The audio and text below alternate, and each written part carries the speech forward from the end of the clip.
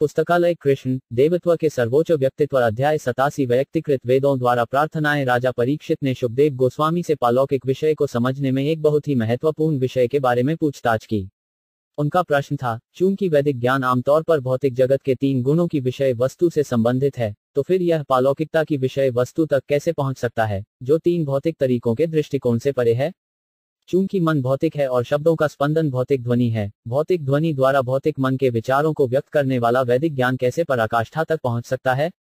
किसी विषय वस्तु के वर्णन के लिए उसके उद्गम के स्रोत, उसके गुणों और उसकी गतिविधियों का वर्णन करना आवश्यक हो जाता है। ऐसा वर्णन भौतिक मन से विचार करने और भौतिक शब्दों को स्पंदित करने से ही संभव हो सकता है। ब्रह्म, या परम सत्य, में कोई भौतिक गुण नहीं है, लेकिन हमारी बोलने की शक्ति भौतिक गुणों से परे नहीं जाती है। फिर आपके शब्दों से ब्रह्म, परम सत्य का वर्णन कैसे किया जा सकता है? मैं यह नहीं देखता कि भौतिक ध्वनि की ऐसी अभिव्यक्तियों से उत्कर्ष को कैसे समझा जा सकता है। राजा परीक्षित की पूछताछ का उद्देश्य सुखदेव गोस्वामी से यह पता लगाना था कि क्या वेद अंततः परम सत्य को अवैयक्तिक या व्यक्तिगत के रूप में वर्णित करते हैं। परम सत्य की समझ तीन विशेषताओं में विकसित होती है, निराकार ब्रह्म, परमात्मा हर किसी के हृदय में स्थित है, और अंत में, पूर्ण पुरुषोत्तम भगवान, कृष्ण। वेद गतिविधियों के तीन विभागों से संबंधित हैं। एक को कर्म कांड कहा जाता है, या वैदिक निषेधाज्ञा के तहत गतिविधियाँ, जो धीरे धीरे किसी को उसकी वास्तविक स्थिति को समझने के लिए शुद्ध करती हैं। अगला है ज्ञान कांड सट्टा विधियों द्वारा परम सत्य को समझने की प्रक्रिया, और तीसरा है उपासना कांड या भगवान के परम व्यक्तित्व की पूजा और कभी कभी देवताओं की भी। वेदों में संस्तुत देवताओं की पूजा का आदेश भगवान के व्यक्तित्व के साथ देवताओं के संबंध को समझने के साथ दिया गया है। पूर्ण पुरुषोत्तम भगवान के कई अंश हैं, कुछ को स्वांश या उनके व्यक्तिगत विस्तार कहा जाता है, और कुछ को विभिन्नांश, जीव कहा जाता है। ऐसे सभी विस्तार, स्वांश और विभिन्नांश दोनों, भगवान के मूल व्यक्तित्व से निकले हुए हैं। स्वांश विस्तार को विष्णु तत्व कहा जाता है, जबकि विभिन्नांश विस्तार को जीव तत्व कहा जाता है। विभिन्न देवता जीव तत्व हैं। बद्ध आत्माओं को आमतौर पर इंद्रिय तृप्ति के लिए भौतिक संसार की गतिविधियों में लगाया जाता है, इसलिए, जैसा कि भगवत गीता में कहा गया है, उन लोगों को विनियमित करने के लिए जो विभिन्न प्रकार की इंद्रिय तृप्ति में अत्यधिक आसक्त हैं कभी कभी देवताओं की पूजा की सिफारिश की जाती है। उदाहरण के लिए, मांस खाने के अत्यधिक आदि व्यक्तियों के लिए, वैदिक निषेधाज्ञा अनुशंसा करती है कि देवी काली के रूप की पूजा करने और कर्म कांड नियम के तहत एक बकरी, कोई अन्य जानवर नहीं की बलि देने के बाद, उपासकों को मांस खाने की अनुमति दी जा सकती है। डॉट यह विचार किसी को मांस खाने के लिए प्रोत्साहित करने के लिए नहीं है, बल्कि कुछ प्रतिबंधित शर्तों के तहत मांस खाने पर ज़ोर देने वाले व्यक्ति को इसे खाने की अनुमति देने के लिए है। इसलिए, देवताओं की पूजा परम सत्य की पूजा नहीं है, लेकिन देवताओं की पूजा करने से व्यक्ति धीरे धीरे भगवान के परम व्यक्तित्व को अप्रत्यक्ष रूप से स्वीकार करने लगता है। इस अप्रत्यक्ष स्वीकृति को भगवत गीता में अविधि के रूप में वर्णित किया गया है। अविधि का अर्थ है, सदाशय नहीं, चूँकि देवताओं की पूजा प्रामाणिक नहीं है, इसलिए निर्विशेषवादी परम सत्य की निर्विशेष विशेषता पर ध्यान केंद्रित करने पर बल देते हैं। राजा परीक्षित का प्रश्न था, वैदिक ज्ञान का अंतिम लक्ष्य कौन सा है, परम सत्य की अवैयक्तिक विशेषता पर यह एकाग्रता या व्यक्तिगत विशेषता पर एकाग्रता? आखिरकार, परम भगवान की अवैयक्तिक और व्यक्तिगत विशेषता दोनों ही हमारी भौतिक अवधारणा से परे हैं। निरपेक्ष की अवैयक्तिक विशेषता, ब्रह्म दीप्ति, लेकिन कृष्ण के व्यक्तिगत शरीर की किरणें हैं। कृष्ण के व्यक्तिगत शरीर की ये किरणें भगवान के पूरे निर्माण पर डाली जाती हैं, और भौतिक मेघ द्वारा कवर किए गए दीप्ति के हिस्से को तीन भौतिक गुणों, सत्व, रजस और तमस का निर्मित ब्रह्मांड कहा जाता है। भौतिक संसार कहे जाने वाले इस धुंधले हिस्से के भीतर रहने वाले लोग कैसे सट्टा पद्धति से परम सत्य की कल्पना कर सकते हैं?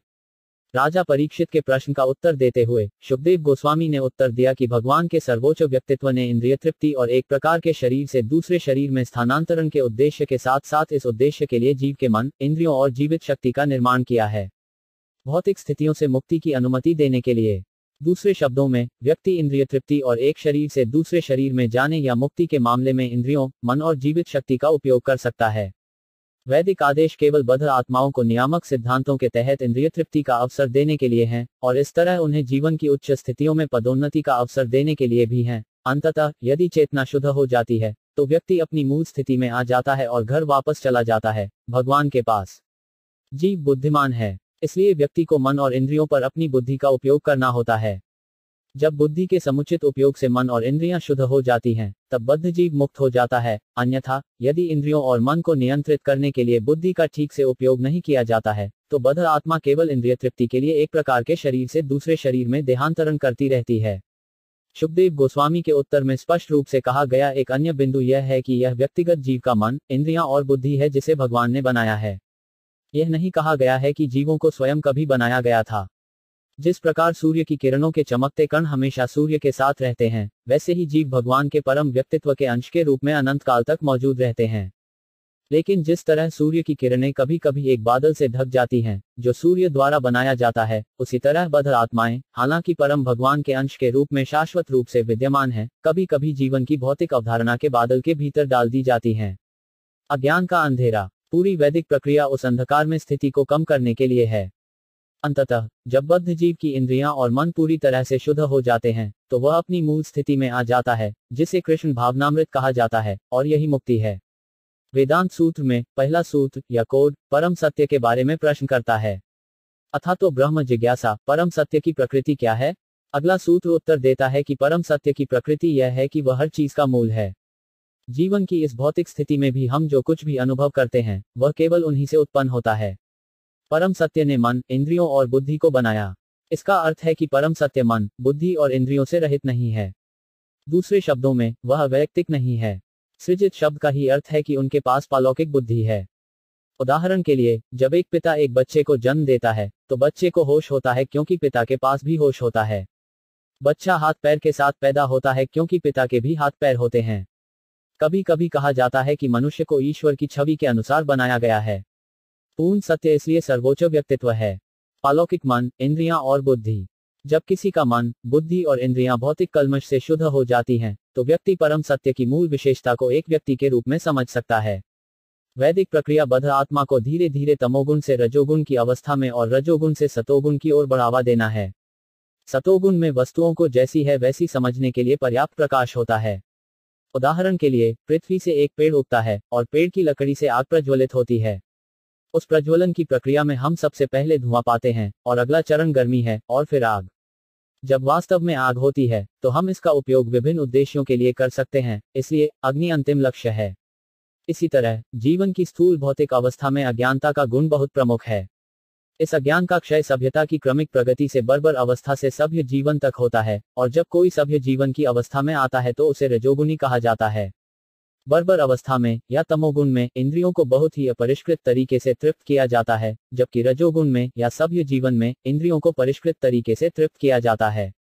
लेकिन जब किसी को सतोगुण में पदोन्नत किया जाता है तो वह समझ सकता है कि विकृत चेतना से आच्छादित होने के कारण ही इंद्रियाँ और मन भौतिक गतिविधियों में लगे हुए हैं।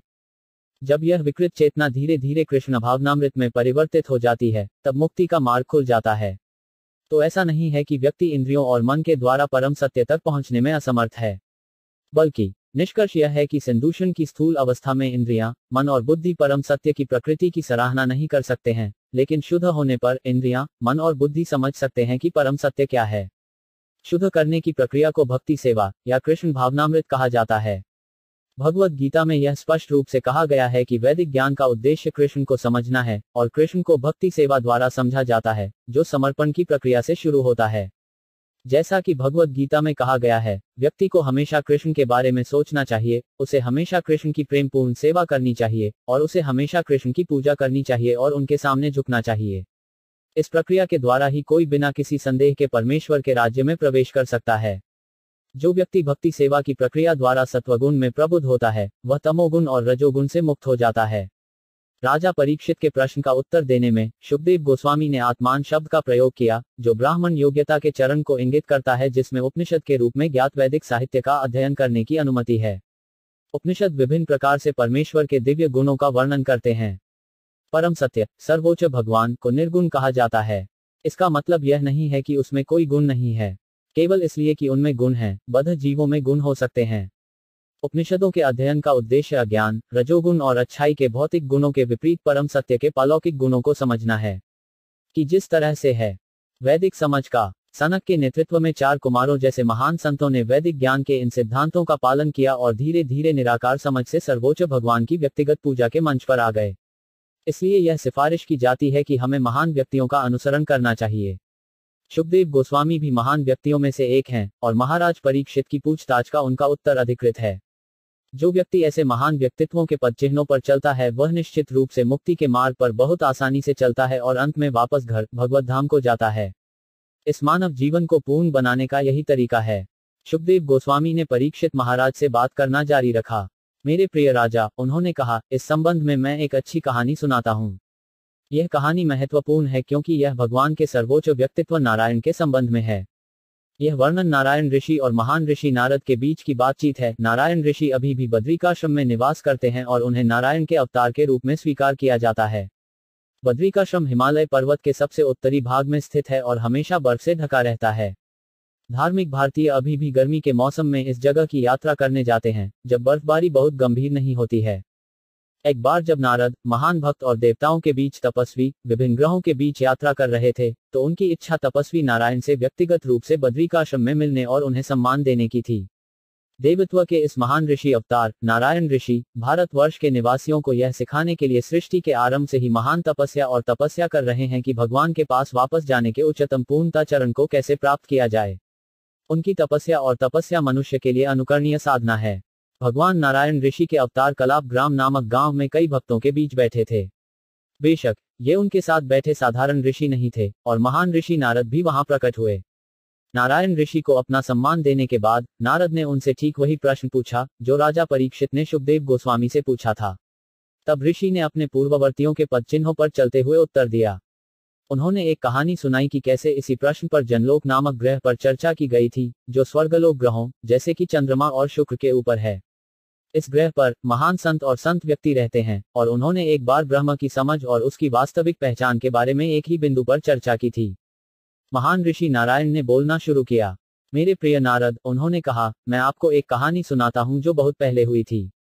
स्वर्गीय ग्रहों के निवासियों की एक बड़ी बैठक थी, और लगभग सभी महत्वपूर्ण ब्रह्मचारियों, जैसे कि चार कुमार, सानंदन, सनक, सनातन और सनत कुमार ने भाग लिया। उनकी चर्चा परम सत्य, ब्रह्म को समझने के विषय पर थी। आप उस बैठक में उपस्थित नहीं थे क्योंकि आप श्वेतद्वीप द्वीप पर रहने वाले मेरे विस्तार अनिरुद्ध को देखने गए थे।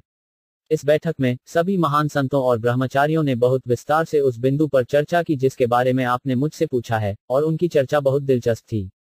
यह इतना नाजुक था कि वेद भी जटिल प्रश्नों का उत्तर देने में असमर्थ थे। नारायण ऋषि ने नारद जी से कहा कि नारद जी ने जो प्रश्न उठाया था, उस पर जनलोक की उस बैठक में चर्चा की गई थी। यह परंपरा या शिष्य उत्तराधिकार के माध्यम से समझने का तरीका है।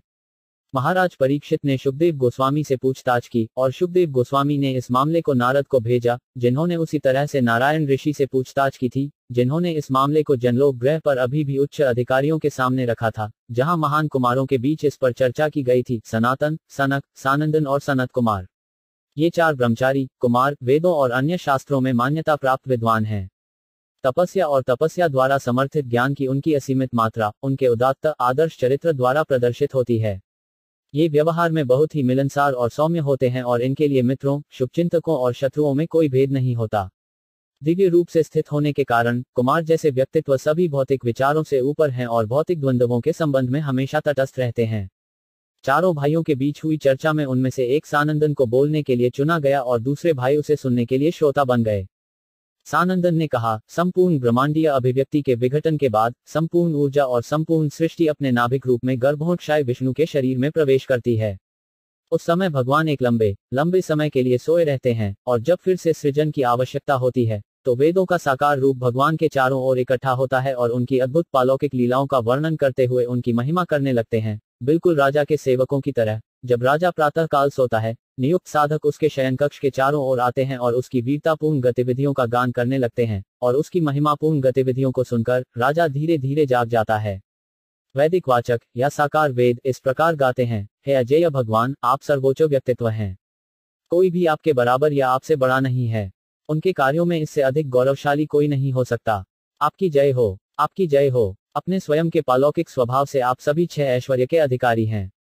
इस तरह, आप सभी बध आत्माओं को माया के चंगुल से छुड़ाने में सक्षम हैं।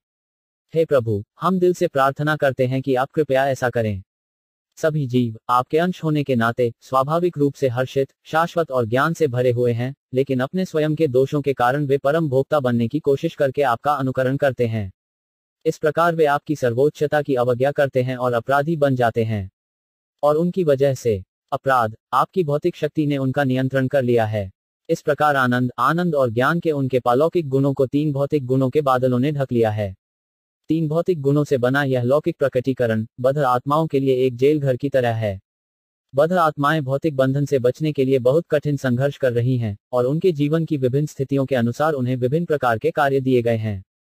लेकिन चूँकि सभी कार्य आपके द्वारा प्रदान किए गए ज्ञान पर आधारित होते हैं बध आत्माएँ केवल तभी पवित्र गतिविधियों को निष्पादित कर सकती हैं जब आप उन्हें ऐसा करने के लिए प्रेरित करते हैं।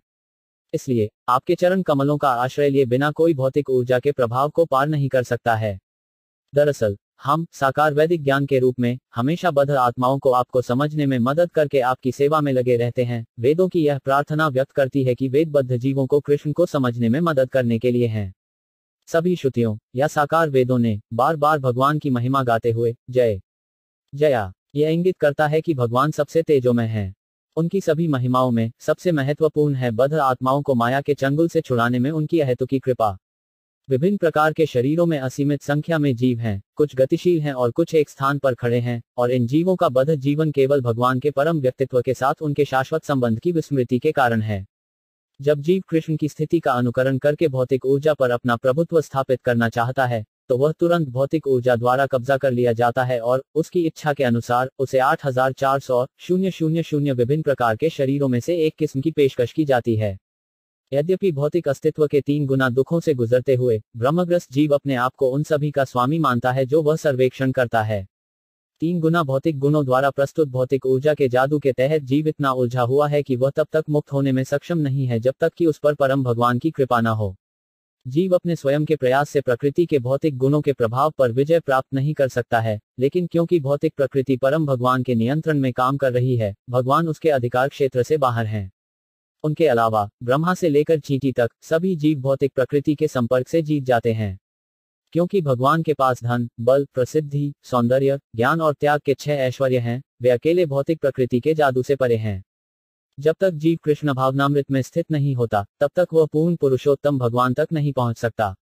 फिर भी भगवान अपनी सर्वशक्तिमता से, परमात्मा के रूप में भीतर से निर्देश दे सकते हैं कि कैसे एक जीव धीरे धीरे उनके पास आ सकता है। अपना सामान्य कार्य करते हुए भी, जैसा कि भगवान भगवत गीता में सलाह देते हैं, जो कुछ भी तुम करते हो, मेरे लिए करो, जो कुछ तू खाए, वह पहले मुझे अर्पण कर, तुम जो दान देना चाहते हो, पहले मुझे दो, और जो तप और तपस्या तुम करना चाहते हो, उन्हें मेरे लिए करो। इस प्रकार कर्मी धीरे धीरे कृष्ण भावनामृत विकसित करने के लिए निर्देशित होते हैं। इसी तरह कृष्ण दार्शनिकों को निर्देश देते हैं कि वे ब्रह्म और माया के बीच भेदभाव करके धीरे धीरे उनके पास जाएँ, क्योंकि अंत में जब कोई ज्ञान में परिपक्व होता है तो वह कृष्ण के प्रति समर्पण करता है। जैसा कि कृष्ण भगवत गीता में कहते हैं, कई कई जन्मों के बाद, बुद्धिमान दार्शनिक मेरे प्रति समर्पण करता है, योगियों को यह भी निर्देशित किया जाता है कि वे अपने ध्यान को हृदय के भीतर कृष्ण पर केंद्रित करें, और कृष्ण भावनामृत की इस तरह की निरंतर प्रक्रिया से वे भी भौतिक ऊर्जा के चंगुल से मुक्त हो सकते हैं। हालाँकि, भक्त शुरू से ही प्रेम और स्नेह के साथ भक्ति सेवा में लगे हुए हैं, और इसलिए भगवान व्यक्तिगत रूप से उन्हें निर्देश देते हैं ताकि वे बिना किसी कठिनाई या विचलन के उनके पास पहुँच सकें। यह भगवत गीता में कहा गया है। केवल भगवान की कृपा से ही जीव ब्रह्म, परमात्मा और भगवान की सही स्थिति को समझ सकता है। साकार वेदों के कथन स्पष्ट प्रमाण देते हैं कि वैदिक साहित्य केवल कृष्ण को समझने के लिए प्रस्तुत किया गया है। भगवत गीता पुष्टि करती है कि सभी वेदों के माध्यम से केवल कृष्ण को ही समझना है। कृष्ण हमेशा आनंदित रहते हैं, या तो भौतिक दुनिया में या आध्यात्मिक दुनिया में, क्योंकि वे परम भोक्ता हैं, उनके लिए भौतिक और आध्यात्मिक में कोई भेद नहीं है। दुनिया भौतिक संसार सामान्य जीवों के लिए एक बाधा है क्योंकि वे इसके नियंत्रण में हैं, लेकिन कृष्ण भौतिक संसार के नियंत्रक होने के नाते इसके द्वारा प्रदान की जाने वाली बाधाओं से कोई लेना देना नहीं है। इसलिए उपनिषदों के विभिन्न भागों में वेद घोषणा करते हैं परम ब्रह्म शाश्वत है सभी ज्ञान और सभी आनंद से भरा हुआ है। भगवान का वह एक परम व्यक्तित्व प्रत्येक जीव के हृदय में विद्यमान है अपनी सर्वव्यापीता के कारण वे न केवल जीवों के हृदयों में बल्कि परमाणुओं में भी प्रवेश करने में सक्षम हैं। परमात्मा के रूप में, वे जीवों की सभी गतिविधियों के नियंत्रक हैं। वह सबके भीतर रहता है और उनके कार्यों को देखता है, उन्हें उनकी इच्छा के अनुसार कार्य करने की अनुमति देता है और उन्हें उनकी विभिन्न गतिविधियों का फल भी देता है।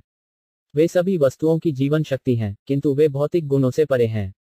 वह सर्वशक्तिमान है वह सब कुछ बनाने में निपुण है और अपने श्रेष्ठ, स्वाभाविक ज्ञान के कारण वह सभी को अपने नियंत्रण में ला सकता है। वैसे तो वे सबके मालिक हैं। वह कभी कभी ग्लोब की सतह पर प्रकट होता है, लेकिन वह एक साथ सभी पदार्थों के भीतर होता है। स्वयं को अनेक रूपों में विस्तारित करने की इच्छा से उन्होंने भौतिक ऊर्जा पर दृष्टि डाली और इस प्रकार असंख्य जीव प्रकट हुए। सब कुछ उनकी उच्च शक्ति द्वारा बनाया गया है और उनकी रचना में सब कुछ बिना किसी कमी के पूरी तरह से किया हुआ प्रतीत होता है। जो लोग इस भौतिक संसार से मुक्ति की इच्छा रखते हैं, इसलिए उन्हें सभी कारणों के परम कारण भगवान के परम व्यक्तित्व की पूजा करनी चाहिए। वह पृथ्वी के कुल द्रव्यमान की तरह है, जिससे विभिन्न प्रकार के पार्थिव घड़े निर्मित होते हैं मठ के पार्थिव मिट्टी के बने होते हैं, वे पृथ्वी पर विश्राम करते हैं, और नष्ट होने के बाद, उनके तत्व अंततः वापस पृथ्वी में विलीन हो जाते हैं, सभी का मूल कारण अभिव्यक्ति की किस्में। पृथ्वी के साथ ब्राह्मण की इस उपमा को नियोजित करते हुए, निर्विशेषवादी विशेष रूप से वैदिक कथन सर्वम खल विदम ब्रह्म पर ज़ोर देते हैं। सब कुछ ब्रह्म है, निर्विशेषवादी परम कारण, ब्रह्म से उत्पन्न होने वाली विभिन्न अभिव्यक्तियों पर विचार नहीं करते हैं। वे केवल यह मानते हैं कि सब कुछ ब्रह्म से उत्पन्न होता है और विनाश के बाद ब्रह्म में विलीन हो जाता है और अभिव्यक्ति की मध्यवर्ती अवस्था भी ब्रह्म ही है। लेकिन यद्यपि मायावादी मानते हैं कि इसके प्रकट होने से पहले ब्रह्मांड ब्रह्म में था, सृष्टि के बाद यह ब्रह्म में रहता है और विनाश के बाद यह ब्रह्म में विलीन हो जाता है, वे नहीं जानते कि ब्रह्म क्या है। ब्रह्म संहिता, हालाँकि, स्पष्ट रूप से ब्राह्मण का वर्णन करती है। जीव, अंतरिक्ष, समय और अग्नि, पृथ्वी, आकाश, जल और मन जैसे भौतिक तत्व को लौकिक अभिव्यक्ति का गठन करते हैं, जिसे भू भूव और स्व के रूप में जाना जाता है, जो प्रकट होता है। गोविंदा द्वारा, यह गोविंद के बल पर फलता फूलता है और प्रलय के बाद गोविंदा में प्रवेश करता है और संरक्षित होता है। इसलिए भगवान ब्रह्मा कहते हैं, मैं भगवान गोविंद की पूजा करता हूँ, मूल व्यक्तित्व, सभी कारणों का कारण। ब्रह्म, शब्द सबसे महान और हर चीज़ के अनुरक्षक को इंगित करता है। निर्विशेषवादी आकाश की महानता से आकृष्ट होते हैं, लेकिन अपने अल्प ज्ञान कोश के कारण वे कृष्ण की महानता से आकर्षित नहीं होते। हालाँकि, हमारे व्यवहारिक जीवन में, हम किसी व्यक्ति की महानता से आकर्षित होते हैं न कि किसी बड़े पहाड़ की महानता से। इस प्रकार, ब्रह्म शब्द वास्तव में केवल कृष्ण पर लागू होता है, इसलिए भगवत गीता में अर्जुन ने निष्कर्ष निकाला कि भगवान कृष्ण पर ब्रह्म है, या हर चीज़ के सर्वोच्च विश्राम स्थल हैं। कृष्ण अपने असीमित ज्ञान, असीमित शक्तियों, असीमित शक्ति, असीमित प्रभाव, असीमित सुंदरता और असीमित त्याग के कारण परम ब्रह्म है। अंततः, इसलिए, ब्रह्म, शब्द केवल कृष्ण के लिए ही लागू किया जा सकता है। अर्जुन पुष्टि करता है कि क्योंकि निराकार ब्रह्म कृष्ण के पालौकिक शरीर की किरणों के रूप में निकलने वाला तेज है, कृष्ण पर ब्रह्म है। सब कुछ ब्रह्म पर निर्भर है, लेकिन ब्रह्म स्वयं कृष्ण पर निर्भर है। इसलिए कृष्ण परम ब्रह्म है, या पर ब्रह्म है। भौतिक तत्वों को कृष्ण की अपराशक्ति के रूप में स्वीकार किया जाता है। उनकी बातचीत से लौकिक अभिव्यक्ति होती है, कृष्ण पर टिकी होती है, और विघटन के बाद फिर से कृष्ण के शरीर में उनकी सूक्ष्म ऊर्जा के रूप में प्रवेश करती है। इसलिए कृष्ण प्रकटीकरण और विघटन दोनों के कारण हैं। सर्वम खल विदम ब्रह्म का मतलब है कि सब कुछ कृष्ण है, इस अर्थ में कि सब कुछ उनकी ऊर्जा है। यही महाभागवतों का दर्शन है। वे सब कुछ कृष्ण के संबंध में देखते हैं। निर्विशेषवादियों का तर्क है कि कृष्ण स्वयं अनेक रूप धारण कर चुके हैं और इसलिए प्रत्येक वस्तु कृष्ण है और किसी भी वस्तु की पूजा उनकी पूजा है। इस झूठे तर्क का उत्तर कृष्ण द्वारा भगवत गीता में दिया गया है। यद्यपि सब कुछ कृष्ण की ऊर्जा का रूपांतरण है, वे हर जगह मौजूद नहीं है। वह एक साथ मौजूद है और मौजूद नहीं है। वे अपनी शक्ति से सर्वत्र विद्यमान है, किंतु शक्तिमान के रूप में सर्वत्र विद्यमान नहीं है। यह एक साथ उपस्थिति और गैर उपस्थिति हमारी वर्तमान इंद्रियों के लिए समझ से बाहर है। लेकिन ईशोपनिषद के प्रारंभ में एक स्पष्ट व्याख्या दी गई है, जिसमें यह कहा गया है कि परम भगवान इतने पूर्ण हैं कि यद्यपि असीमित ऊर्जाएँ और उनके परिवर्तन कृष्ण से निकलते हैं, कृष्ण का व्यक्तित्व जरा सा भी परिवर्तित नहीं हुआ है। इसलिए, चूँकि कृष्ण सभी कारणों के कारण हैं, बुद्धिमान व्यक्तियों को उनके चरण कमलों की शरण लेनी चाहिए। कृष्ण हर किसी को केवल उनकी शरण में जाने की सलाह देते हैं, और यही वैदिक निर्देश का तरीका है। चूँकि कृष्ण सभी कारणों के कारण हैं, इसलिए सभी प्रकार के ऋषियों और संतों द्वारा नियामक सिद्धांतों के पालन के माध्यम से उनकी पूजा की जाती है। जहाँ तक ध्यान का संबंध है महान व्यक्ति हृदय के भीतर कृष्ण के पालौकिक रूप का ध्यान करते हैं। इस प्रकार महान व्यक्तियों का मन सदैव कृष्ण में लगा रहता है। कृष्ण में लगे अपने मन के साथ स्वाभाविक रूप से मोहित भक्त केवल कृष्ण की बात करते हैं। कृष्ण की बात करना या कृष्ण का गाना कीर्तन कहलाता है। भगवान चैतन्य सलाह देते हैं, कीर्तनिया, सदा हरि, जिसका अर्थ है हमेशा कृष्ण के बारे में सोचना और बात करना और कुछ नहीं। यही कृष्ण भावनामृत कहा जाता है। कृष्ण भावनामृत इतना उदात्त है कि जो कोई भी इस प्रक्रिया को अपनाता है, वह जीवन की उच्चतम पूर्णता तक उन्नत होता है, मुक्ति की अवधारणा से बहुत परे। इसलिए भगवत गीता में, कृष्ण हर किसी को हमेशा उनके बारे में सोचने, उनकी भक्ति सेवा करने, उनकी पूजा करने और उन्हें प्रणाम करने की सलाह देते हैं। इस प्रकार एक भक्त पूरी तरह से कृष्ण रूप हो जाता है और हमेशा कृष्ण भावनामृत में स्थित होने के कारण अंततः कृष्ण के पास वापस चला जाता है। यद्यपि वेदों ने कृष्ण के विभिन्न अंशों के रूप में विभिन्न देवताओं की पूजा की सिफारिश की है, यह समझना चाहिए कि ऐसे निर्देश कम बुद्धिमान पुरुषों के लिए हैं जो अभी भी भौतिक इंद्रिय तृप्ति से आकर्षित हैं। लेकिन वह व्यक्ति जो वास्तव में मानव जीवन के मिशन की पूर्ण पूर्ति चाहता है, उसे केवल भगवान कृष्ण की पूजा करनी चाहिए, और यह मामले को सरल करेगा और उसके मानव जीवन की सफलता की पूरी गारंटी देगा। यद्यपि आकाश, जल और भूमि सभी भौतिक संसार का हिस्सा हैं, जब कोई ठोस भूमि पर खड़ा होता है तो उसकी स्थिति उस स्थिति से अधिक सुरक्षित होती है जब वह आकाश या जल में खड़ा होता है। एक बुद्धिमान व्यक्ति, इसलिए, विभिन्न देवताओं के संरक्षण में नहीं खड़ा होता, भले ही वे कृष्ण के अभिन्न अंग हों। बल्कि वह कृष्ण भावनामृत की ठोस ज़मीन पर खड़ा है। इससे उसकी स्थिति सुदृढ़ और सुरक्षित हो जाती है। निर्विशेषवादी कभी कभी यह उदाहरण देते हैं कि यदि कोई पत्थर या लकड़ी के टुकड़े पर खड़ा होता है तो वह निश्चित रूप से भूमि की सतह पर खड़ा होता है, क्योंकि पत्थर और लकड़ी दोनों पृथ्वी की सतह पर टिके होते हैं। लेकिन यह उत्तर दिया जा सकता है कि यदि कोई पृथ्वी की सतह पर सीधे खड़ा होता है तो वह लकड़ी या पत्थर पर खड़े होने की तुलना में अधिक सुरक्षित होता है जो पृथ्वी पर टिका होता है। दूसरे शब्दों में, परमात्मा की शरण लेना या निराकार ब्रह्म की शरण लेना उतना सुरक्षित मार्ग नहीं है जितना कि कृष्ण भावनामृत में कृष्ण की सीधी शरण लेना। इसलिए ज्ञानियों और योगियों की स्थिति कृष्ण के भक्तों की स्थिति जितनी सुरक्षित नहीं है। इसलिए भगवान कृष्ण ने भगवत गीता में सलाह दी है कि केवल वही व्यक्ति देवताओं की पूजा करता है, जो अपनी बुद्धि खो चुका है। और अवैयक्तिक ब्रह्म से जुड़े व्यक्तियों के बारे में श्रीमद भागवत कहते हैं, मेरे प्रिय भगवान, जो लोग खुद को मानसिक अटकलों से मुक्त मानते हैं वे आपके कमल का आश्रय पाने में असमर्थता के कारण अभी तक भौतिक प्रकृति के प्रदूषण से शुद्ध नहीं हुए हैं। पैर, यद्यपि वे निराकार ब्रह्म में अस्तित्व की पालौकिक स्थिति तक उठ जाते हैं, वे निश्चित रूप से उस उच्च स्थिति से नीचे गिर जाते हैं क्योंकि वे आपके चरण कमलों का उपहास करते हैं। इसलिए भगवान कृष्ण सलाह देते हैं कि देवताओं के उपासक बहुत बुद्धिमान व्यक्ति नहीं होते क्योंकि वे केवल अस्थायी, संपूर्ण परिणाम प्राप्त करते हैं। उनके प्रयास कम बुद्धिमान पुरुषों के होते हैं। दूसरी ओर, भगवान आश्वासन देते हैं कि उनके भक्त को गिरने का कोई डर नहीं है। साकार वेदों ने प्रार्थना करना जारी रखा। प्रिय भगवान, सभी दृष्टिकोणों पर विचार करते हुए, यदि किसी व्यक्ति को अपने से श्रेष्ठ किसी की पूजा करनी है तो अच्छे व्यवहार से उसे आपके चरण कमलों की पूजा में रहना चाहिए क्योंकि आप परम नियंत्रक हैं। निर्माण रख रखाव और विघटन। आप तीनों लोकों के नियंत्रक हैं। भू, भूव तथा स्व, आप चौदह ऊपरी और निचले संसारों के नियंत्रक हैं, और आप तीन भौतिक गुणों के नियंत्रक हैं। देवता और आध्यात्मिक ज्ञान में उन्नत व्यक्ति हमेशा आपकी पालौकिक लीलाओं के बारे में सुनते और जप करते हैं क्योंकि इस प्रक्रिया में पापपूर्ण जीवन के संचित परिणामों को निष्प्रभावी करने की विशिष्ट शक्ति होती है। बुद्धिमान व्यक्ति वास्तव में आपकी अमृतमयी गतिविधियों के सागर में डूबकी लगाते हैं और बहुत धैर्यपूर्वक उनके बारे में सुनते हैं। इस प्रकार वे तुरंत भौतिक गुणों के कलमश से मुक्त हो जाते हैं, उन्हें आध्यात्मिक जीवन में उन्नति के लिए कठोर तपस्या और तपस्या नहीं करनी पड़ती। आपकी दिव्य लीलाओं का यह जप और श्रवण आत्म साक्षात्कार के लिए सबसे आसान प्रक्रिया है। केवल पालौकिक संदेश के विनम्र श्रवण ग्रहण से किसी का हृदय सभी गंदी चीज़ों से शुद्ध हो जाता है।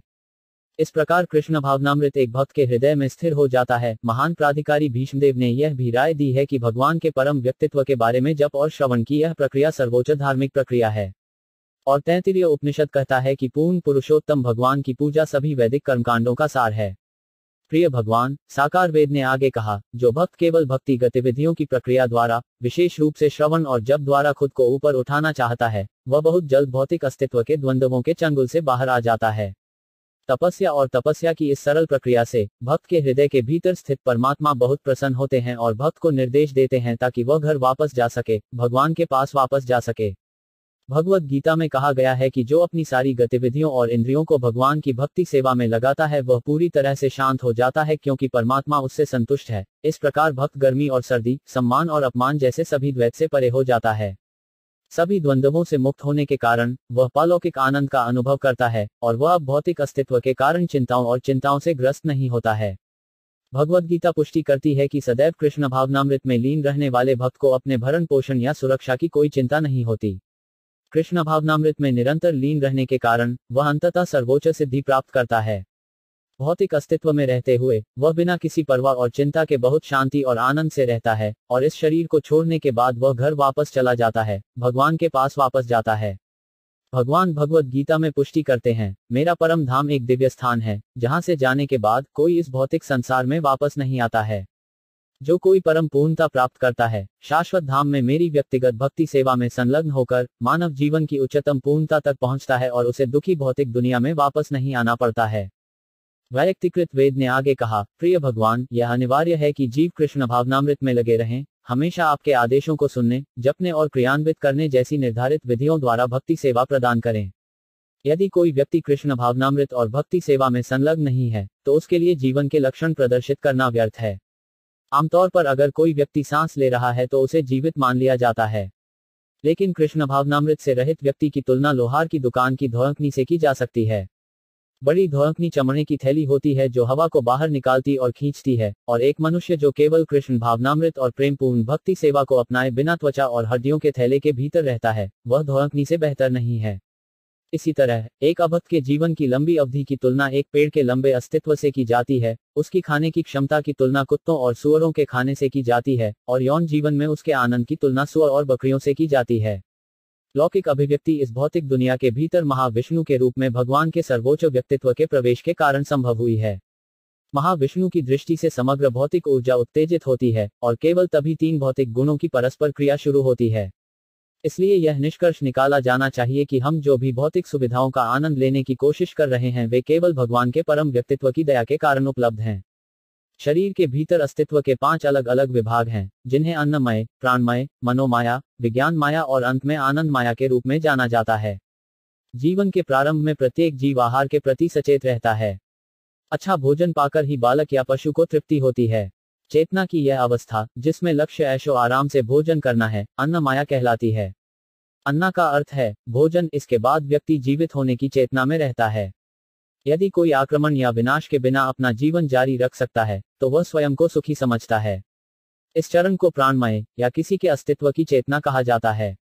इस अवस्था के बाद जब व्यक्ति मानसिक स्तर पर स्थित होता है तो उसकी चेतना मनोमाया कहलाती है।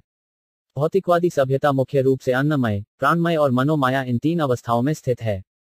सभ्य व्यक्तियों की पहली चिंता आर्थिक विकास है, अगली चिंता विलोपन के खिलाफ रक्षा है, और अगली चेतना मानसिक अटकलें हैं, जीवन मूल्यों के प्रति दार्शनिक दृष्टिकोण। यदि दार्शनिक जीवन की विकासवादी प्रक्रिया द्वारा कोई बौद्धिक जीवन के मंच पर पहुँच जाता है और यह समझ जाता है कि वह यह भौतिक शरीर नहीं बल्कि एक आध्यात्मिक आत्मा है तो वह विज्ञानमय अवस्था में स्थित है। फिर, आध्यात्मिक जीवन में विकास के द्वारा, वह सर्वोच्च भगवान या सर्वोच्च आत्मा की समझ में आता है।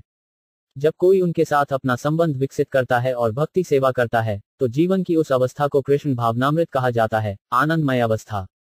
आनंद माया ज्ञान और अनंत काल का आनंदमय जीवन है। जैसा कि वेदांत सूत्र में कहा गया है, आनंदमयो अभ्यासात। परम ब्रह्म और अधीनस्थ ब्राह्मण या देवत्व के सर्वोच्च व्यक्तित्व और जीव, दोनों स्वभाव से आनंदित हैं। जब तक जीव जीवन की निचली चार अवस्थाओं अन्नमय, प्राणमय, मनोमाया और विज्ञानमय में स्थित हैं, तब तक उन्हें जीवन की भौतिक स्थिति में माना जाता है, लेकिन जैसे ही कोई पहुँचता है आनंद माया की अवस्था, वह एक मुक्त आत्मा है। भगवत गीता में इस आनंदमय अवस्था की व्याख्या ब्रह्मभूत अवस्था के रूप में की गई है। वहाँ यह कहा जाता है कि जीवन की ब्रह्मभूत अवस्था में न कोई चिंता होती है और न कोई लालसा। यह चरण तब शुरू होता है जब व्यक्ति सभी जीवों के प्रति समान रूप से इच्छुक होता है, और फिर यह कृष्ण भावनामृत के चरण तक फैलता है, जिसमें व्यक्ति हमेशा पूर्ण पुरुषोत्तम भगवान की सेवा करने के लिए लालायित रहता है। भक्ति सेवा में उन्नति की यह लालसा भौतिक अस्तित्व में इंद्रिय तृप्ति की लालसा के समान नहीं है। दूसरे शब्दों में, आध्यात्मिक जीवन में लालसा बनी रहती है, लेकिन यह शुद्ध हो जाती है। इसी प्रकार, जब हमारी इंद्रियाँ शुद्ध हो जाती हैं तो वे सभी भौतिक अवस्थाओं से मुक्त हो जाती हैं, अर्थात अन्नमय, प्राणमय, मनो। माया और विज्ञान माया, और वे सर्वोच्च स्तर पर स्थित हो जाते हैं, आनंदमय, या कृष्ण भावनामृत में आनंदमय जीवन। मायावादी दार्शनिक आनंद माया को परमात्मा में विलीन होने की अवस्था मानते हैं। उनके लिए, आनंदमय का अर्थ है कि परमात्मा और जीवात्मा एक हो जाते हैं। लेकिन वास्तविक तथ्य यह है कि एकत्व का अर्थ परमात्मा में लीन हो जाना और अपने व्यक्तिगत अस्तित्व को खो देना नहीं है। आध्यात्मिक अस्तित्व में लीन होना जीव का अनंत काल और ज्ञान के पहलुओं में सर्वोच्च भगवान के साथ गुणात्मक एकता की अनुभूति है। लेकिन वास्तविक आनंदमय आनंदमय अवस्था तब प्राप्त होती है जब कोई भक्ति सेवा में लगा होता है। भगवत गीता में इसकी पुष्टि की गई है मद भक्तिम लभते पराम। यहाँ भगवान कृष्ण कहते हैं कि ब्रह्मभूत आनंदमय अवस्था तभी पूर्ण होती है जब सर्वोच्च और अधीनस्थ जीवों के बीच प्रेम का आदान प्रदान होता है। जब तक कोई इस आनंदमय अवस्था में नहीं आता, तब तक उसकी श्वास लोहार की दुकान की धोखनी की श्वास के समान है, उसकी जीवन अवधि एक वृक्ष के समान है, और वह ऊँट, सुअर और सुअर जैसे निम्नतर पशुओं से बेहतर नहीं है। कुत्ते, निस्संदेह सनातन जीव का किसी भी समय विनाश नहीं किया जा सकता है।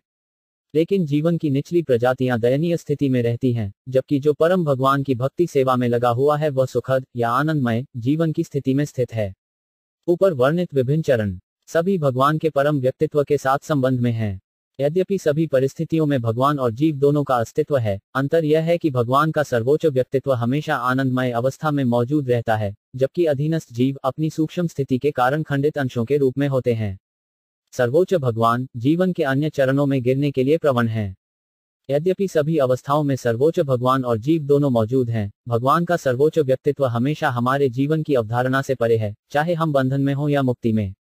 परम भगवान की कृपा से संपूर्ण लौकिक अभिव्यक्ति संभव है, यह परम भगवान की कृपा से मौजूद है और नष्ट होने पर यह परम भगवान के अस्तित्व में विलीन हो जाती है। इस प्रकार परम भगवान परम अस्तित्व हैं, सभी कारणों के कारण हैं। इसलिए निष्कर्ष यह है कि कृष्ण भावनामृत के विकास के बिना किसी का जीवन केवल समय की बर्बादी है। जो लोग बहुत भौतिकवादी हैं और आध्यात्मिक दुनिया की स्थिति को नहीं समझ सकते हैं, कृष्ण का निवास महान संतों ने यौगिक प्रक्रिया की सिफारिश की है जिससे व्यक्ति धीरे धीरे उधर पर ध्यान से उठता है, जिसे मूलाधार या मणिपूरक ध्यान कहा जाता है। मूलाधार और मणिपूरक तकनीकी शब्द हैं जो पेट के भीतर आंतों को संदर्भित करते हैं। मोटे तौर पर भौतिकवादी लोग सोचते हैं कि आर्थिक विकास सबसे महत्वपूर्ण है क्योंकि वे इस धारणा के तहत हैं कि एक जीव केवल खाने से ही जीवित रहता है। ऐसे घोर भौतिकवादी व्यक्ति यह भूल जाते हैं कि यद्यपि हम जितना चाहें उतना खा सकते हैं, यदि भोजन पचता नहीं है तो यह अपच और अम्लता की परेशानी पैदा करता है। इसलिए भोजन अपने आप में जीवन की महत्वपूर्ण ऊर्जा का कारण नहीं है। खाने के पाचन के लिए हमें दूसरी, पराशक्ति का आश्रय लेना पड़ता है, जिसका उल्लेख भगवत गीता में वैश्वना के रूप में किया गया है। भगवान कृष्ण भगवत गीता में कहते हैं कि वे वैश्वना के रूप में पाचन में मदद करते हैं। देवत्व का सर्वोच्च व्यक्तित्व सर्वव्यापी है, इसलिए पेट में वैश्वना के रूप में उनकी उपस्थिति असाधारण नहीं है। कृष्ण वास्तव में हर जगह मौजूद हैं। वैष्णव, इसलिए, विष्णु के मंदिरों के साथ अपने शरीर को चिन्हित करता है। वह पहले पेट पर, फिर छाती पर, फिर कॉलबोन के बीच, फिर माथे पर, और धीरे धीरे वह सिर के ऊपर, ब्रह्मा पर तिलक मंदिर लगाता है। रंधरा एक वैष्णव के शरीर पर अंकित तिलक के तेरह मंदिरों को इस प्रकार जाना जाता है माथे पर भगवान केशव का मंदिर है पेट पर भगवान नारायण का मंदिर है छाती पर भगवान माधव का मंदिर है और माथे पर भगवान माधव का मंदिर है गला दो हंसली के बीच भगवान गोविंद का मंदिर है कमर के दाहिनी ओर भगवान विष्णु का मंदिर है दाहिनी भुजा पर भगवान मधुसूदन का मंदिर है और हंसली के दाई ओर भगवान त्रिविक्रम का मंदिर है इसी प्रकार कमर के बाई ओर भगवान वामन देव का मंदिर है बाई ओर श्रीधर का मंदिर है हंसली के बाई ओर ऋषिकेश का मंदिर है, ऊपरी पीठ पर पद्मनाभ नामक मंदिर है, और निचले हिस्से में वापस मंदिर बुलाया। दामोदर, सिर के शीर्ष पर वासुदेव नामक मंदिर है। यह शरीर के विभिन्न भागों में भगवान की स्थिति पर ध्यान की प्रक्रिया है, लेकिन जो वैष्णव नहीं है, उनके लिए महान ऋषि जीवन की शारीरिक अवधारणा पर ध्यान देने की सलाह देते हैं। आंतों पर ध्यान, हृदय पर, गले पर, मुंहों पर, माथे पर और फिर सिर के ऊपर। महान संत अरुण की शिष्य परंपरा के कुछ ऋषि हृदय पर ध्यान करते हैं, क्योंकि परमात्मा जीव के साथ हृदय के भीतर रहता है। इसकी पुष्टि भगवत गीता, पंद्रहवें अध्याय में की गई है, जहाँ भगवान कहते हैं, मैं सबके हृदय में स्थित हूँ, भक्ति सेवा के भाग के रूप में, वैष्णव भगवान की सेवा के लिए शरीर की रक्षा करते हैं, लेकिन जो स्थूल भौतिकवादी हैं वे शरीर को स्वयं के रूप में स्वीकार करते हैं। वे विभिन्न शारीरिक अंगों, जैसे मणिपुर दहर और हृदय पर ध्यान की यौगिक प्रक्रिया द्वारा शरीर की पूजा करते हैं धीरे धीरे सिर के शीर्ष पर ब्रह्मरंध्र की ओर बढ़ते हैं। प्रथम श्रेणी के योगी, जिन्होंने योग प्रणाली के अभ्यास में पूर्णता प्राप्त कर ली है, अंततः ब्रह्मरंध्र के माध्यम से भौतिक या आध्यात्मिक दुनिया में से किसी एक ग्रह में जाते हैं। कैसे एक योगी अपने आप को दूसरे ग्रह पर स्थानांतरित कर सकता है इसका विशद वर्णन श्रीमद भागवत के दूसरे सर्ग में किया गया है। इस संबंध में शुभदेव गोस्वामी ने सिफारिश की है कि नौसिखिए लोग भगवान के विराट विश्वरूप, विराट पुरुष की पूजा करें। जो यह विश्वास नहीं कर सकता कि देवता, या अर्चा रूप में समान सफलता के साथ भगवान की पूजा की जा सकती है, या जो इस रूप पर ध्यान केंद्रित नहीं कर सकता, उसे सलाह दी जाती है कि वह भगवान के सार्वभौमिक रूप की पूजा करे। ब्रह्मांड के निचले हिस्से को भगवान के सार्वभौमिक रूप के पैर और पैर माना जाता है। ब्रह्मांड के मध्य भाग को भगवान की नाभि या उदर माना जाता है। ऊपरी ग्रह प्रणाली जैसे जनलोक और महरलोक भगवान का हृदय है और सर्वोच्च ग्रह प्रणाली ब्रह्मलोक को भगवान के सिर के ऊपर माना जाता है। उपासक की स्थिति के अनुसार महान ऋषियों द्वारा सुझाई गई विभिन्न प्रक्रियाएँ हैं, लेकिन सभी ध्यान योगिक प्रक्रियाओं का अंतिम उद्देश्य घर वापस जाना है, भगवत धाम वापस जाना है। जैसा कि भगवत गीता में कहा गया है, जो कोई भी सर्वोच्च ग्रह, कृष्ण के निवास, या यहाँ तक कि वैकुंठ ग्रहों तक पहुँचता है, उसे जीवन की इस दयनीय भौतिक स्थिति में फिर कभी नहीं आना पड़ता है। इसलिए, वैदिक अनुशंसा यह है कि व्यक्ति विष्णु के चरण कमलों को अपने सभी प्रयासों का लक्ष्य बना ले। तद विष्णु परमा पदम, विष्णु ग्रह, या विष्णु लोक, सभी भौतिक ग्रहों के ऊपर स्थित हैं। ये वैकुंठ ग्रह सनातन धाम के रूप में जाने जाते हैं, और वे शाश्वत हैं। वे कभी नष्ट नहीं होते, यहाँ तक कि इस भौतिक संसार के विनाश से भी नहीं। निष्कर्ष यह है कि यदि कोई मनुष्य परम भगवान की पूजा करके अपने जीवन के मिशन को पूरा नहीं करता है और घर वापस नहीं जाता है, भगवान के पास वापस जाता है तो यह समझा जाना चाहिए कि वह एक लोहार की धोरकनी की तरह सांस ले रहा है, जैसे जी रहा है एक पेड़, ऊँट की तरह खाना और कुत्तों और सुअरों की तरह सेक्स करना। इस प्रकार वह मानव जीवन के विशिष्ट उद्देश्य को पूरा करने में निराश हो गया है। भगवान के लिए साकार वेदों की अगली प्रार्थना उनके जीवन की विभिन्न प्रजातियों में प्रवेश करने से संबंधित है। यह भगवत गीता चौदहवें अध्याय में कहा गया है कि प्रत्येक प्रजाति और जीवन के रूप में सर्वोच्च भगवान का आध्यात्मिक अंश मौजूद है। भगवान स्वयं गीता में दावा करते हैं कि वे सभी रूपों और प्रजातियों के बीज देने वाले पिता हैं, इसलिए सभी को भगवान का पुत्र माना जाना चाहिए। परमात्मा के रूप में सबके हृदय में परमेश्वर का प्रवेश कभी कभी निर्विशेषवादियों को जीवों की तुलना परमेश्वर से करने के लिए भ्रमित कर देता है। वे सोचते हैं परमेश्वर और आत्मा दोनों ही विभिन्न शरीरों में प्रवेश करते हैं तो भेद कहाँ है? प्रत्येक आत्मा को परमात्मा या परमात्मा की पूजा क्यों करनी चाहिए? उनके अनुसार परमात्मा और जीवात्मा एक ही स्तर पर हैं, वे एक हैं, उनमें कोई भेद नहीं है। हालाँकि परमात्मा और व्यक्तिगत आत्मा के बीच एक अंतर है और इसे भगवत गीता पंद्रहवें अध्याय में समझाया गया है जिसमें भगवान कहते हैं कि यद्यपि वे जीव के साथ एक ही शरीर में स्थित हैं, वे श्रेष्ठ हैं। वह व्यक्ति की आत्मा को निर्देश दे रहा है या दे रहा है। अंदर, गीता में स्पष्ट रूप से कहा गया है कि भगवान जीवात्मा को बुद्धि प्रदान करते हैं और स्मृति तथा विस्मृति दोनों ही परमात्मा के प्रभाव के कारण हैं। परमात्मा की स्वीकृति के बिना कोई भी स्वतंत्र रूप से कार्य नहीं कर सकता। व्यक्तिगत आत्मा अपने पिछले कर्मों के अनुसार कार्य करती है, जो भगवान द्वारा याद दिलाए जाते हैं। व्यक्तिगत आत्मा की प्रकृति विस्मृति है, लेकिन हृदय के भीतर भगवान की उपस्थिति उसे याद दिलाती है कि वह अपने पिछले जीवन में क्या करना चाहता था। व्यक्तिगत आत्मा की बुद्धि लकड़ी में आग की तरह प्रदर्शित होती है। हालाँकि आग हमेशा आग होती है, यह लकड़ी के आकार के अनुपात में आकार में प्रदर्शित होती है। इसी प्रकार, यद्यपि जीवात्मा गुणात्मक रूप से परम भगवान के साथ एक है, फिर भी वह अपने वर्तमान शरीर की सीमाओं के अनुसार स्वयं को प्रदर्शित करता है। लेकिन सर्वोच्च भगवान या परमात्मा असीमित हैं। उसे एक रस कहा गया है। एक का अर्थ है, एक, और रस का अर्थ है, मधुर परम भगवान की पालौकिक स्थिति अनंतकाल, आनंद और पूर्ण ज्ञान की है। जब वह प्रत्येक व्यक्ति के शरीर में व्यक्तिगत आत्मा का साक्षी और सलाहकार बन जाता है तो उसकी एक रस की स्थिति में जरा भी परिवर्तन नहीं होता है। लेकिन व्यक्तिगत आत्मा, भगवान ब्रह्मा से लेकर चींटी तक, अपने वर्तमान शरीर के अनुसार अपनी आध्यात्मिक शक्ति प्रदर्शित करती है। मनुष्य के शरीर में या निचले जानवरों के शरीर में अलग अलग आत्माओं के साथ देवता एक ही श्रेणी में हैं। बुद्धिमान व्यक्ति, इसलिए, विभिन्न देवताओं की पूजा नहीं करते हैं, जो बद्ध शरीरों में प्रकट कृष्ण के अति सूक्ष्म प्रतिनिधि हैं। जीवात्मा अपनी शक्ति का प्रदर्शन केवल शरीर के आकार और बनावट के अनुपात में ही कर सकता है। तथापि, पूर्ण पुरुषोत्तम भगवान बिना किसी परिवर्तन के किसी भी आकार या रूप में अपनी पूर्ण शक्तियों का प्रदर्शन कर सकते हैं। मायावादी दार्शनिकों की थीसिस की भगवान और व्यक्तिगत आत्मा एक हैं और एक ही को स्वीकार नहीं किया जा सकता है क्योंकि व्यक्तिगत आत्मा को विभिन्न प्रकार के शरीरों के विकास के अनुसार अपनी शक्ति विकसित करनी होती है। एक बच्चे के शरीर में व्यक्तिगत आत्मा एक वयस्क व्यक्ति की पूरी शक्ति नहीं दिखा सकती है, लेकिन देवत्व के परम व्यक्तित्व कृष्ण, एक बच्चे के रूप में अपनी माँ की गोद में लेटे हुए भी, पूतना को मारकर अपनी पूरी शक्ति का प्रदर्शन कर सकते थे और अन्य राक्षस जिन्होंने उस पर हमला किया। इस प्रकार भगवान के सर्वोच्च व्यक्तित्व की आध्यात्मिक शक्ति को एक रस या बिना परिवर्तन के कहा जाता है। इसलिए, पूर्ण पुरुषोत्तम भगवान ही एकमात्र पूजनीय वस्तु हैं, और यह उन लोगों के लिए पूरी तरह से जाना जाता है जो भौतिक प्रकृति के गुणों से असंक्रमित हैं। दूसरे शब्दों में, केवल मुक्त आत्माएँ ही भगवान के परम व्यक्तित्व की पूजा कर सकती हैं। कम बुद्धिमान मायावादी यह सोचकर देवताओं की पूजा करते हैं कि देवता और पूर्ण पुरुषोत्तम भगवान एक ही स्तर पर हैं। साक्षात वेदों ने अपनी श्रद्धा अर्पित करना जारी रखा। प्रिय भगवान, उन्होंने प्रार्थना की, कई कई जन्मों के बाद, जो वास्तव में बुद्धिमान हो गए हैं, वे पूर्ण ज्ञान में आपके चरण कमलों की पूजा करते हैं। भगवत गीता में इसकी पुष्टि की गई है, जिसमें भगवान कहते हैं कि कई कई जन्मों के बाद एक महान आत्मा या महात्मा अच्छी तरह से जानते हुए कि वासुदेव, कृष्ण सभी कारणों के कारण हैं, भगवान के प्रति समर्पण करते हैं। वेद जारी रखते हैं, जैसा कि पहले ही समझाया जा चुका है, चूँकि मन, बुद्धि और इंद्रियाँ हमें भगवान द्वारा दी गई हैं, जब इन उपकरणों को वास्तव में शुद्ध किया जाता है तो उन सभी को भगवान की भक्ति सेवा में संलग्न करने के अलावा कोई विकल्प नहीं होता है।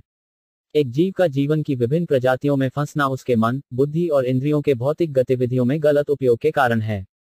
जीव के कर्मों के परिणाम स्वरूप विभिन्न प्रकार के शरीर प्रदान किए जाते हैं, और वे भौतिक प्रकृति द्वारा जीव की इच्छा के अनुसार बनाए जाते हैं। क्योंकि एक जीव एक विशेष प्रकार के शरीर की इच्छा रखता है और उसका हकदार है, यह उसे भौतिक प्रकृति द्वारा परम भगवान के आदेश के तहत दिया जाता है। श्रीमद् भागवत तीसरे सर्ग में यह समझाया गया है कि एक जीव को एक विशेष प्रकार के शरीर को विकसित करने के लिए उच्च अधिकारी के नियंत्रण में एक पुरुष के वीर्य के भीतर रखा जाता है और एक विशेष महिला के गर्भ में इंजेक्ट किया जाता है।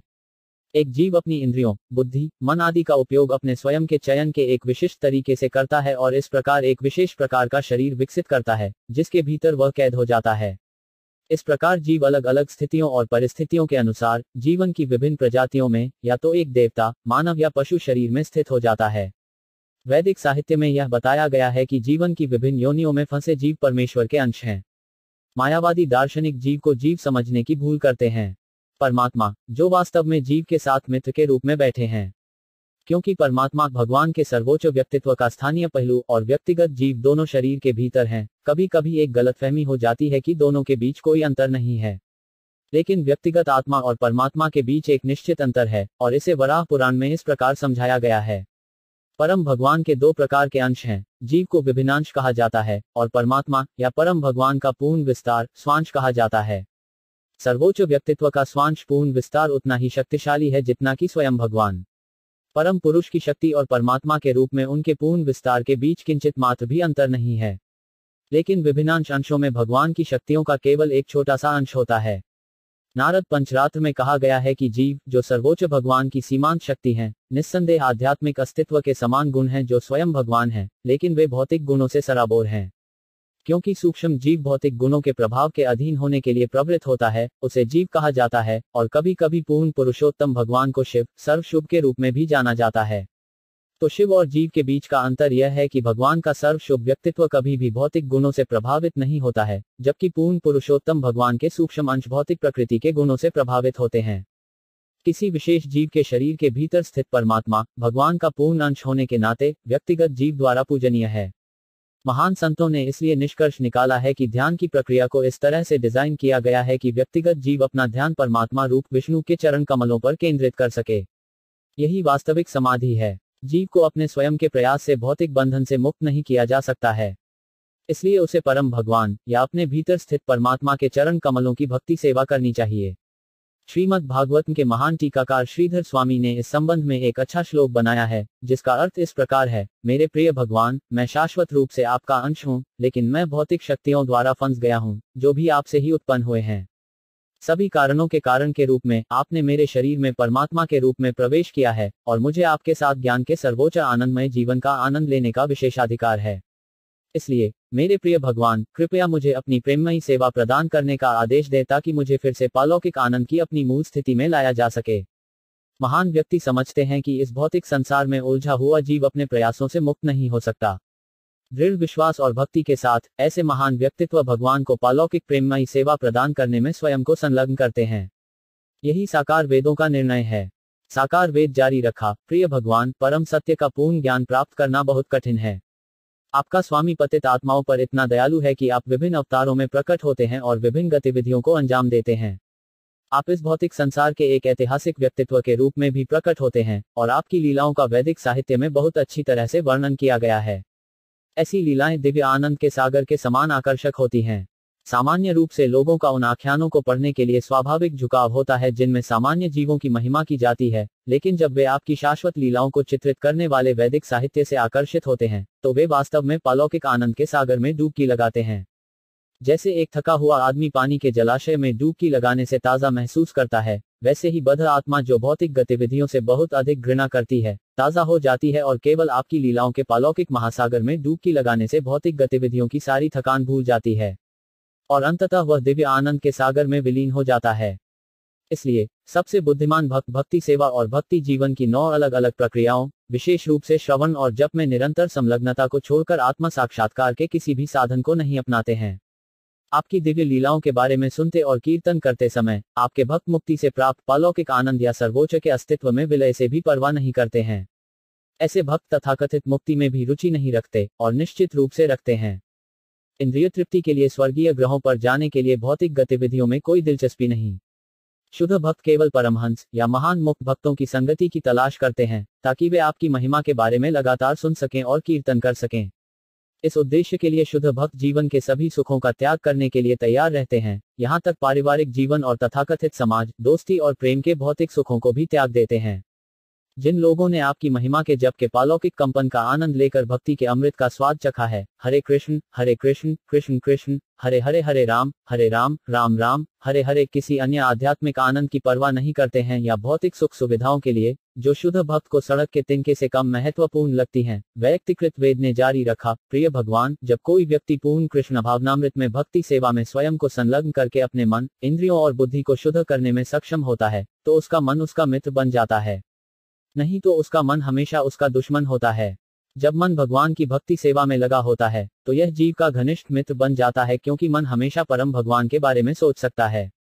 आपका प्रभुत्व जीव को शाश्वत रूप से प्रिय है, इसलिए जब मन आपके बारे में सोचता है तो व्यक्ति को तुरंत उस महान संतुष्टि का अनुभव होता है जिसके लिए वह जन्म जन्म से लालायित रहता है।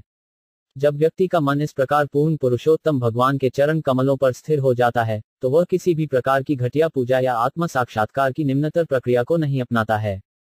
पूजा करने का प्रयास करके देवता या आत्म साक्षात्कार की किसी अन्य प्रक्रिया को अपनाकर जीव, जन्म और मृत्यु के चक्र का शिकार हो जाता है, और कोई भी अनुमान नहीं लगा सकता है कि जीवन की घृणित योनि जैसे बिल्लियों और कुत्तों में प्रवेश करके जीव कितना पतित है। श्री नरोत्तम दास ठाकुर ने गाया है कि जो लोग भगवान की भक्ति सेवा में नहीं जाते हैं, लेकिन दार्शनिक अटकलों की प्रक्रिया से आकर्षित होते हैं और सकोम कर्म ऐसे कार्यों के जहरीले परिणामों को पीते हैं। ऐसे व्यक्ति सभी प्रकार की घिनौनी चीज़ें खाते हैं, जैसे मांस और शराब और अन्य नशीले पदार्थों का आनंद लेते हैं, और मृत्यु के बाद उन्हें निम्न योनियों में जन्म लेने के लिए मजबूर किया जाता है। भौतिकवादी व्यक्ति आमतौर पर क्षणिक भौतिक शरीर की पूजा करते हैं और शरीर के भीतर आत्मा के कल्याण को भूल जाते हैं। कुछ शारीरिक सुख सुविधाओं में सुधार के लिए भौतिकवादी विज्ञान का सहारा लेते हैं, और कुछ स्वर्गलोक में जाने के लिए देवताओं की पूजा करते हैं। जीवन में उनका लक्ष्य भौतिक शरीर को आरामदेह बनाना है, लेकिन वे आत्मा के हित को भूल जाते हैं। ऐसे व्यक्तियों को वैदिक साहित्य में आत्मघाती के रूप में वर्णित किया गया है, क्योंकि भौतिक शरीर और इसके आराम के लिए लगाव जीव को जन्म और मृत्यु की प्रक्रिया में निरंतर भटकने के लिए मजबूर करता है और निश्चित रूप से भौतिक पीड़ाओं को झेलता है। मनुष्य जीवन अपनी स्थिति को समझने का एक अवसर है। इसलिए सबसे बुद्धिमान व्यक्ति बिना विचलित हुए केवल अपने मन, इंद्रियों और शरीर को भगवान की सेवा में लगाने के लिए भक्ति सेवा को अपनाता है। साकार वेद ने जारी रखा, प्रिय भगवान, कई रहस्यवादी योगी हैं जो जीवन की उच्चतम पूर्णता प्राप्त करने के लिए बहुत विद्वान और जानबूझकर हैं। वे शरीर के भीतर प्राणवायु को नियंत्रित करने की यौगिक प्रक्रिया में स्वयं को संलग्न करते हैं। वे विष्णु के स्वरूप पर मन को एकाग्र करके और इंद्रियों को अत्यंत कठोरता से वश में करके योगाभ्यास करते हैं, परंतु बहुत श्रम साध्य तपस्या और नियमन के बाद भी वे वही गति प्राप्त करते हैं, जो आपसे शत्रुता रखने वाले व्यक्तियों की होती है। दूसरे शब्दों में, योगी और महान, बुद्धिमान दार्शनिक विचारक दोनों अंततः वैयक्तिक ब्रह्म दीप्ति को प्राप्त करते हैं, जो राक्षसों द्वारा स्वचालित रूप से प्राप्त की जाती है जो भगवान के नियमित शत्रु हैं। कंस, शिशुपाल और दंतवक जैसे असुरों को ब्रह्म तेज प्राप्त होता है क्योंकि वे शत्रुतावश भगवान के परम व्यक्तित्व का निरंतर ध्यान करते हैं। वास्तविक बिंदु भगवान के सर्वोच्च व्यक्तित्व पर मन को केंद्रित करना है। गोपियाँ जैसी स्त्रियाँ कृष्ण के सौंदर्य से मोहित होकर उनसे जुड़ी हुई थीं और कृष्ण पर उनकी मानसिक एकाग्रता वासना से प्रेरित थी। वे कृष्ण की भुजाओं से आलिंगन करना चाहते थे, जो सर्प के सुंदर गोल आकार के समान हैं। इसी तरह, हम, वैदिक भजन, केवल आपके भगवान के चरण कमलों पर अपना मन केंद्रित करते हैं। गोपियों जैसी महिलाएँ वासना के आदेश के तहत आप पर ध्यान केंद्रित करती हैं, और हम वापस घर जाने के लिए आपके चरण कमलों पर ध्यान केंद्रित करते हैं। आपके दुश्मन भी आप पर ध्यान केंद्रित करते हैं, हमेशा सोचते हैं कि कैसे मारें। आप और योगी केवल आपके निराकार तेज को प्राप्त करने के लिए घोर तपस्या और तपस्या करते हैं। ये सभी अलग अलग व्यक्ति, हालाँकि अपने मन को अलग अलग तरीकों से केंद्रित करते हुए, अपने अलग अलग दृष्टिकोणों के अनुसार आध्यात्मिक पूर्णता प्राप्त करते हैं, क्योंकि हे भगवान, आप अपने सभी भक्तों के समान हैं। श्रीधर स्वामी ने इस संबंध में एक अच्छा श्लोक लिखा है, मेरे प्रिय भगवान, आपके चरण कमलों के बारे में हमेशा सोचते रहना बहुत कठिन है। ये उन महान भक्तों के लिए संभव है जो पहले से ही आपके लिए प्रेम प्राप्त कर चुके हैं और दिव्य प्रेममयी सेवा में लगे हुए हैं। मेरे प्रिय भगवान, मैं चाहता हूँ कि मेरा मन भी किसी तरह आपके चरण कमलों पर कम से कम कुछ समय के लिए स्थिर हो जाए। भगवत गीता में विभिन्न अध्यात्मवादियों द्वारा आध्यात्मिक पूर्णता की व्याख्या की गई है, जिसमें भगवान कहते हैं कि वे भक्त की इच्छा के अनुसार पूर्णता प्रदान करते हैं, जो भक्त के समर्पण के अनुपात में होता है। निर्विशेषवादी, योगी और भगवान के शत्रु भगवान के पालौकिक तेज में प्रवेश करते हैं, लेकिन सगुणवादी जो वृंदावन के निवासियों के नक्शे कदम पर चलते हैं या भक्ति सेवा के मार्ग का सख्ती से पालन करते हैं, उन्हें कृष्ण के व्यक्तिगत निवास, गोलोक वृंदावन या वैकुंठ ग्रहों के लिए। निर्विशेषवादी और सगुणवादी दोनों ही आध्यात्मिक क्षेत्र, आध्यात्मिक आकाश में प्रवेश करते हैं, लेकिन निर्विशेषवादियों को निराकार ब्रह्म तेज में अपना स्थान दिया जाता है, जबकि सगुणवादियों को उनकी इच्छा के अनुसार वैकुंठ ग्रहों या वृंदावन ग्रह में स्थान दिया जाता है। विभिन्न रागों में प्रभु की सेवा करो। साकार वेदों ने कहा कि इस भौतिक दुनिया के निर्माण के बाद पैदा हुए व्यक्ति अपने भौतिक ज्ञान में हेरफेर करके भगवान के परम व्यक्तित्व के अस्तित्व को नहीं समझ सकते हैं। जिस तरह एक विशेष परिवार में पैदा हुआ व्यक्ति अपने परदादा की स्थिति को नहीं समझ सकता है, जो हाल की पीढ़ी के जन्म से पहले रहते थे, हम देवत्व के सर्वोच्च व्यक्तित्व, नारायण, या कृष्ण को समझने में असमर्थ हैं, जो शाश्वत रूप से विद्यमान है। आध्यात्मिक दुनिया भगवत गीता के आठवें अध्याय में यह स्पष्ट रूप से कहा गया है कि सर्वोच्च व्यक्ति, जो भगवान के आध्यात्मिक राज्य सनातन धाम में शाश्वत रूप से रहता है, केवल भक्ति सेवा से ही संपर्क किया जा सकता है। जहाँ तक भौतिक सृष्टि का प्रश्न है, ब्रह्मा प्रथम सृजित व्यक्ति हैं। ब्रह्मा से पहले इस भौतिक संसार में कोई जीवित प्राणी नहीं था गर्भोत्क्षाय विष्णु के उदर से निकले कमल के फूल पर जब तक ब्रह्मा का जन्म नहीं हुआ, तब तक यह खाली और अंधेरा था। गर्भोत्क्षाय विष्णु, कारणोदक्षाय विष्णु का विस्तार है, कारणोदक्षाय विष्णु संस्कार का विस्तार है, और संस्कार बलराम का विस्तार है, जो भगवान कृष्ण का तत्काल विस्तार है। ब्रह्मा की रचना के बाद, दो प्रकार के देवताओं का जन्म हुआ, सनक, सनातन सनातन और सनत कुमार जैसे चार भाई, जो संसार के त्याग के प्रतिनिधि हैं, और मरीची और उनके वंशज जैसे देवता, जो देवता हैं इस भौतिक दुनिया का आनंद लें। इन दो प्रकार के देवताओं से धीरे धीरे मनुष्य सहित अन्य सभी जीव प्रकट हुए। इस प्रकार ब्रह्मा सहित इस भौतिक जगत के सभी जीवित प्राणियों, सभी देवताओं और सभी राक्षसों को आधुनिक माना जाना चाहिए। इसका मतलब है कि वे सभी हाल ही में पैदा हुए थे। इसलिए, जिस तरह एक परिवार में हाल ही में पैदा हुआ व्यक्ति अपने दूर के पूर्वज की स्थिति को नहीं समझ सकता है, इस भौतिक दुनिया में कोई भी आध्यात्मिक दुनिया में सर्वोच्च भगवान की स्थिति को नहीं समझ सकता है, क्योंकि भौतिक दुनिया हाल ही में बनाई गई है। यद्यपि उनके पास अस्तित्व की एक लंबी अवधि है, भौतिक जगत की सभी अभिव्यक्तियाँ अर्थात समय तत्व, जीवात्माएँ, वेद और स्थूल और सूक्ष्म भौतिक तत्व किसी न किसी बिंदु पर निर्मित होते हैं। इस प्रकार इस सृजित परिस्थिति में सृष्टि के मूल स्रोत को समझने के साधन के रूप में निर्मित किसी भी प्रक्रिया को आधुनिक माना जाना चाहिए। इसलिए आत्म साक्षात्कार की प्रक्रिया या सकौम गतिविधियों, दार्शनिक अटकलों या रहस्यवादी योग के माध्यम से ईश्वर प्राप्ति के द्वारा, कोई वास्तव में हर चीज़ के सर्वोच्च स्रोत तक नहीं पहुँच सकता है। जब सृष्टि पूरी तरह से समाप्त हो जाती है, जब वेदों का कोई अस्तित्व नहीं होता है, भौतिक समय का कोई अस्तित्व नहीं होता है, और स्थूल और सूक्ष्म भौतिक तत्वों का कोई अस्तित्व नहीं होता है, और जब सभी जीव अव्यक्त अवस्था में होते हैं, नारायण के भीतर आराम करते हैं, तब ये सभी निर्मित प्रक्रियाएँ शून्य हो जाती हैं। और शून्य है और कार्य नहीं कर सकता। भक्ति सेवा, हालाँकि, शाश्वत आध्यात्मिक दुनिया में हमेशा के लिए चल रही है। इसलिए आत्म साक्षात्कार या ईश्वर प्राप्ति की एकमात्र वास्तविक प्रक्रिया भक्ति सेवा है, और जो इस प्रक्रिया को अपनाता है वह ईश्वर प्राप्ति की वास्तविक प्रक्रिया को अपनाता है। इस संबंध में, श्री श्रीधर स्वामी ने एक श्लोक की रचना की है जो इस विचार को व्यक्त करता है कि सब कुछ का सर्वोच्च स्रोत, पूर्ण पुरुषोत्तम भगवान, इतना महान और असीमित है कि जीव के लिए किसी भी भौतिक अधिग्रहण द्वारा उन्हें समझना संभव नहीं है। इसलिए व्यक्ति को भगवान से प्रार्थना करनी चाहिए कि वे उनकी भक्ति सेवा में हमेशा के लिए लगे रहें, ताकि भगवान की कृपा से व्यक्ति सृष्टि के सर्वोच्च स्रोत को समझ सके। सृष्टि के सर्वोच्च स्रोत, परम भगवान, स्वयं को केवल भक्तों के लिए प्रकट करते हैं। भगवत गीता के चौथे अध्याय में भगवान अर्जुन से कहते हैं, मेरे प्रिय अर्जुन, क्योंकि तुम मेरे भक्त हो और क्योंकि तुम मेरे घनिष्ठ मित्र हो मैं तुम्हें अपने बारे में समझने की प्रक्रिया बताऊँगा। दूसरे शब्दों में, सृष्टि के सर्वोच्च स्रोत, भगवान के परम व्यक्तित्व को हमारे अपने प्रयास से नहीं समझा जा सकता है। हमें भक्ति सेवा से उन्हें प्रसन्न करना होगा, और तब वे स्वयं को हमारे सामने प्रकट करेंगे। तब हम उसे कुछ हद तक समझ सकते हैं। विभिन्न प्रकार के दार्शनिक हैं जिन्होंने अपने मानसिक अनुमानों द्वारा सर्वोच्च स्रोत को समझने की कोशिश की है। सामान्यतः छह प्रकार के मानसिक चिंतक होते हैं, जिनकी कल्पनाएँ षड दर्शन कहलाती हैं। ये सभी दार्शनिक निर्विशेषवादी हैं और मायावादी कहलाते हैं। उनमें से हर एक अपनी राय स्थापित करने की कोशिश की है, हालाँकि बाद में उन सभी ने समझौता किया और कहा कि सभी राय एक ही लक्ष्य की ओर ले जाती हैं और इसलिए हर राय मान्य है।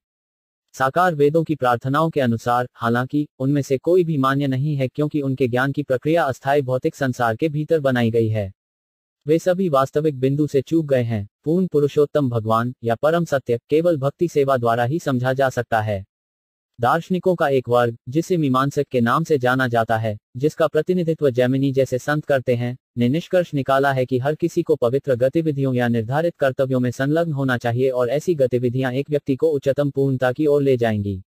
लेकिन भगवत गीता के नौवें अध्याय में इसका खंडन किया गया है, जहाँ भगवान कृष्ण कहते हैं कि पवित्र गतिविधियों के द्वारा किसी को स्वर्गीय ग्रहों तक ऊपर उठाया जा सकता है, लेकिन जैसे ही किसी के पवित्र गतिविधियों का संचय समाप्त हो जाता है उसे छोड़ना होगा। स्वर्गीय ग्रहों में भौतिक समृद्धि के एक उच्च स्तर का आनंद लेते हैं और तुरंत इन निचले ग्रहों पर वापस आ जाते हैं, जहाँ जीवन की अवधि बहुत कम होती है और जहाँ भौतिक सुख का स्तर निम्न श्रेणी का होता है। भगवत गीता में प्रयुक्त सटीक शब्द है क्षीण पुण्य मर्त्यलोकम विष्टि। इसलिए मीमांसक दार्शनिकों का यह निष्कर्ष की पवित्र कर्म व्यक्ति को परम सत्य की ओर ले जाएँगे, मान्य नहीं है। यद्यपि एक शुद्ध भक्त स्वभाव से पवित्र कार्यों को करने के लिए इच्छुक होता है कोई भी केवल पवित्र कार्यों द्वारा भगवान के परम व्यक्तित्व की कृपा प्राप्त नहीं कर सकता है। पवित्र गतिविधियाँ अज्ञान और जुनून के कारण होने वाले संदूषण में से एक को शुद्ध कर सकती हैं, लेकिन यह शुद्धि भगवत गीता श्रीमद भागवत या इसी तरह के ग्रंथों के रूप में भगवान के पालौकिक संदेश को लगातार सुनने में लगे एक भक्त द्वारा स्वचालित रूप से प्राप्त की जाती है। भगवत गीता से हम समझते हैं कि एक व्यक्ति जो पवित्र गतिविधियों के स्तर तक नहीं है, लेकिन जो पूरी तरह से भक्ति सेवा में लगा हुआ है, उसे आध्यात्मिक पूर्णता के पथ पर अच्छी तरह से स्थित माना जाना चाहिए। भगवत गीता में यह भी कहा गया है कि एक व्यक्ति जो प्रेम और विश्वास के साथ भक्ति सेवा में लगा हुआ है, उसे भगवान के परम व्यक्तित्व द्वारा भीतर से निर्देशित किया जाता है।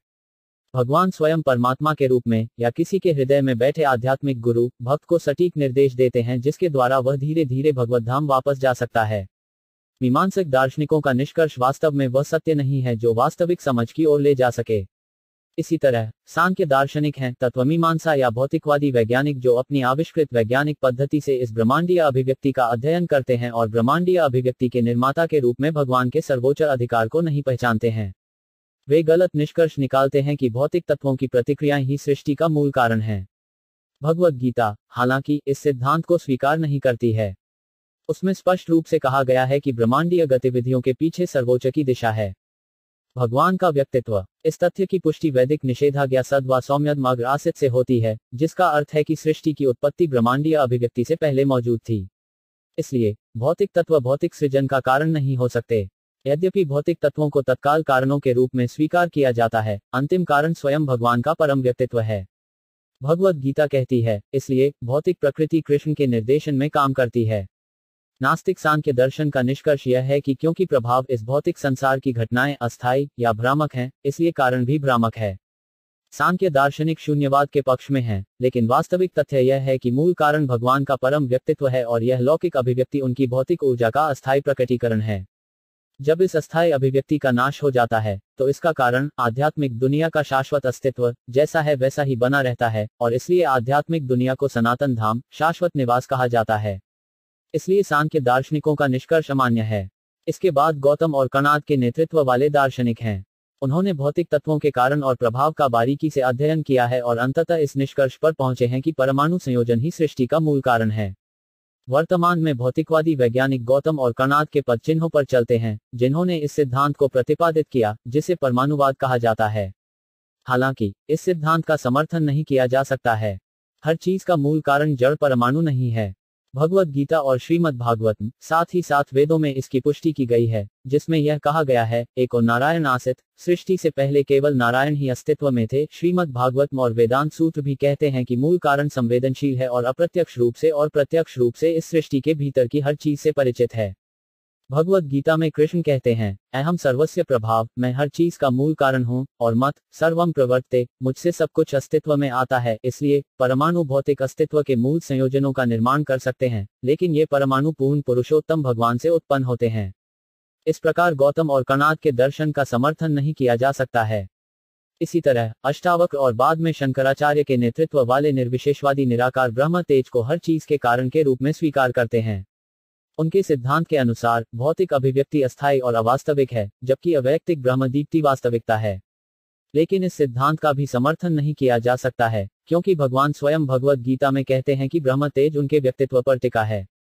ब्रह्म संहिता में पुष्टि की गई है कि ब्रह्म दीप्ति कृष्ण की व्यक्तिगत शारीरिक किरणें हैं। इस प्रकार, निराकार ब्रह्म ब्रह्मांडीय अभिव्यक्ति का मूल कारण नहीं हो सकता।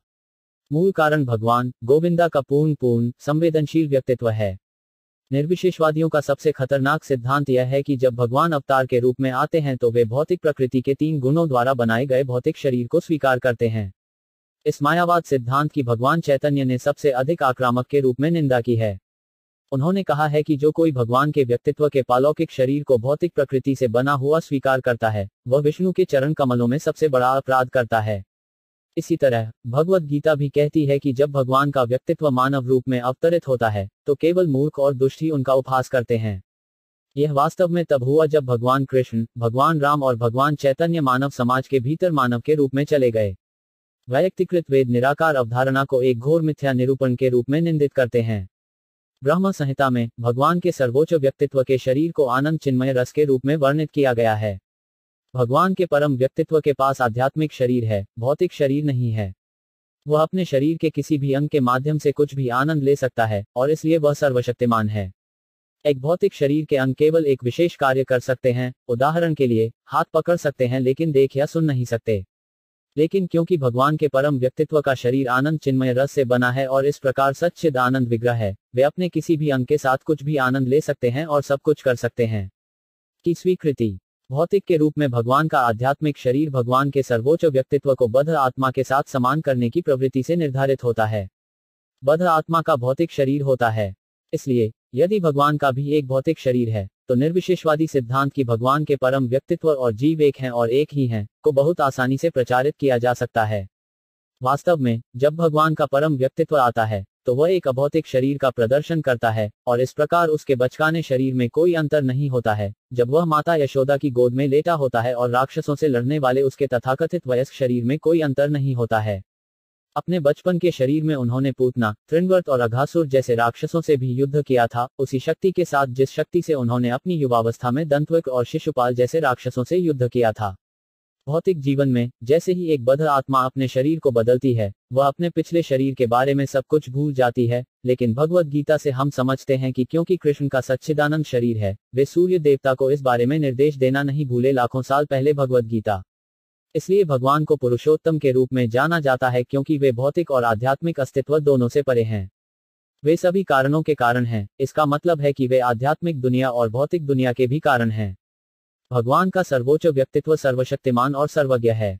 इसलिए, क्योंकि एक भौतिक शरीर न तो सर्वशक्तिमान और न ही सर्वज्ञ हो सकता है, भगवान का शरीर निश्चित रूप से भौतिक नहीं है। मायावाद सिद्धांत की भगवान का व्यक्तित्व इस भौतिक दुनिया में एक भौतिक शरीर के साथ आता है, किसी भी तरह से समर्थित नहीं हो सकता है। यह निष्कर्ष निकाला जा सकता है कि भौतिकवादी दार्शनिकों के सभी सिद्धांत सपने में निष्कर्ष की तरह अस्थायी, ब्रह्मपूर्ण अस्तित्व से उत्पन्न होते हैं। ऐसे निष्कर्ष निश्चित रूप से हमें परम सत्य की ओर नहीं ले जा सकते। पूर्ण सत्य को केवल भक्ति सेवा के माध्यम से महसूस किया जा सकता है। जैसा कि भगवान भगवत गीता में कहते हैं, भक्त्या माम अभिजानाति, केवल भक्ति सेवा से ही कोई मुझे समझ सकता है। श्री श्रीधर स्वामी ने इस संबंध में एक अच्छे श्लोक की रचना की है, जिसमें कहा गया है, मेरे प्रिय भगवान, दूसरों को झूठे तर्क और शुष्क अटकलों में संलग्न होने दें, जो महान दार्शनिक सिद्धांतों पर आधारित हों।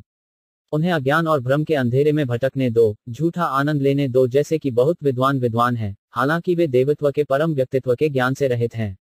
जहाँ तक संबंध है, मैं भगवान के सर्व सुंदर परम व्यक्तित्व माधव, वामन, त्रिनयन, संकर्षण, श्रीपति और गोविंदा के पवित्र नामों का जप करके ही मुक्त होना चाहता हूँ। केवल आपके पालौकिक नामों का जप करके, हे भगवान मधुपति, मुझे इस भौतिक अस्तित्व के संदूषण से मुक्त होने दें। इस तरह साकार वेदों ने कहा, प्रिय भगवान, जब एक जीवित इकाई केवल आपकी कृपा से, आपकी उच्च पालौकिक स्थिति के बारे में सही निष्कर्ष पर आती है तो वह मानसिक सट्टेबाजों या तथाकथित द्वारा निर्मित विभिन्न सिद्धांतों से परेशान नहीं रहती है। दार्शनिक, यह गौतम, कर्णाद, पतंजलि और कपिला निरीश्वर के काल्पनिक सिद्धांतों का एक संदर्भ है। वास्तव में दो कपिल हैं, एक कर्दम मुनि का पुत्र कपिला, भगवान का अवतार है, और दूसरा आधुनिक युग का नास्तिक है। नास्तिक कपिला को अक्सर देवत्व के सर्वोच्च व्यक्तित्व के रूप में गलत तरीके से प्रस्तुत किया जाता है। देवत्व के अवतार भगवान कपिल बहुत पहले स्वयंभुव मनु के समय में कर्दम मुनि के पुत्र के रूप में प्रकट हुए थे। आधुनिक युग वैवस्वत मनु का युग है। मायावाद दर्शन के अनुसार यह प्रकट संसार या भौतिक संसार मिथ्या या माया मिथ्या है। मायावादी उपदेश सिद्धांत ब्रह्म सत्यम जगन मिथ्या है, केवल ब्रह्म की दीप्ति ही सत्य है, और ब्रह्मांडीय अभिव्यक्ति भ्रामक या मिथ्या है, लेकिन वैष्णव दर्शन के अनुसार, यह लौकिक अभिव्यक्ति सत्य है क्योंकि इसे भगवान के सर्वोच्च व्यक्तित्व द्वारा बनाया गया है। भगवत गीता में भगवान कहते हैं कि वे इस भौतिक जगत में अपने पूर्ण अंशों में से एक के द्वारा प्रवेश करते हैं और इस प्रकार सृष्टि होती है। वेदों से भी हम समझ सकते हैं कि यह असत या अस्थायी लौकिक अभिव्यक्ति सर्वोच्च सत या तथ्य से उत्पन्न है। वेदांत सूत्र से भी यह समझा जाता है कि सब कुछ परम ब्रह्म से उत्पन्न हुआ है। इसलिए, वैष्णव इस लौकिक अभिव्यक्ति को असत्य नहीं मानते हैं, क्योंकि भगवान के परम व्यक्तित्व ने अपने पूर्ण विस्तार के रूप में इस लौकिक अभिव्यक्ति में प्रवेश किया है और सृष्टि का कारण बना है। वैष्णव दार्शनिक इस भौतिक दुनिया में सर्वोच्च भगवान के साथ संबंध में सब कुछ देखते हैं। भौतिक दुनिया की इस अवधारणा को श्री रूप गोस्वामी द्वारा बहुत अच्छी तरह से समझाया गया है, जो कहते हैं कि जब लोग भौतिक दुनिया को भ्रामक या झूठा मानते हैं, यह जाने बिना कि भौतिक दुनिया सर्वोच्च भगवान की अभिव्यक्ति है तो उनके त्याग का कोई मूल्य नहीं है। वैष्णव, हालाँकि इस संसार के प्रति आसक्ति से मुक्त हैं, क्योंकि यद्यपि भौतिक संसार को आमतौर पर इंद्रिय तृप्ति की वस्तु के रूप में स्वीकार किया जाता है, वैष्णव इंद्रिय तृप्ति के पक्ष में नहीं है और इसलिए भौतिक गतिविधियों से आसक्त नहीं है। वैष्णव इस भौतिक संसार को वैदिक आदेशों के नियामक सिद्धांतों के अनुसार स्वीकार करते हैं और आसक्ति के बिना काम करते हैं।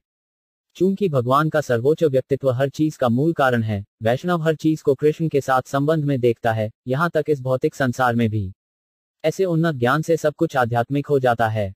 दूसरे शब्दों में, भौतिक दुनिया में सब कुछ पहले से ही आध्यात्मिक है, लेकिन हमारे ज्ञान की कमी के कारण हम चीज़ों को भौतिक रूप में देखते हैं। साकार वेदों ने उदाहरण प्रस्तुत किया कि सोना चाहने वाले सोने की बालियाँ, सोने की चूड़ियाँ या सोने से बनी किसी भी चीज़ को केवल इसलिए अस्वीकार नहीं करते क्योंकि उनका आकार असली सोने से अलग है। सभी जीव परम भगवान के अंश हैं और गुणात्मक रूप से उनके साथ एक हैं, लेकिन अब वे जीवन की आठ हज़ार चार सौ, शून्य शून्य शून्य प्रजातियों में अलग अलग आकार के हैं, जैसे कई अलग अलग आभूषण निर्मित होते हैं। सोने के उसी स्रोत से जिस प्रकार सोने में रुचि रखने वाला सभी अलग अलग आकार के सोने के आभूषणों को स्वीकार करता है, उसी तरह एक वैष्णव, यह अच्छी तरह से जानते हुए कि सभी जीव भगवान के सर्वोच्च व्यक्तित्व के समान गुण वाले हैं, सभी जीवों को भगवान के शाश्वत सेवक के रूप में स्वीकार करते हैं। तब, एक वैष्णव के पास इन बध पदभ्रष्ट जीवों को पुनः प्राप्त करके, उन्हें कृष्ण भावनामृत में प्रशिक्षित करके और उन्हें घर वापस, भगवान के पास वापस ले जाकर भगवान के सर्वोच्च व्यक्तित्व की सेवा करने का पर्याप्त अवसर मिलता है। तथ्य यह है कि जीवों का मन अब तीन भौतिक गुणों से उत्तेजित हो गया है और इसलिए जीव एक शरीर से दूसरे शरीर में, जैसे कि सपनों में, देहांतरण कर रहे हैं। जब उनकी चेतना कृष्ण भावनामृत में बदल जाती है, तथापि, वे तुरंत कृष्ण को अपने हृदय में स्थिर कर लेते हैं, और इस प्रकार मुक्ति की ओर उनका मार्ग स्पष्ट हो जाता है। सभी वेदों में भगवान और जीवों के परम व्यक्तित्व को एक ही गुण चेतना, या आध्यात्मिक बताया गया है। पद्म पुराण में इसकी पुष्टि की गई है, जिसमें कहा गया है कि आध्यात्मिक सत्ताएँ दो प्रकार की होती हैं। एक को जीव कहा जाता है और दूसरे को परम भगवान कहा जाता है। भगवान ब्रह्मा से नीचे चींटी तक सभी जीव जीव हैं, जबकि भगवान परम चतुर्भुज विष्णु या जनार्दन है। सख्ती से कहा जाए तो आत्मा शब्द केवल पूर्ण पुरुषोत्तम भगवान के लिए ही लागू किया जा सकता है, लेकिन क्योंकि जीव उनके अंश हैं कभी कभी आत्मा शब्द उनके लिए भी लागू होता है। इसलिए जीवों को जीवात्मा कहा जाता है और सर्वोच्च भगवान को परमात्मा कहा जाता है। परमात्मा और जीवात्मा दोनों ही इस भौतिक संसार के भीतर हैं, और इसलिए इस भौतिक संसार का उद्देश्य इंद्रिय तृप्ति के अलावा अन्य है। इंद्रिय तृप्ति के जीवन की अवधारणा भ्रम है, लेकिन जीवात्मा द्वारा परमात्मा की सेवा की अवधारणा यहाँ तक कि इस भौतिक संसार में भी भ्रमपूर्ण नहीं है। एक कृष्ण भावनाभावित व्यक्ति इस तथ्य से पूरी तरह अवगत होता है, और इस प्रकार वह इस भौतिक संसार को मिथ्या नहीं मानता बल्कि दिव्य सेवा की वास्तविकता में कार्य करता है। इसलिए भक्त इस भौतिक दुनिया में हर चीज़ को भगवान की सेवा करने के अवसर के रूप में देखता है। वह भौतिक के रूप में किसी भी चीज़ को अस्वीकार नहीं करता है, बल्कि भगवान की सेवा में सब कुछ लगाता है। इस प्रकार एक भक्त हमेशा पालौकिक स्थिति में रहता है, और वह जो कुछ भी उपयोग करता है, वह भगवान की सेवा में उपयोग किए जाने से आध्यात्मिक रूप से शुद्ध हो जाता है। श्रीधर स्वामी ने इस संबंध में एक अच्छे श्लोक की रचना की है। मैं भगवान के परम व्यक्तित्व की पूजा करता हूँ, जो हमेशा इस भौतिक दुनिया के भीतर भी वास्तविकता के रूप में प्रकट होते हैं, जिसे कुछ लोग झूठा मानते हैं। इस भौतिक जगत के मिथ्यात्व की धारणा ज्ञान के अभाव के कारण है, किंतु कृष्ण भावनामृत में उन्नत व्यक्ति प्रत्येक वस्तु में भगवान को देखता है। यह वैदिक सूत्र सर्वम खल विदम ब्रह्म की वास्तविक अनुभूति है, सब कुछ ब्रह्म है। साकार वेदों ने जारी रखा, प्रिय भगवान, कम बुद्धिमान पुरुष आत्मा साक्षात्कार के अन्य तरीकों को अपनाते हैं, लेकिन वास्तव में भौतिक संदूषण से शुद्ध होने या जन्म और मृत्यु के बार बार होने वाले चक्र को रोकने का कोई मौका नहीं है जब तक कि कोई पूरी तरह से शुद्ध भक्त न हो। डॉट, प्रिय भगवान, सब कुछ आपकी विभिन्न शक्तियों पर निर्भर है, और हर कोई आपके द्वारा समर्थित है, जैसा कि वेदों में कहा गया है, एको बहुनाम यो विद्याति का मान इसलिए आपका प्रभुत्व सभी जीवों, देवताओं, मनुष्यों और जानवरों का समर्थक और अनुरक्षक है। सब आपके द्वारा समर्थित हैं और आप सभी के हृदय में भी स्थित हैं। दूसरे शब्दों में, आप समस्त सृष्टि के मूल हैं। इसलिए जो लोग बिना विचलित हुए आपकी भक्ति सेवा में लगे रहते हैं, जो हमेशा आपकी पूजा करते हैं, वे वास्तव में सार्वभौमिक वृक्ष की जड़ में जल डालते हैं। भक्ति सेवा से, इसलिए, व्यक्ति न केवल भगवान के व्यक्तित्व को, बल्कि अन्य सभी को भी संतुष्ट करता है, क्योंकि हर कोई उनके द्वारा अनुरक्षित और समर्थित है। क्योंकि एक भक्त पूर्ण पुरुषोत्तम भगवान के सर्वव्यापी लक्षण को समझता है, वह सबसे व्यवहारिक परोपकारी और परोपकारी है। ऐसे शुद्ध भक्त पूरी तरह से कृष्ण भावनामृत में लगे हुए हैं, बहुत आसानी से जन्म और मृत्यु के चक्र को पार कर जाते हैं, और वे मृत्यु के सिर के ऊपर से कूद जाते हैं। एक भक्त कभी भी मृत्यु से या अपने शरीर को बदलने से नहीं डरता, उसकी चेतना कृष्ण भावनामृत में रूपांतरित हो जाती है, और भले ही वह भगवान के पास वापस न जाए, भले ही वह किसी अन्य भौतिक शरीर में देहांतरित हो जाए, उसे डरने की कोई बात नहीं है। एक ज्वलंत उदाहरण भरत महाराज हैं। हालाँकि अपने अगले जीवन में वह एक हिरण बन गया, उसके बाद के जीवन में वह सभी भौतिक कलमश से पूरी तरह से मुक्त हो गया और उसे परमेश्वर के राज्य में उन्नत किया गया। इसलिए भगवत गीता पुष्टि करती है कि एक भक्त कभी पराजित नहीं होता है। आध्यात्मिक राज्य के लिए एक भक्त का मार्ग, घर वापस, भगवत धाम वापस, गारंटीकृत है। भले ही एक भक्त एक जन्म में फिसल जाता है, उसकी कृष्ण चेतना की निरंतरता उसे आगे और आगे बढ़ाती है, जब तक कि वह भगवान के पास वापस नहीं जाता है। एक शुद्ध भक्त न केवल अपने व्यक्तिगत अस्तित्व को शुद्ध करता है, बल्कि जो भी उसका शिष्य बन जाता है, वह भी शुद्ध हो जाता है और अंततः बिना किसी कठिनाई के भगवान के राज्य में प्रवेश करने में सक्षम होता है। दूसरे शब्दों में, न केवल एक शुद्ध भक्त आसानी से मृत्यु को पार कर सकता है, बल्कि उनकी कृपा से उनके अनुयायी भी बिना किसी कठिनाई के ऐसा कर सकते हैं। भक्ति सेवा की शक्ति इतनी महान है कि एक शुद्ध भक्त अज्ञान के सागर को पार करने पर अपने पालौकिक निर्देश द्वारा किसी अन्य व्यक्ति को विद्युतीकृत कर सकता है। एक शुद्ध भक्त का अपने शिष्य को निर्देश भी बहुत सरल होता है। भगवान के शुद्ध भक्त के पद चिन्हों पर चलने में किसी को कोई कठिनाई महसूस नहीं होती। जो कोई भी भगवान ब्रह्मा, भगवान शिव, कुमारों, मनु, कपिल, राजा प्रहलाद, राजा जनक, सुखदेव गोस्वामी, यमराज और उनके शिष्यों जैसे मान्यता प्राप्त भक्तों के नक्शे कदम पर चलता है, बड़ी आसानी से मुक्ति का द्वार खोल देता है। दूसरी ओर, जो भक्त नहीं है लेकिन ज्ञान, योग और कर्म जैसे आत्म साक्षात्कार की अनिश्चित प्रक्रियाओं में लगे हुए हैं, उन्हें अभी भी दूषित समझा जाता है। ऐसे दूषित व्यक्ति, हालाँकि स्पष्ट रूप से आत्म साक्षात्कार में उन्नत होते हैं, वे स्वयं को भी मुक्त नहीं कर सकते हैं, जो उनका अनुसरण करते हैं, उनकी तो बात ही क्या? ऐसे अभक्तों की तुलना जंजीरों में जकड़े पशुओं से की जाती है, क्योंकि वे एक विशेष प्रकार की आस्था की औपचारिकताओं के अधिकार क्षेत्र से बाहर जाने में सक्षम नहीं होते हैं। भगवत गीता में वेदवाद रथ के रूप में उनकी निंदा की गई है। वे यह नहीं समझ सकते कि वेद प्रकृति के भौतिक गुणों, अच्छाई, जुनून और अज्ञान की गतिविधियों से संबंधित हैं। लेकिन जैसा कि भगवान कृष्ण ने अर्जुन को सलाह दी थी, व्यक्ति को वेदों में निर्धारित कर्तव्यों के अधिकार क्षेत्र से परे जाना होगा और कृष्ण भावनामृत, भक्ति सेवा को अपनाना होगा। भगवत गीता में भगवान कहते हैं निस्त्राय गुण्यो भवार्जुन, मेरे प्रिय अर्जुन, बस वैदिक अनुष्ठानों के पालौकिक बनने का प्रयास करो, वैदिक कर्मकांडों के प्रदर्शन से परे यह पालौकिक स्थिति भक्ति सेवा है। भगवत गीता में भगवान स्पष्ट रूप से कहते हैं कि जो व्यक्ति मिलावट के बिना उनकी भक्ति सेवा में लगे हुए हैं, वे ब्रह्म में स्थित हैं। वास्तविक ब्रह्म बोध का अर्थ है कृष्ण भावनामृत और भक्ति सेवा में संलग्न होना। भक्त इसलिए वास्तविक ब्रह्मचारी हैं क्योंकि उनकी गतिविधियाँ हमेशा कृष्ण भावनामृत, भक्तिमय सेवा में होती हैं। कृष्ण भावनामृत आंदोलन इसलिए सभी प्रकार के धर्मवादियों के लिए एक सर्वोच्च आह्वान जारी करता है, उन्हें महान अधिकार के साथ इस आंदोलन में शामिल होने के लिए कहता है, जिसके द्वारा कोई सीख सकता है कि कैसे भगवान से प्रेम किया जाए और इस प्रकार शास्त्रों के निषेधाज्ञा के सभी सूत्रों और औपचारिकताओं को पार किया जाए। एक व्यक्ति जो रूढ़िबद्ध धार्मिक सिद्धांतों के अधिकार क्षेत्र को पार नहीं कर सकता है, उसकी तुलना उस जानवर से की जाती है जिसे उसके मालिक ने जंजीर से बाँध दिया है। सभी धर्मों का उद्देश्य ईश्वर को समझना और भगवान के प्रति अपने सुख प्रेम को विकसित करना है। यदि कोई केवल धार्मिक सूत्रों और औपचारिकताओं से जुड़ा रहता है, लेकिन भगवान के प्रेम के पद तक नहीं पहुँचता है तो उसे एक जंजीर वाला जानवर माना जाता है। दूसरे शब्दों में, यदि कोई कृष्ण भावनामृत में नहीं है तो वह भौतिक अस्तित्व के कलमश से मुक्ति का पात्र नहीं है।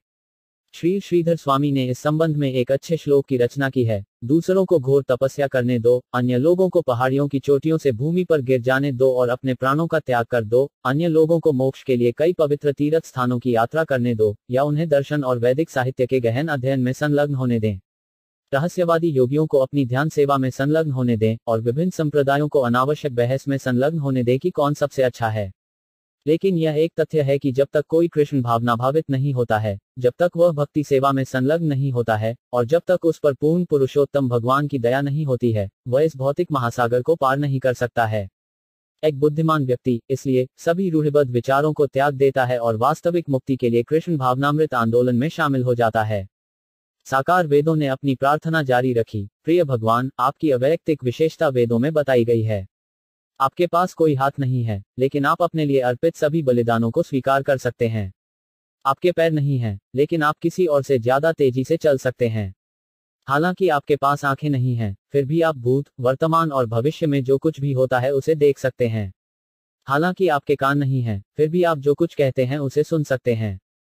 यद्यपि आपका कोई मन नहीं है, आप सभी को और सभी की गतिविधियों को, भूत, वर्तमान और भविष्य को जानते हैं, और फिर भी कोई नहीं जानता कि आप कौन हैं। तुम सबको जानते हो, परंतु तुमको कोई नहीं जानते। इसलिए, आप सबसे पुराने और सर्वोच्च व्यक्तित्व हैं। इसी प्रकार, वेदों के एक अन्य भाग में कहा गया है, तुम्हें कुछ नहीं करना है। आप अपने ज्ञान और सामर्थ्य में इतने परिपूर्ण हैं कि आपकी इच्छा मात्र से सब कुछ प्रकट हो जाता है। आपके बराबर या आपसे बड़ा कोई नहीं है, और हर कोई आपके शाश्वत सेवक के रूप में कार्य करता है। इस प्रकार वैदिक कथन इस बात की पुष्टि करते हैं कि निरपेक्ष के न पैर हैं, न हाथ हैं, न आँखें हैं, न कान हैं और न ही मन है, और फिर भी वह अपनी शक्तियों के माध्यम से कार्य कर सकता है और सभी जीवों की आवश्यकताओं को पूरा कर सकता है। जैसा कि भगवत गीता में कहा गया है, उनके हाथ और पैर हर जगह हैं, क्योंकि वे सर्वव्यापी हैं। सभी जीवों के हाथ, पैर, कान और आँखें जीव के हृदय में बैठे परमात्मा की दिशा में कार्य कर रहे हैं और चल रहे हैं। जब तक परमात्मा उपस्थित न हो, तब तक हाथों और पैरों का सक्रिय रहना संभव नहीं है। भगवान का परम व्यक्तित्व इतना महान, स्वतंत्र और पूर्ण है कि बिना आँख, पैर या कान के भी, वह अपनी गतिविधियों के लिए दूसरों पर निर्भर नहीं है। इसके विपरीत, अन्य लोग अपनी विभिन्न ज्ञानेन्द्रियों की गतिविधियों के लिए उन पर निर्भर हैं। जब तक जीव परमात्मा से प्रेरित और निर्देशित नहीं होता, तब तक वह कार्य नहीं कर सकता। तथ्य यह है कि परम सत्य ही परम पुरुष है। लेकिन चूँकि वे अपनी विभिन्न शक्तियों के माध्यम से कार्य करते हैं, जिन्हें स्थूल भौतिकवादियों के लिए देखना असंभव है, भौतिकवादी उन्हें अवैयक्तिक के रूप में स्वीकार करते हैं। उदाहरण के लिए, कोई एक फूल की पेंटिंग में व्यक्तिगत कलात्मक काम देख सकता है, और कोई यह समझ सकता है कि रंग, समायोजन, आकार और इसी तरह एक कलाकार के सूक्ष्म ध्यान की मांग की है। विभिन्न खिले हुए फूलों की पेंटिंग में कलाकार का काम स्पष्ट रूप से प्रदर्शित होता है। लेकिन स्थूल भौतिकवादी प्रकृति में खिले वास्तविक फूलों जैसे कलात्मक अभिव्यक्तियों में भगवान के हाथ को देखे बिना निष्कर्ष निकालता है कि परम सत्य अवैयक्तिक है। वास्तव में, निरपेक्ष सत्ता व्यक्तिगत है, लेकिन वह स्वतंत्र है। उन्हें फूलों को पेंट करने के लिए व्यक्तिगत रूप से ब्रश और रंग लेने की आवश्यकता नहीं होती है, क्योंकि उनकी शक्तियाँ इतनी आश्चर्यजनक रूप से कार्य करती हैं कि ऐसा प्रतीत होता है जैसे बिना किसी कलाकार की सहायता के फूल अस्तित्व में आए हों। परम सत्य का निराकार दृष्टिकोण कम बुद्धिमान पुरुषों द्वारा स्वीकार किया जाता है, क्योंकि जब तक कोई भगवान की सेवा में नहीं लगा रहता है, तब तक वह यह नहीं समझ सकता कि सर्वोच्च कैसे कार्य कर रहा है, वह भगवान के नाम को भी नहीं जान सकता। भगवान की गतिविधियों और व्यक्तिगत विशेषताओं के बारे में सब कुछ भक्त को केवल उसकी प्रेममयी सेवा भावना के माध्यम से पता चलता है।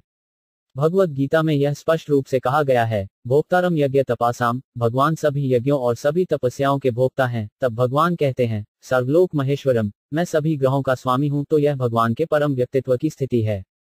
जबकि वे गोलोक वृंदावन में उपस्थित हैं और अपने शाश्वत सानिध्य में दिव्य आनंद का आनंद ले रहे हैं। सहयोगी गोपियाँ और चरवाहे लड़के पूरी सृष्टि पर उनकी शक्तियाँ उनके निर्देशन में काम कर रही हैं, उनकी शाश्वत लीलाओं को विचलित किए बिना। केवल भक्ति सेवा के माध्यम से ही कोई यह समझ सकता है कि कैसे भगवान का परम व्यक्तित्व, उनकी अचिंत्य शक्तियों द्वारा एक साथ अवैयक्तिक रूप से और एक व्यक्ति के रूप में कार्य करता है। वह बिल्कुल सर्वोच्च सम्राट की तरह कार्य करता है और कई हज़ार राजा और प्रमुख उसके अधीन कार्य करते हैं। भगवान का सर्वोच्च व्यक्तित्व सर्वोच्च स्वतंत्र नियंत्रक व्यक्ति है और भगवान ब्रह्मा, भगवान शिव, इंद्र, स्वर्ग के राजा, चंद्र ग्रह के राजा और सूर्य ग्रह के राजा सहित सभी देवता उनके निर्देशन में काम करते हैं। डॉट वेद पुष्टि करते हैं कि यह भगवान के परम व्यक्तित्व के डर से है कि सूर्य चमक रहा है, हवा चल रही है और आग गर्मी वितरित कर रही है। भौतिक प्रकृति भौतिक दुनिया के भीतर सभी प्रकार की चल और अचल वस्तुओं का उत्पादन करती है, लेकिन उनमें से कोई भी स्वतंत्र रूप से परम भगवान के निर्देश के बिना कार्य या निर्माण नहीं कर सकता है। वे सभी उसकी सहायक नदियों के रूप में कार्य करते हैं, बिल्कुल अधीनस्थ राजाओं की तरह जो अपना वार्षिक कर सम्राट को देते हैं। वैदिक आदेशों में कहा गया है कि प्रत्येक जीव भगवान के व्यक्तित्व को चढ़ाए गए भोजन के अवशेष को खाकर जीवित रहता है। बड़े यज्ञों में आदेश यह है कि नारायण को यज्ञ के सर्वोच्च प्रमुख देवता के रूप में उपस्थित होना चाहिए और यह कि यज्ञ किए जाने के बाद के अवशेष देवताओं में भोजन का वितरण करना चाहिए। इसे यज्ञ भाग कहा जाता है। प्रत्येक देवता के पास यज्ञ भाग का आवंटन होता है, जिसे वह प्रसाद के रूप में स्वीकार करता है। निष्कर्ष यह है कि देवता स्वतंत्र रूप से शक्तिशाली नहीं है। उन्हें भगवान के परम व्यक्तित्व के आदेश के तहत विभिन्न अधिकारियों के रूप में नियुक्त किया जाता है और वे प्रसादम या बलिदानों के अवशेष खाते हैं। वे परम भगवान के आदेश को ठीक उनकी योजना के अनुसार क्रियान्वित करते हैं। भगवान का सर्वोच्च व्यक्तित्व पृष्ठभूमि में है और क्योंकि उनके आदेशों का पालन दूसरों द्वारा किया जाता है, ऐसा प्रतीत होता है कि वे अवैयक्तिक हैं। हमारे स्थूल रूप से भौतिकवादी तरीके से, हम यह कल्पना नहीं कर सकते कि सर्वोच्च व्यक्ति कैसे भौतिक प्रकृति की अवैयक्तिक गतिविधियों से ऊपर है। इसलिए भगवान भगवत गीता में समझाते हैं कि उनसे बढ़कर कुछ भी नहीं है और निराकार ब्रह्म उनकी व्यक्तिगत किरणों की अभिव्यक्ति के रूप में अधीनता में स्थित है। श्रीपाद श्रीधर स्वामी ने इस संबंध में एक अच्छे श्लोक की रचना की है, मैं भगवान के परम व्यक्तित्व को अपना सम्मान पूर्वक प्रणाम करता हूँ, जिनके पास कोई भौतिक इंद्रियाँ नहीं है, लेकिन जिनकी दिशा और इच्छा के माध्यम से सभी भौतिक इंद्रियाँ काम कर रही हैं। वह सभी भौतिक इंद्रियों या ज्ञानेंद्रियों की सर्वोच्च शक्ति है। वह सर्वशक्तिमान है और वह हर चीज़ का सर्वोच्च करता है। इसलिए वे सभी के लिए पूजनीय हैं। उस परम पुरुष को मैं अपना सादर प्रणाम करता हूँ। कृष्ण स्वयं भगवत गीता में घोषणा करते हैं कि चूँकि वे सभी संवेदनशील और जड़ प्राणियों से परे हैं, इसलिए उन्हें पुरुषोत्तम के रूप में जाना जाता है, जिसका अर्थ है सर्वोच्च व्यक्तित्व। पुरुष का अर्थ है, व्यक्ति, और उत्तम का अर्थ है, सर्वोच्च, या दिव्य, एक अन्य स्थान पर भगवान कहते हैं कि जैसे वायु सर्वव्यापी आकाश में स्थित है, हर कोई उनमें स्थित है, और हर कोई उनके अधीन कार्य कर रहा है। दिशा, वेद साकार होते रहे, प्रिय भगवान, उन्होंने प्रार्थना की, आप सभी के लिए समान है, किसी विशेष प्रकार के जीव के प्रति कोई पक्षपात नहीं है। यह उनकी अपनी भौतिक इच्छाओं के कारण है कि सभी जीव जीवन की विभिन्न परिस्थितियों में आनंद लेते हैं या पीड़ित होते हैं। आपके हिस्से और अंश के रूप में, वे आग की चिंगारी की तरह हैं। जिस प्रकार चिंगारी प्रज्वलित अग्नि में नृत्य करती है, उसी प्रकार सभी जीव आपके समर्थन पर नृत्य कर रहे हैं। आप उन्हें वह सब कुछ प्रदान कर रहे हैं जो वे चाहते हैं, और फिर भी आप उनके आनंद या पीड़ा की स्थिति के लिए जिम्मेदार नहीं हैं। विभिन्न प्रकार के जीव हैं, देवता, मनुष्य, पशु, पेड़, पक्षी, जानवर, कीटाणु, कीड़े कीड़े और जलचर, और सभी आप पर आराम करते हुए जीवन का आनंद लेते हैं या पीड़ित होते हैं। जीव दो प्रकार के होते हैं, एक वर्ग को नित्य मुक्त सदा मुक्त कहा जाता है, और दूसरे को नित्य बध सदा बध कहा जाता है। नित्य मुक्त जीव आध्यात्मिक जगत में है, और नित्य बध भौतिक संसार में है। आध्यात्मिक दुनिया में जीव और भगवान दोनों अपनी मूल स्थिति में प्रकट होते हैं, जैसे एक जलती हुई आग में जीवित चिंगारी। लेकिन भौतिक जगत में, यद्यपि भगवान अपने निराकार स्वरूप में सर्वव्यापी हैं, जीवात्माएँ अपने कृष्ण को भूल गई हैं। चेतना अधिक या कम डिग्री तक, जैसे कभी कभी चिंगारी एक धधकती आग से गिरती है और अपनी मूल शानदार स्थिति खो देती है। चिंगारी अलग अलग परिस्थितियों में गिरती हैं और अपनी मूल चमक को कम या ज़्यादा बनाए रखती हैं। कुछ चिंगारी सूखी घास पर गिरती हैं और इस प्रकार एक और बड़ी आग प्रज्वलित करती हैं। यह शुद्ध भक्तों के लिए एक संदर्भ है जो गरीबों और निर्दोष जीवों पर दया करते हैं। शुद्ध भक्त बद्ध जीवों के हृदय में कृष्ण भावनामृत को प्रज्वलित करता है और इस प्रकार आध्यात्मिक जगत की प्रज्वलित अग्नि इस भौतिक संसार में भी प्रकट हो जाती है। कुछ चिंगारी पानी पर गिरती हैं, वे तुरंत अपनी मूल प्रतिभा खो देते हैं और विलुप्त हो जाते हैं। उनकी तुलना उन जीवों से की जा सकती है जो स्थूल भौतिकवादियों के बीच जन्म लेते हैं, जिस स्थिति में उनकी मूल कृष्ण भावनामृत विलुप्त हो जाती है। कुछ चिंगारी ज़मीन पर गिरती हैं और प्रज्वलन और विलुप्त होने की स्थिति के बीच में रहती हैं। इस प्रकार कुछ जीव कृष्ण भावनामृत से रहित हैं, कुछ कृष्ण भावनामृत होने और न होने के बीच हैं, और कुछ वास्तव में कृष्ण भावनामृत में स्थित हैं। उच्च लोकों के देवता भगवान ब्रह्मा, इंद्र, चंद्र, सूर्य देवता और विभिन्न अन्य देवता सभी कृष्ण भावना भावित हैं। मानव समाज देवताओं और पशुओं के बीच है, और इस प्रकार कुछ मनुष्य कमोबेश कृष्ण भावना भावित हैं और कुछ पूरी तरह से भूल गए हैं। कृष्ण भावनामृत तीसरी श्रेणी के जीव, अर्थात पशु पशु, पौधे, पेड़ और जलचर, पूरी तरह से कृष्ण भावनामृत को भूल गए हैं। वेदों में प्रज्वलित अग्नि की चिंगारी के बारे में बताया गया यह उदाहरण विभिन्न प्रकार के जीवों की स्थिति को समझने के लिए बहुत उपयुक्त है। लेकिन अन्य सभी जीवों से ऊपर भगवान, कृष्ण या पुरुषोत्तम का परम व्यक्तित्व है, जो हमेशा सभी भौतिक परिस्थितियों से मुक्त रहता है। यह प्रश्न उठाया जा सकता है कि जीव संयोग से जीवन की विभिन्न परिस्थितियों में क्यों गिरे हैं। इस प्रश्न का उत्तर देने के लिए हमें पहले यह समझना होगा कि जीवों पर संयोग का कोई प्रभाव नहीं हो सकता, मौका निर्जीव संस्थाओं के लिए है। वैदिक साहित्य के अनुसार, जीवों के पास ज्ञान होता है और इस प्रकार उन्हें चेतना कहा जाता है, जिसका अर्थ है, ज्ञान में इसलिए जीवन की विभिन्न स्थितियों में उनकी स्थिति आकस्मिक नहीं है। यह उनकी पसंद से है, क्योंकि उनके पास ज्ञान है। भगवत गीता में भगवान कहते हैं, सब कुछ त्याग दो और केवल मेरे सामने आत्मसमर्पण करो। भगवान के परम व्यक्तित्व को साकार करने की यह प्रक्रिया सभी के लिए खुली है, लेकिन फिर भी यह विशेष जीव का विकल्प है कि वह इस प्रस्ताव को स्वीकार करे या अस्वीकार करे। भगवत गीता के अंतिम भाग में, भगवान कृष्ण बहुत स्पष्ट रूप से अर्जुन से कहते हैं, मेरे प्रिय अर्जुन, अब मैंने तुमसे सब कुछ कह दिया है। अब आप इसे स्वीकार करना या न करना चुन सकते हैं। इसी तरह, जीव जो इस भौतिक दुनिया में आ गए हैं, उन्होंने इस भौतिक दुनिया का आनंद लेने के लिए अपनी पसंद बनाई है। ऐसा नहीं है कि कृष्ण ने उन्हें इस दुनिया में भेजा था। भौतिक संसार का निर्माण उन जीवों के आनंद के लिए किया गया था जो स्वयं परम भोक्ता बनने के लिए भगवान की शाश्वत सेवा को छोड़ना चाहते थे। वैष्णव दर्शन के अनुसार, जब कोई जीव अपनी इंद्रियों को तृप्त करना चाहता है और भगवान की सेवा को भूल जाता है तो उसे भौतिक जगत में अपनी इच्छा के अनुसार स्वतंत्र रूप से कार्य करने के लिए स्थान दिया जाता है, और इसलिए वह जीवन की एक ऐसी स्थिति बनाता है जिसमें वह या तो आनंद लेता है या पीड़ित होता है। हमें निश्चित रूप से पता होना चाहिए कि भगवान और जीव दोनों ही नित्य ज्ञानी हैं। भगवान या जीवों के लिए कोई जन्म और मृत्यु नहीं है। जब सृष्टि होती है तो इसका मतलब यह नहीं है कि जीवों की रचना की जाती है। भगवान बद्ध जीवों को कृष्ण भावनामृत के उच्च स्तर तक स्वयं को ऊपर उठाने का अवसर देने के लिए भौतिक संसार की रचना करते हैं। यदि एक बद्ध आत्मा इस अवसर का लाभ नहीं उठाती है तो इस भौतिक दुनिया के विघटन के बाद वह नारायण के शरीर में प्रवेश करती है और दूसरी सृष्टि के समय तक गहरी नींद में रहती है। इस संबंध में वर्षा ऋतु का उदाहरण अत्यंत उपयुक्त है। मौसमी वर्षा को सृष्टि के कारक के रूप में लिया जा सकता है क्योंकि वर्षा के बाद गीले खेत विभिन्न प्रकार की वनस्पतियों को उगाने के लिए अनुकूल होते हैं। इसी प्रकार, जैसे ही भौतिक प्रकृति पर भगवान की दृष्टि से सृष्टि होती है, तुरंत जीव अपनी अलग अलग जीवित स्थितियों में प्रकट हो जाते हैं, जैसे विभिन्न प्रकार के जीव। वर्षा के बाद वनस्पति बढ़ती है। वर्षा एक है, लेकिन विभिन्न पौधों का निर्माण अलग अलग है। बारिश पूरे खेत में समान रूप से गिरती है, लेकिन लगाए गए बीजों के अनुसार अलग अलग पौधे अलग अलग आकार और रूपों में उगते हैं। उसी प्रकार हमारी इच्छाओं के बीज भी विविध हैं। प्रत्येक जीव की एक अलग प्रकार की इच्छा होती है, और वह इच्छा बीज है जो एक निश्चित प्रकार के शरीर में उसकी वृद्धि का कारण बनती है। यह रूप गोस्वामी द्वारा पाप बीज शब्द द्वारा समझाया गया है। पापा का अर्थ है, पापी हमारी सभी भौतिक इच्छाओं को पाप बीज या पापपूर्ण इच्छाओं के बीज के रूप में लिया जाना चाहिए। भगवत गीता बताती है कि हमारी पापी इच्छा यह है कि हम परम भगवान के सामने आत्मसमर्पण न करें। इसलिए भगवान भगवत गीता में कहते हैं, मैं तुम्हें पापी इच्छाओं की प्रतिक्रियाओं से सुरक्षा दूँगा, ये पापी इच्छाएँ विभिन्न प्रकार के शरीरों में प्रकट होती हैं, इसलिए कोई भी एक विशेष प्रकार के जीव को एक प्रकार का शरीर और दूसरे जीव को दूसरे प्रकार का शरीर देने के लिए सर्वोच्च भगवान पर पक्षपात का आरोप नहीं लगा सकता है। आठ हज़ार चार सौ शून्य शून्य शून्य प्रजातियों के सभी शरीर व्यक्तिगत जीवों की मानसिक स्थिति के अनुसार बनाए गए हैं। पूर्ण पुरुषोत्तम भगवान, पुरुषोत्तम, केवल उन्हें उनकी इच्छाओं के अनुसार कार्य करने का अवसर देते हैं। इसलिए, जीव भगवान द्वारा दी गई सुविधा का लाभ उठाकर कार्य करते हैं। उसी समय, जीव भगवान के पालौकिक शरीर से पैदा होते हैं। भगवान और जीवों के बीच इस संबंध को वैदिक साहित्य में समझाया गया है, जिसमें यह कहा गया है कि सर्वोच्च भगवान अपने सभी बच्चों का पालन पोषण करते हैं, जो कुछ भी वे चाहते हैं उन्हें देते हैं।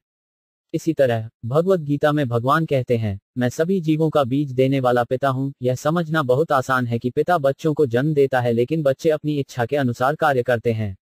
इसलिए पिता कभी भी अपने बच्चों के अलग अलग भविष्य के लिए जिम्मेदार नहीं होता है। प्रत्येक बच्चा पिता की संपत्ति और शिक्षा का लाभ उठा सकता है, लेकिन भले ही विरासत और शिक्षा सभी बच्चों के लिए समान हो, अपनी अलग अलग इच्छाओं से प्रत्येक बच्चा एक अलग जीवन बनाता है और इस तरह पीड़ित या आनंद लेता है। इसी तरह, भगवत गीता के निर्देश सभी के लिए समान है। सभी को परम भगवान के प्रति समर्पण करना चाहिए, और वे एक का प्रभार लेंगे और पापी प्रतिक्रियाओं से उसकी रक्षा करेंगे। भगवान की रचना में रहने की सुविधाएँ सभी जीवों को समान रूप से प्रदान की जाती हैं।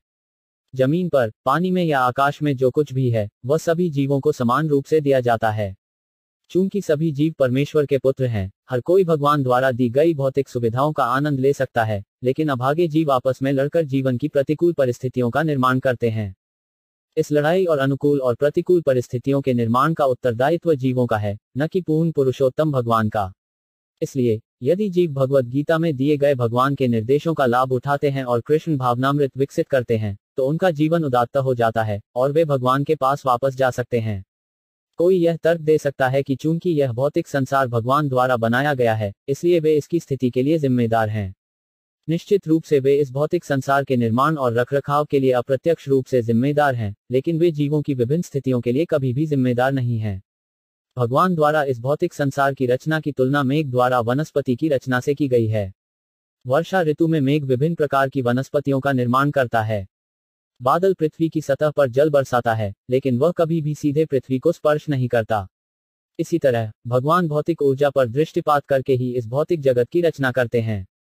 वेदों में इसकी पुष्टि की गई है, उन्होंने भौतिक प्रकृति पर अपनी दृष्टि डाली, और इस प्रकार सृष्टि हुई। भगवत गीता में यह भी पुष्टि की गई है कि केवल भौतिक प्रकृति पर अपनी दिव्य दृष्टि से, वे विभिन्न प्रकार की संस्थाओं की रचना करते हैं। दोनों जंगम और अचल, जीवित और मृत।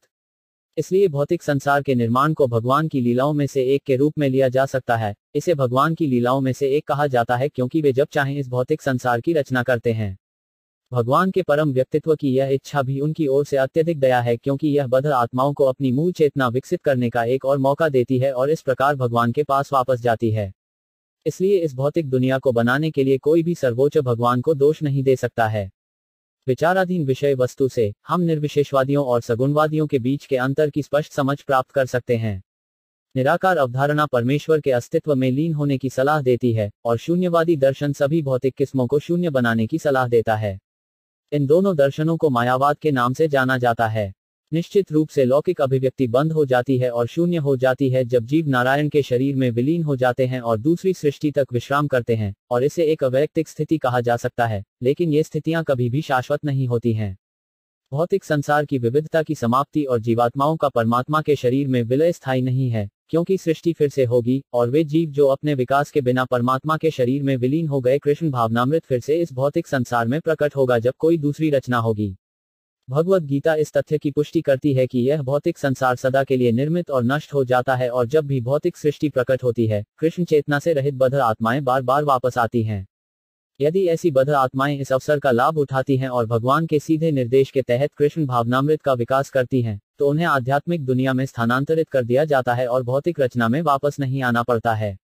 इसलिए यह कहा जाता है कि शून्यवादी और निर्विशेषवादी बहुत बुद्धिमान नहीं है क्योंकि वे भगवान के चरण कमलों के नीचे आश्रय नहीं लेते हैं। क्योंकि वे कम हैं। बुद्धिमान, ये शून्यवादी और निर्विशेषवादी विभिन्न प्रकार की तपस्या करते हैं, या तो निर्वाण की अवस्था प्राप्त करने के लिए, जिसका अर्थ है जीवन की भौतिक स्थितियों को समाप्त करना, या भगवान के शरीर में विलीन होकर एक अतव प्राप्त करना।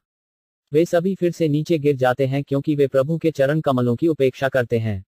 चैतन्य चरितमृत में लेखक कृष्णदास कविराज गोस्वामी ने सभी वैदिक साहित्यों का अध्ययन करने और सभी अधिकारियों से सुनने के बाद अपनी राय दी है कि कृष्ण एकमात्र परम स्वामी हैं और सभी जीव उनके शाश्वत सेवक हैं। उनके कथन की पुष्टि वेदों द्वारा की गई प्रार्थनाओं से होती है। इसलिए निष्कर्ष यह है कि हर कोई भगवान के परम व्यक्तित्व के नियंत्रण में है, हर कोई भगवान के सर्वोच्च व्यक्तित्व के अधीन सेवा कर रहा है और हर कोई भगवान के परम व्यक्तित्व से डरता है। उन्हीं के भय से ही क्रियाएँ सही ढंग से क्रियान्वित होती हैं। सभी की स्थिति परम भगवान के अधीन होने की है, फिर भी जीवों के प्रति उनकी दृष्टि में भगवान का कोई पक्षपात नहीं है। वह असीमित आकाश के समान है, जैसे अग्नि की चिंगारियाँ अग्नि में नृत्य करती हैं, उसी प्रकार सभी जीव परमेश्वर के असीमित आकाश में उड़ने वाले पक्षियों के समान हैं। उनमें से कुछ बहुत ऊँची उड़ान भर रहे हैं, कुछ कम ऊंचाई पर उड़ रहे हैं, और कुछ और भी कम ऊंचाई पर उड़ रहे हैं।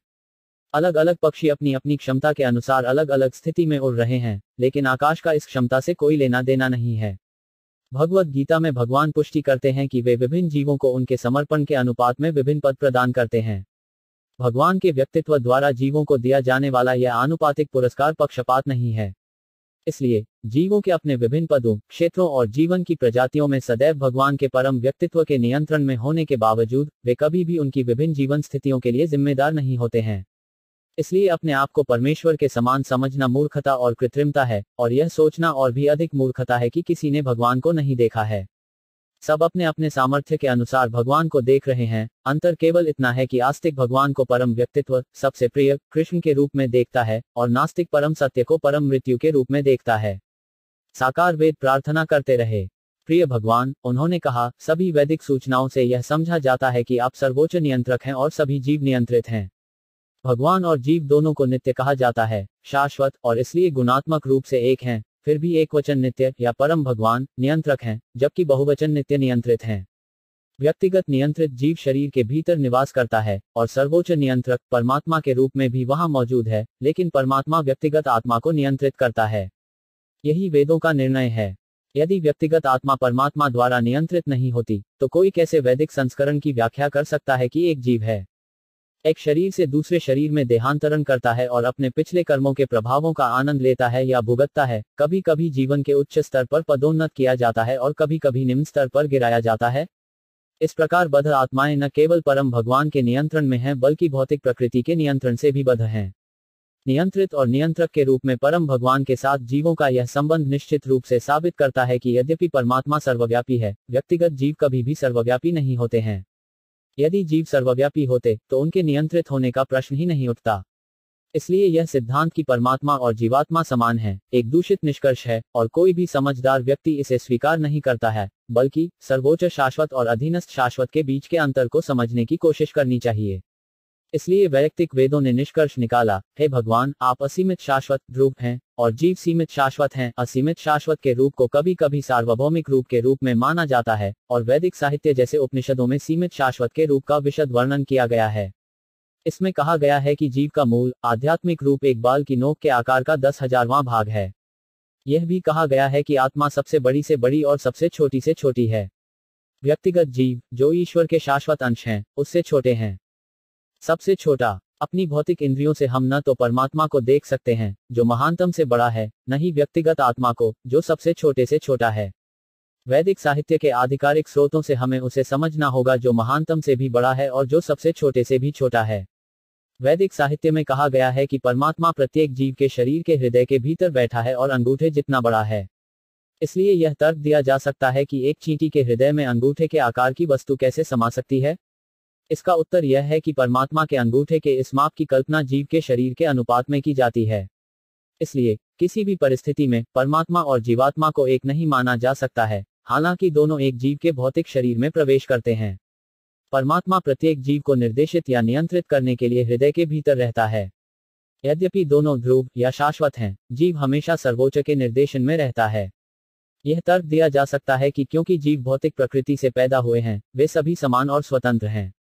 हालाँकि, वैदिक साहित्य में, यह कहा जाता है कि भगवान के परम व्यक्तित्व ने भौतिक प्रकृति को जीवों के साथ गर्भवती किया और फिर वे बाहर आ गए।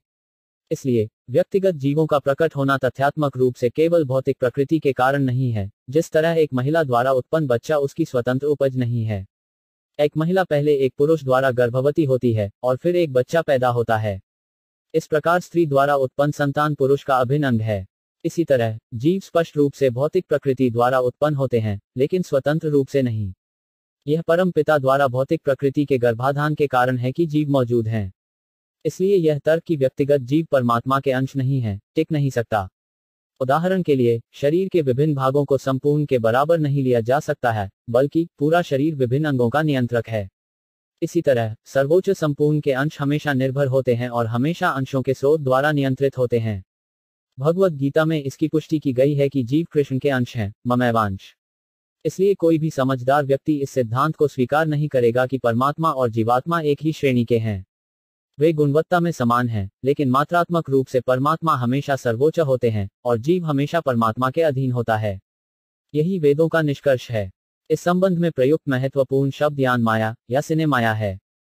संस्कृत व्याकरण में माया शब्द का प्रयोग परिवर्तन के अर्थ में और बहुतायत के अर्थ में भी किया जाता है। मायावादी दार्शनिक व्याख्या करते हैं कि शब्दयान माया या चिन्मय इंगित करता है कि जीव हमेशा सर्वोच्च के बराबर है। लेकिन यह विचार करना होगा कि यह प्रत्यय, म्यत, बहुतायत के लिए या के लिए प्रयोग किया जाता है। परिवर्तन जीवात्मा के पास कभी भी ठीक उसी अनुपात में कुछ नहीं होता, जिस अनुपात में भगवान का परम व्यक्तित्व होता है। इसलिए, इस मायाट प्रत्यय का उपयोग यह अर्थ करने के लिए नहीं किया जा सकता है कि प्रत्येक जीव मात्रात्मक रूप से भगवान के बराबर है। व्यक्तिगत जीव को कभी भी पूर्ण ज्ञान नहीं होता है, अन्यथा, वह कैसे माया, या भौतिक ऊर्जा के नियंत्रण में आ सकता था? प्रचुर, शब्द को इसलिए स्वीकार किया जा सकता है, केवल जीवित इकाई के परिमाण के अनुपात में। परम भगवान और जीवों की आध्यात्मिक एकता को कभी भी एकरूपता के रूप में स्वीकार नहीं किया जाना चाहिए। प्रत्येक जीव व्यक्ति है। यदि सजातीय एकता को स्वीकार किया जाता है तो एक व्यक्ति की आत्मा की मुक्ति से अन्य सभी व्यक्तिगत आत्माएँ तुरंत मुक्त हो जाती। लेकिन तथ्य यह है कि प्रत्येक व्यक्ति की आत्मा भौतिक दुनिया में अलग अलग आनंद और पीड़ा उठा रही है। जैसा कि ऊपर बताया गया है मायाट शब्द का प्रयोग परिवर्तन के अर्थ में भी किया जाता है कभी कभी इसका अर्थ उपोत्पाद के रूप में भी किया जाता है। निर्विशेषवादी सिद्धांत यह है कि स्वयं ब्रह्म ने विभिन्न प्रकार के शरीरों को स्वीकार किया है और यह उनकी लीला या शगल है। हालाँकि, कई सैकड़ों और हज़ारों हैं। जीवन के विभिन्न मानकों में जीवन की प्रजातियों की संख्या, जैसे कि मनुष्य, देवता, पशु, पक्षी और जानवर, और यदि वे सभी परम परम सत्य के पूर्ण विस्तार थे तो मुक्ति का कोई सवाल ही नहीं होगा, क्योंकि ब्रह्म पहले से ही मुक्त हो। मायावादियों द्वारा एक और व्याख्या सामने रखी गई है कि प्रत्येक सहस्राब्दी में विभिन्न प्रकार के शरीर प्रकट होते हैं, और जब सहस्राब्दी बंद हो जाती है तो सभी अलग अलग शरीर या ब्रह्म के विस्तार स्वचालित रूप से एक हो जाते हैं, सभी अलग अलग अभिव्यक्तियों को समाप्त कर देते हैं। फिर अगली सहस्राब्दी में इस सिद्धांत के अनुसार ब्रह्म फिर से विभिन्न शारीरिक रूपों में विस्तार करता है। यदि हम इस सिद्धांत को स्वीकार कर लें तो ब्रह्म परिवर्तन के अधीन हो जाता है। लेकिन इसे स्वीकार नहीं किया जा सकता। वेदांत सूत्र से हम समझते हैं कि ब्रह्म स्वभाव से आनंदमय है। इसलिए, वह अपने आप को एक ऐसे शरीर में नहीं बदल सकता है जो इतनी दर्दनाक स्थितियों के अधीन हो। वास्तव में, जीवात्माएँ ब्रह्म के अति सूक्ष्म अंश हैं और इस तरह वे मायावी ऊर्जा से आच्छादित होने के लिए प्रवृत्त होते हैं। जैसा कि पहले बताया गया है, ब्रह्म के कर्ण अग्नि के भीतर खुशी से नाचने वाली चिंगारी की तरह हैं, लेकिन उनके आग से गिरने का धुआँ होने की संभावना है। हालाँकि धुआँ आग की एक और स्थिति है। यह भौतिक संसार धुएँ के समान है और आध्यात्मिक संसार एक प्रज्वलित अग्नि के समान है। मायावी ऊर्जा से प्रभावित होने पर असंख्य जीव आध्यात्मिक दुनिया से भौतिक दुनिया में नीचे गिरने के लिए प्रवृत्त होते हैं और जीव के लिए फिर से मुक्त होना भी संभव है जब वह वास्तविक ज्ञान की खेती से पूरी तरह से दूषित हो जाता है भौतिक संसार का। असुरों का सिद्धांत यह है कि जीव भौतिक प्रकृति या प्रकृति से पैदा होते हैं, जो पुरुष के संपर्क में होते हैं। इस सिद्धांत को भी स्वीकार नहीं किया जा सकता, क्योंकि भौतिक प्रकृति और पूर्ण पुरुषोत्तम भगवान दोनों शाश्वत रूप से विद्यमान हैं। न तो भौतिक प्रकृति और न ही पूर्ण पुरुषोत्तम भगवान का जन्म हो सकता है। सर्वोच्च भगवान को अज या अजन्मा के रूप में जाना जाता है। इसी तरह, भौतिक प्रकृति को अजा कहा जाता है। इन दोनों शब्दों, अज और अजा का अर्थ अजन्मा है। क्योंकि भौतिक प्रकृति और परम भगवान दोनों ही अजन्मे हैं, यह संभव नहीं है कि वे जीवों को जन्म दे सकें। लेकिन वैदिक साहित्य में यह स्वीकार किया गया है कि जिस तरह हवा के संपर्क में पानी कभी कभी असंख्य बुलबुले प्रस्तुत करता है, इसलिए भौतिक प्रकृति और परम पुरुष का संयोजन इस भौतिक संसार के भीतर जीवों की उपस्थिति का कारण बनता है।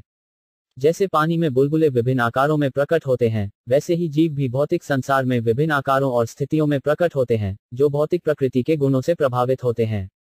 इसलिए यह निष्कर्ष निकालना अनुचित नहीं है कि इस भौतिक दुनिया में विभिन्न रूपों में प्रकट होने वाले जीव, जैसे मनुष्य, देवता, पशु, पक्षी और जानवर, सभी अलग अलग इच्छाओं के कारण अपने अपने शरीर प्राप्त करते हैं। कोई नहीं कह सकता कि उनमें ऐसी इच्छाएँ कब जागृत हुई, और इसलिए यह कहा जाता है, अनादि कर्म, ऐसे भौतिक अस्तित्व का कारण अप्राप्य है। कोई नहीं जानता, जब भौतिक जीवन शुरू हुआ, लेकिन यह एक तथ्य है कि इसकी शुरुआत का एक बिंदु है क्योंकि मूल रूप से प्रत्येक जीव एक आध्यात्मिक चिंगारी है।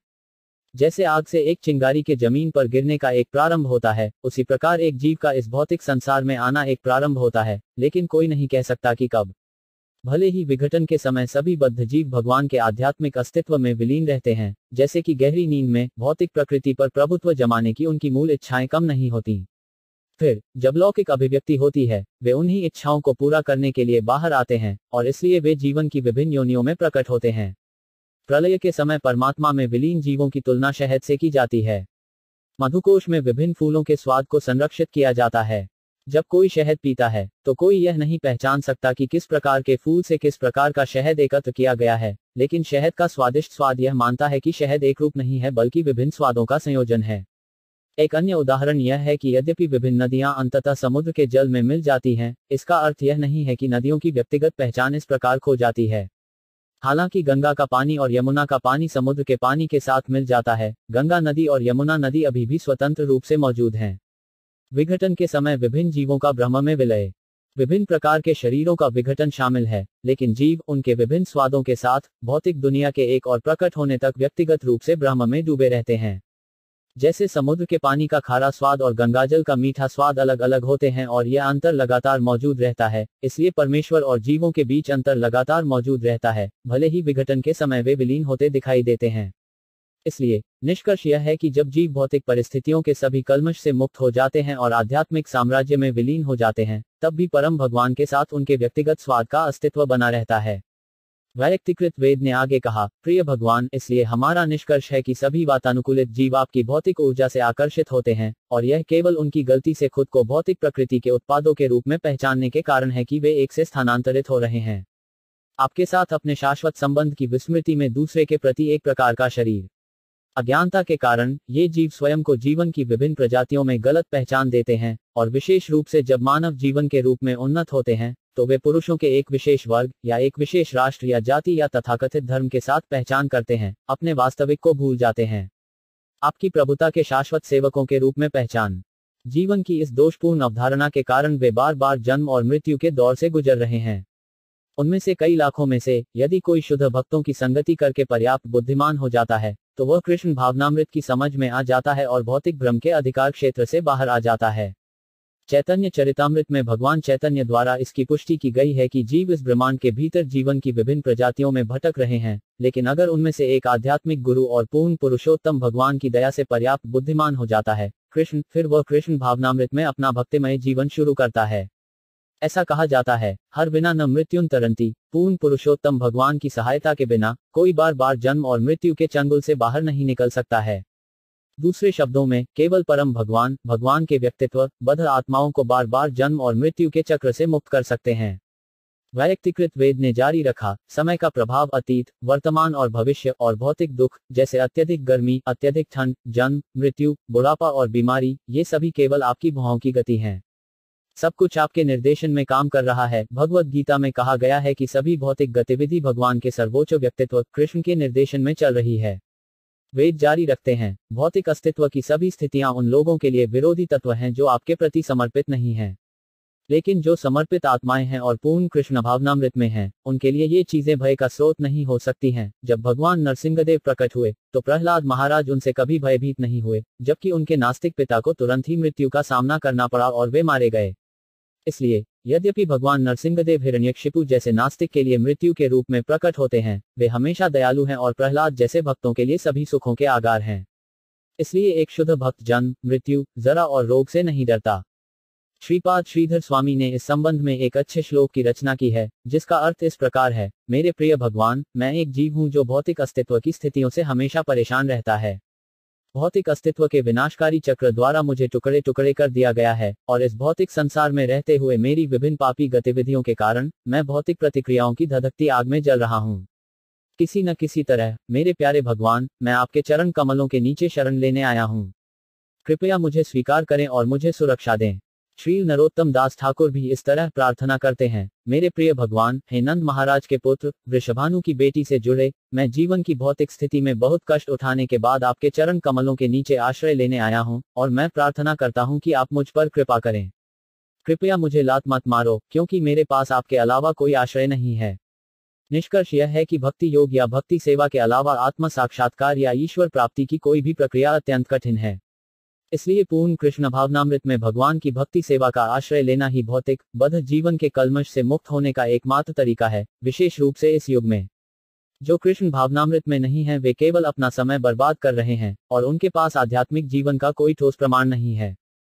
भगवान रामचंद्र द्वारा कहा गया है, मैं हमेशा किसी को भी विश्वास और सुरक्षा देता हूँ जो मेरे प्रति समर्पण करता है और निश्चित रूप से यह तय करता है कि वह मेरा शाश्वत सेवक है। क्योंकि यह मेरा स्वाभाविक झुकाव है। इसी तरह, भगवान कृष्ण भगवद गीता में कहते हैं, भौतिक प्रकृति का प्रभाव दुर्गम है, लेकिन जो मेरी शरण में आता है वह निश्चित रूप से भौतिक प्रकृति के प्रभाव को दूर कर सकता है। भक्तों को अपने सिद्धांतों को निष्प्रभावी करने के लिए अभक्तों के साथ बहस करने में कोई दिलचस्पी नहीं है।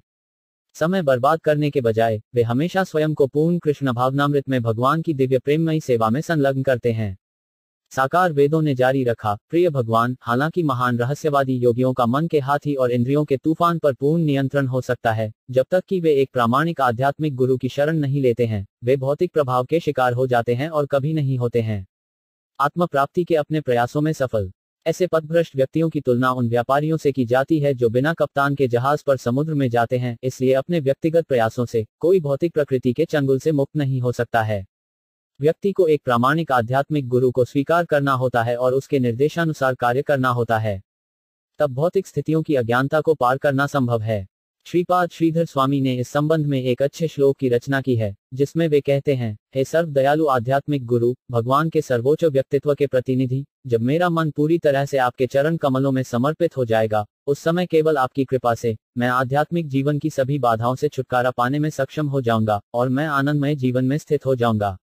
वास्तव में, आनंदमय समाधि या पूर्ण पुरुषोत्तम भगवान में लीन होना, उनकी सेवा में निरंतर लगे रहने से प्राप्त किया जा सकता है, और भक्ति सेवा में यह निरंतर जुड़ाव केवल तभी किया जा सकता है जब कोई प्रामाणिक आध्यात्मिक गुरु के निर्देशन में काम करता है।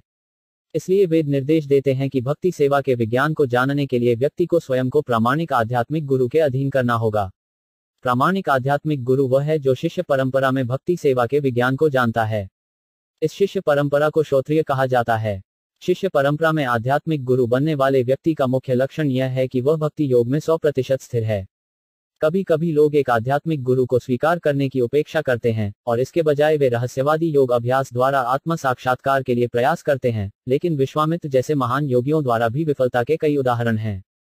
अर्जुन ने भगवत गीता में कहा है कि मन को नियंत्रित करना उतना ही अव्यावहारिक है जितना कि तूफ़ान को रोकना। कभी कभी मन की तुलना मदमस्त हाथी से की जाती है।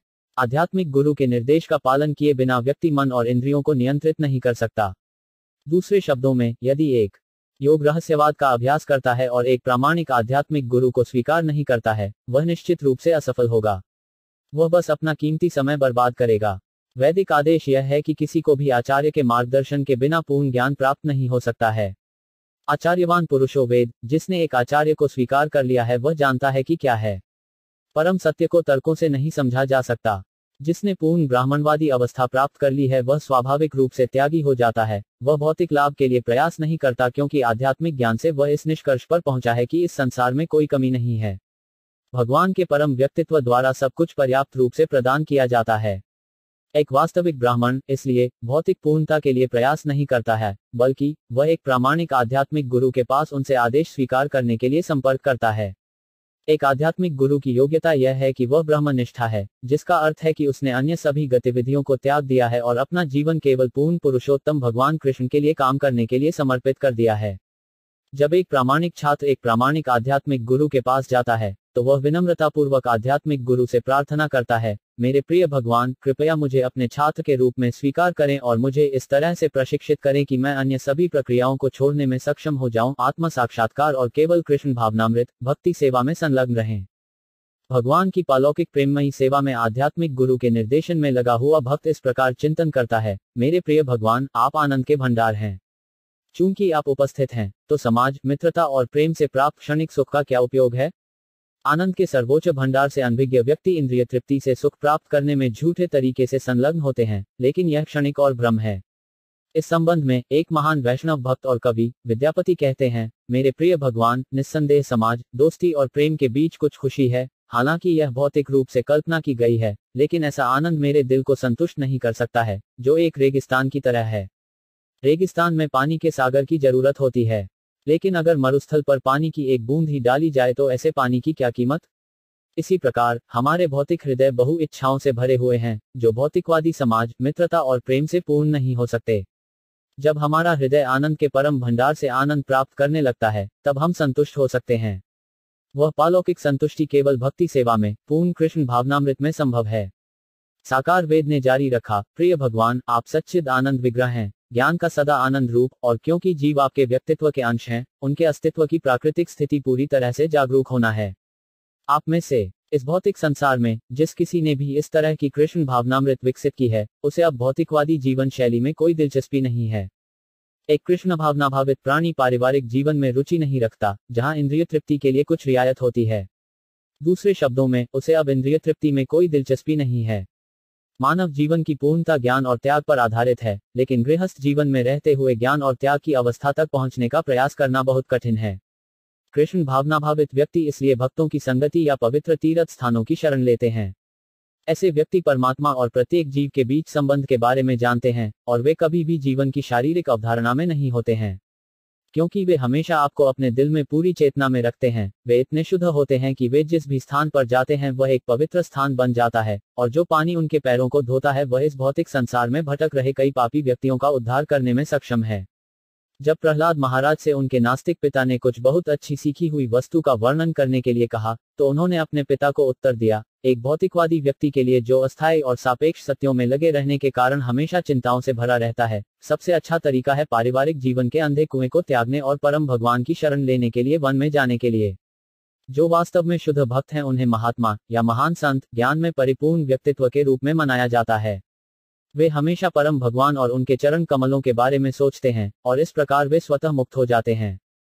भक्त जो हमेशा उस स्थिति में स्थित होते हैं, भगवान की अचिंत्य शक्तियों से विद्युतीकृत हो जाते हैं और इस प्रकार वे स्वयं अपने अनुयायियों और भक्तों के लिए मुक्ति का स्रोत बन जाते हैं। एक कृष्ण भावना भावित व्यक्ति आध्यात्मिक रूप से पूरी तरह से विद्युतीकृत हो जाता है और इसलिए जो कोई भी ऐसे शुद्ध भक्त को छूता है या उसकी शरण लेता है, वह उसी तरह आध्यात्मिक शक्तियों से विद्युतीकृत हो जाता है। ऐसे भक्त कभी भी भौतिक ऐश्वर्य से अभिमानित नहीं होते। आमतौर पर, भौतिक ऐश्वर्य अच्छे पितृत्व, शिक्षा, सौंदर्य और धन है, लेकिन यद्यपि भगवान के एक भक्त के पास ये चारों भौतिक ऐश्वर्य हो सकते हैं, वह कभी भी इस तरह के भेदों के अभिमान से दूर नहीं होता है। भगवान के महान भक्त दुनिया भर में एक तीरथ से दूसरे स्थान की यात्रा करते हैं, और अपने रास्ते में वे कई बद्ध आत्माओं से मिलते हैं और उनकी संगति और पालौकिक ज्ञान के वितरण से उनका उद्धार करते हैं। वे आमतौर पर वृंदावन, मथुरा, द्वारका, जगन्नाथपुरी और नवद्वीप जैसे स्थानों में निवास करते हैं क्योंकि ऐसे स्थानों पर केवल भक्त इकट्ठा होते हैं। इस प्रकार वे एक दूसरे को साधु संगति देते हैं और इस प्रकार आगे बढ़ते हैं। ताकि हर जीव कृष्ण भावना भावित व्यक्तियों की संगति का लाभ उठा सके, ऐसे महान भक्त मंदिरों और आश्रमों को खोलते हैं जहाँ कृष्ण के भक्त इकट्ठा होते हैं। ऐसी संगति से लोग कृष्ण भावनामृत में अधिक से अधिक विकसित हो सकते हैं। सामान्य गृहस्थ जीवन में ऐसी उन्नति संभव नहीं है, जो कृष्ण भावनामृत से रहित है। साकार वेद ने जारी रखा, प्रिय भगवान, अध्यात्मवादियों के दो वर्ग हैं, निर्विशेषवादी और सगुणवादी। निर्विशेषवादियों का मत है कि यह भौतिक अभिव्यक्ति मिथ्या है और केवल परम सत्य ही तथ्यात्मक है। हालाँकि, व्यक्तित्ववादियों का विचार यह है कि भौतिक संसार, हालाँकि बहुत अस्थायी है, फिर भी झूठा नहीं बल्कि तथ्यात्मक है। ऐसे अध्यात्मवादियों के पास अपने दर्शन की वैधता स्थापित करने के लिए अलग अलग तर्क हैं। वस्तुतः भौतिक संसार सत्य और असत्य दोनों साथ साथ है। यह सत्य है क्योंकि सब कुछ परम निरपेक्ष सत्य का विस्तार है, और यह असत्य है क्योंकि भौतिक संसार का अस्तित्व अस्थायी है, यह बनाया जाता है, और यह नष्ट हो जाता है। अपने अस्तित्व की विभिन्न स्थितियों के कारण, ब्रह्मांडीय अभिव्यक्ति की कोई निश्चित स्थिति नहीं है, जो लोग इस भौतिक दुनिया को झूठा मानने की वकालत करते हैं, वे आमतौर पर मैक्सिम ब्रह्म सत्यम जगन मिथ्या से जाने जाते हैं। उन्होंने यह तर्क दिया कि भौतिक दुनिया में सब कुछ पदार्थ से तैयार किया गया है। उदाहरण के लिए, मिट्टी से बनी बहुत सी चीज़ें हैं, जैसे मिट्टी के बर्तन बर्तन और कटोरे। उनके विनाश के बाद, ये चीज़ें कई अन्य भौतिक वस्तुओं में परिवर्तित हो सकती हैं, लेकिन सभी मामलों में मिट्टी के रूप में उनका अस्तित्व बना रहता है। एक मिट्टी का पानी का घड़ा, टूट जाने के बाद, एक कटोरे या थाली में बदल सकता है, लेकिन या तो एक थाली, कटोरा या पानी के सुराही के रूप में, पृथ्वी का अस्तित्व बना रहता है। इसलिए एक पानी के जग, कटोरे या पकवान के रूप झूठे हैं, लेकिन पृथ्वी के रूप में उनका अस्तित्व वास्तविक है। यह निर्विशेषवादियों का संस्करण है। यह लौकिक अभिव्यक्ति निश्चित रूप से परम सत्य से उत्पन्न हुई है, लेकिन क्योंकि इसका अस्तित्व अस्थायी है, यह सत्य है, निर्विशेषवादियों की समझ यह है कि परम सत्य, जो हमेशा मौजूद रहता है, वही एकमात्र सत्य है। तथापि, अन्य अध्यात्मवादियों की राय में, परम सत्य से उत्पन्न होने वाला यह भौतिक संसार भी सत्य है। निर्विशेषवादियों का तर्क है कि यह भ्रम है क्योंकि कभी कभी यह पाया जाता है कि पदार्थ आत्मा से उत्पन्न होता है और कभी कभी आत्मा पदार्थ से उत्पन्न होता है। ऐसे दार्शनिक इस तर्क को आगे बढ़ाते हैं कि गाय का गोबर मृत पदार्थ होते हुए भी कभी कभी यह पाया जाता है कि गाय के गोबर से बिच्छू निकलते हैं। इसी प्रकार मृत पदार्थ जैसे नाखून और बाल जीवित शरीर से बाहर निकलते हैं। इसलिए किसी निश्चित वस्तु से बनी वस्तुएँ हमेशा उस वस्तु के समान गुणवत्ता वाली नहीं होती हैं। इस तर्क के बल पर मायावादी दार्शनिक यह स्थापित करने का प्रयास करते हैं कि यद्यपि यह ब्रह्मांडीय अभिव्यक्ति निश्चित रूप से परम सत्य से उत्पन्न है, ब्रह्मांडीय अभिव्यक्ति में सत्य होना आवश्यक नहीं है। इस दृष्टिकोण के अनुसार, परम सत्य, ब्रह्म को इसलिए सत्य के रूप में स्वीकार किया जाना चाहिए, जबकि लौकिक अभिव्यक्ति, हालाँकि परम सत्य का एक उत्पाद है, इसे सत्य के रूप में नहीं लिया जा सकता है। मायावादी दार्शनिकों का दृष्टिकोण, हालाँकि भगवत गीता में असुरों, या राक्षसों के दृष्टिकोण के रूप में कहा गया है। भगवान भगवत गीता में कहते हैं, असत्यम अप्रतिष्ठम ते जगद अहोरनीश्वरम अपरास्पर संभूतम के मन्यत काम है तो कम। इस ब्रह्मांडीय अभिव्यक्ति के बारे में असुरों का दृष्टिकोण यह है कि पूरी सृष्टि झूठी है। असुरों का मानना कि केवल पदार्थ की परस्पर क्रिया ही इसका स्रोत है। सृष्टि और इसका कोई नियंत्रक या ईश्वर नहीं है, लेकिन वास्तव में यह तथ्य नहीं है। भगवत गीता के सातवें अध्याय से हम समझते हैं कि पाँच स्थूल तत्व पृथ्वी, जल, अग्नि, वायु और आकाश, साथ ही सूक्ष्म तत्व, मन, बुद्धि और मिथ्या अहंकार, सर्वोच्च भगवान की आठ अलग अलग ऊर्जाएँ हैं। इस हीनता से परे, भौतिक ऊर्जा एक आध्यात्मिक ऊर्जा है, जिसे जीवों के रूप में जाना जाता है। जीवों को भगवान की पराशक्ति के रूप में स्वीकार किया जाता है। संपूर्ण लौकिक अभिव्यक्तिहीन और उच्चतर ऊर्जाओं का एक संयोजन है, और ऊर्जाओं का स्रोत देवत्व का परम व्यक्तित्व है। भगवान के सर्वोच्च व्यक्तित्व में कई अलग अलग प्रकार की ऊर्जाएँ होती हैं। वेदों में इसकी पुष्टि की गई है, परस्य शक्तिर विविधैव श्वते भगवान की पालौकिक ऊर्जाएँ भिन्न हैं और क्योंकि इस प्रकार की शक्तियाँ परम भगवान से निकली हैं, वे झूठी नहीं हो सकती। भगवान सदा विद्यमान है और ऊर्जाएँ सदैव विद्यमान हैं। कुछ ऊर्जा अस्थायी है, कभी प्रकट और कभी अव्यक्त, लेकिन इसका मतलब यह नहीं है कि यह झूठी है। उदाहरण यह दिया जा सकता है कि जब कोई व्यक्ति गुस्से में होता है तो वह ऐसी चीज़ें करता है जो उसके जीवन की सामान्य स्थिति से अलग होती हैं, लेकिन यह तथ्य कि क्रोध की मनोदशा प्रकट होती है और गायब हो जाती है इसका मतलब यह नहीं है कि क्रोध की ऊर्जा झूठी है। इसलिए, मायावादी दार्शनिकों का यह तर्क कि यह संसार मिथ्या है, वैष्णव दार्शनिकों द्वारा स्वीकार नहीं किया जाता है। भगवान स्वयं इस बात की पुष्टि करते हैं कि यह मत की इस भौतिक अभिव्यक्ति का कोई सर्वोच्च कारण नहीं है। कि कोई ईश्वर नहीं है, और यह कि सब कुछ केवल पदार्थ की परस्पर क्रिया का सृजन है, असुरों का मत है। मायावादी दार्शनिक कभी कभी सांप और रस्सी के तर्क को सामने रखते हैं। साँझ के अंधेरे में कभी कभी अज्ञानतावश बंधी हुई रस्सी को सांप समझ लिया जाता है। लेकिन रस्सी को सांप समझने की गलती का मतलब यह नहीं है कि रस्सी या सांप झूठा है, और इसलिए मायावादियों द्वारा भौतिक दुनिया की मिथ्याता को दर्शाने के लिए इस्तेमाल किया गया यह उदाहरण मान्य नहीं है। जब किसी वस्तु को तथ्य के रूप में लिया जाता है, लेकिन वास्तव में उसका कोई अस्तित्व नहीं होता है तो उसे असत्य कहा जाता है। लेकिन अगर किसी चीज़ को किसी दूसरी चीज़ के लिए गलत माना जाता है तो इसका मतलब यह नहीं है कि यह गलत है। वैष्णव दार्शनिक एक बहुत ही उपयुक्त उदाहरण का उपयोग करते हैं, इस भौतिक दुनिया की तुलना एक मिट्टी के बर्तन से करते हैं। जब हम मिट्टी के घड़े को देखते हैं तो वह तुरंत गायब नहीं हो जाता और किसी और चीज़ में बदल जाता है। यह अस्थायी हो सकता है, लेकिन पानी लाने के लिए मिट्टी के बर्तन का उपयोग किया जाता है और हम इसे मिट्टी के बर्तन के रूप में देखते रहते हैं। इसलिए, हालाँकि मिट्टी का घड़ा अस्थायी है और मूल पृथ्वी से अलग है, हम यह नहीं कह सकते कि यह झूठा है। इसलिए हमें यह निष्कर्ष निकालना चाहिए कि मिट्टी का घड़ा और पूरी पृथ्वी दोनों सत्य हैं क्योंकि एक दूसरे का उत्पाद है। हम भगवत गीता से समझते हैं कि इस लौकिक अभिव्यक्ति के विघटन के बाद, भौतिक ऊर्जा भगवान के परम व्यक्तित्व में प्रवेश करती है। पूर्ण पुरुषोत्तम भगवान अपनी विविध शक्तियों के साथ सदैव विद्यमान रहते हैं। क्योंकि भौतिक सृष्टि उन्हीं से निकली है, हम यह नहीं कह सकते कि यह लौकिक अभिव्यक्ति किसी शून्य का उत्पाद है। कृष्ण शून्य नहीं है। जब भी हम कृष्ण की बात करते हैं, वे अपने रूप, गुण, नाम, परिवेश और साज सामान के साथ उपस्थित होते हैं। इसलिए, कृष्ण अवैयक्तिक नहीं है। प्रत्येक वस्तु का मूल कारण न तो शून्य है और न ही निराकार, अपितु परम पुरुष है। राक्षस कह सकते हैं कि यह भौतिक सृष्टि अनिश्वर है, बिना किसी नियंत्रक या ईश्वर के, लेकिन ऐसे तर्क अंततः खड़े नहीं हो सकते। मायावादी दार्शनिकों द्वारा दिया गया उदाहरण की नाखून और बाल जैसे निर्जीव पदार्थ जीवित शरीर से आते हैं, बहुत ठोस तर्क नहीं है। नाखून और बाल निस्संदेह निर्जीव हैं, लेकिन वे जीवित प्राणी से नहीं बल्कि निर्जीव भौतिक शरीर से आते हैं। इसी प्रकार, यह तर्क की बिच्छू गाय के गोबर से आता है, जिसका अर्थ है कि जीव पदार्थ से आता है, भी निराधार है। गाय के गोबर से निकलने वाला बिच्छू निश्चित रूप से एक जीव है, लेकिन जीव गाय के गोबर से नहीं निकलता है। केवल जीव का भौतिक शरीर या बिच्छू का शरीर गाय के गोबर से निकलता है। जीवों की चिंगारी, जैसा कि हम भगवत गीता से समझते हैं, भौतिक प्रकृति में इंजेक्ट की जाती हैं, और फिर वे बाहर आ जाती हैं। विभिन्न रूपों में जीव के शरीर की आपूर्ति भौतिक प्रकृति द्वारा की जाती है, लेकिन स्वयं जीव की आपूर्ति परमेश्वर द्वारा की जाती है। कुछ शर्तों के तहत पिता और माता जीव के लिए आवश्यक शरीर देते हैं। जीवात्मा अपनी विभिन्न इच्छाओं के अनुसार एक शरीर से दूसरे शरीर में देहांतरण करता है, जो कि सूक्ष्म रूप में होता है। बुद्धि, मन और मिथ्या अहंकार एक शरीर से दूसरे शरीर में उसका साथ देते हैं। बेहतर व्यवस्था के द्वारा एक जीव को एक निश्चित प्रकार के भौतिक शरीर के गर्भ में रखा जाता है, और फिर वह एक समान शरीर विकसित करता है। इसलिए, आत्मा पदार्थ से उत्पन्न नहीं होती है, यह बेहतर व्यवस्था के तहत एक विशेष प्रकार का शरीर धारण करता है। हमारे वर्तमान अनुभव के अनुसार, यह भौतिक संसार पदार्थ और आत्मा का एक संयोजन है। आत्मा मामले को आगे बढ़ा रही है।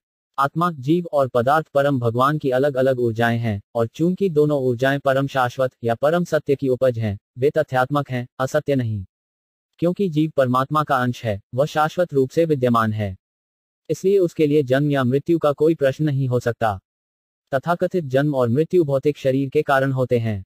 वैदिक संस्करण सर्वम खल विदम ब्रह्म का अर्थ है कि चूँकि दोनों ऊर्जाएँ सर्वोच्च ब्रह्म से निकली हैं, इसलिए हम जो कुछ भी अनुभव करते हैं वह ब्रह्म से अलग नहीं है। इस भौतिक दुनिया के अस्तित्व के बारे में कई तर्क हैं, लेकिन वैष्णव दार्शनिक निष्कर्ष सबसे अच्छा है। मिट्टी के घड़े का उदाहरण बहुत उपयुक्त है, मिट्टी के घड़े का रूप अस्थायी हो सकता है, लेकिन इसका एक विशिष्ट उद्देश्य है। मिट्टी के घड़े का काम पानी को एक जगह से दूसरी जगह ले जाना होता है। इसी तरह, यह भौतिक शरीर, हालाँकि अस्थायी है, इसका एक विशेष उपयोग है। सृष्टि के आरंभ से ही जीव को विभिन्न प्रकार के भौतिक शरीर विकसित करने का मौका दिया जाता है, जो उसने अनादिकाल से जमा की गई आरक्षित इच्छाओं के अनुसार किया है। मानव शरीर एक विशेष अवसर है जिसमें चेतना के विकसित रूप का उपयोग किया जा सकता है। कभी कभी मायावादी दार्शनिक इस तर्क को आगे बढ़ाते हैं कि यदि यह भौतिक संसार सत्य है तो गृहस्थों को इस भौतिक संसार से अपना संबंध त्यागने और संन्यास लेने की सलाह क्यों दी जाती है? लेकिन संन्यास के बारे में वैष्णव दार्शनिकों का दृष्टिकोण यह नहीं है कि चूँकि संसार मिथ्या है, इसलिए व्यक्ति को भौतिक गतिविधियों को छोड़ देना चाहिए। वैष्णव संन्यास का उद्देश्य चीज़ों का उपयोग करना है क्योंकि उनका उपयोग करने का इरादा है। श्री रूप गोस्वामी ने इस भौतिक संसार से निपटने के लिए अध्यात्मवादियों को दो सूत्र दिए हैं। जब एक वैष्णव जीवन के भौतिकवादी तरीके को त्याग देता है और संन्यास लेता है तो यह भौतिक दुनिया की मिथ्याता की अवधारणा पर नहीं बल्कि भगवान की सेवा में सब कुछ संलग्न करने के लिए खुद को पूरी तरह से समर्पित करने के लिए है। इसलिए श्री रूप गोस्वामी यह सूत्र देते हैं, व्यक्ति को भौतिक जगत से अनासक्त होना चाहिए क्योंकि भौतिक आसक्ति अर्थहीन है। संपूर्ण भौतिक संसार, संपूर्ण लौकिक अभिव्यक्ति, भगवान कृष्ण की है। इसलिए कृष्ण के लिए सब कुछ उपयोग किया जाना चाहिए, और भक्त को भौतिक वस्तुओं के प्रति अनासक्त रहना चाहिए यह वैष्णव संन्यास का उद्देश्य है। एक भौतिकवादी इंद्रिय तृप्ति के लिए संसार से जुड़ा रहता है, लेकिन एक वैष्णव सन्यासी, यद्यपि अपनी व्यक्तिगत इंद्रिय तृप्ति के लिए कुछ भी स्वीकार नहीं करता, वह भगवान की सेवा के लिए सब कुछ उपयोग करने की कला जानता है। इसलिए श्री रूप गोस्वामी ने अपने दूसरे सूत्र के साथ मायावादी सन्यासियों की आलोचना की है चूँकि मायावादी नहीं जानते कि हर चीज़ का भगवान की सेवा के लिए उपयोग होता है, इसलिए वे दुनिया को झूठा मानते हैं और झूठा सोचते हैं कि वे भगवान के संदूषण से मुक्त हो गए हैं। भौतिक दुनिया, चूँकि सब कुछ परम भगवान की ऊर्जा का विस्तार है, विस्तार उतना ही वास्तविक है जितना कि परम भगवान है। लौकिक संसार केवल अस्थायी रूप से प्रकट होता है, इसका मतलब यह नहीं है कि यह झूठा है या इसकी अभिव्यक्ति का स्रोत झूठा है। चूँकि इसकी अभिव्यक्ति का स्रोत सत्य है, अभिव्यक्ति भी सत्य है, लेकिन इसका उपयोग कैसे करना है, यह जानना चाहिए। मिट्टी के बर्तन का उदाहरण फिर से दिया जा सकता है। पूरी पृथ्वी से उत्पन्न मिट्टी का बर्तन अस्थायी होता है, लेकिन जब उचित उद्देश्य के लिए उपयोग किया जाता है तो मिट्टी का बर्तन झूठा नहीं होता है।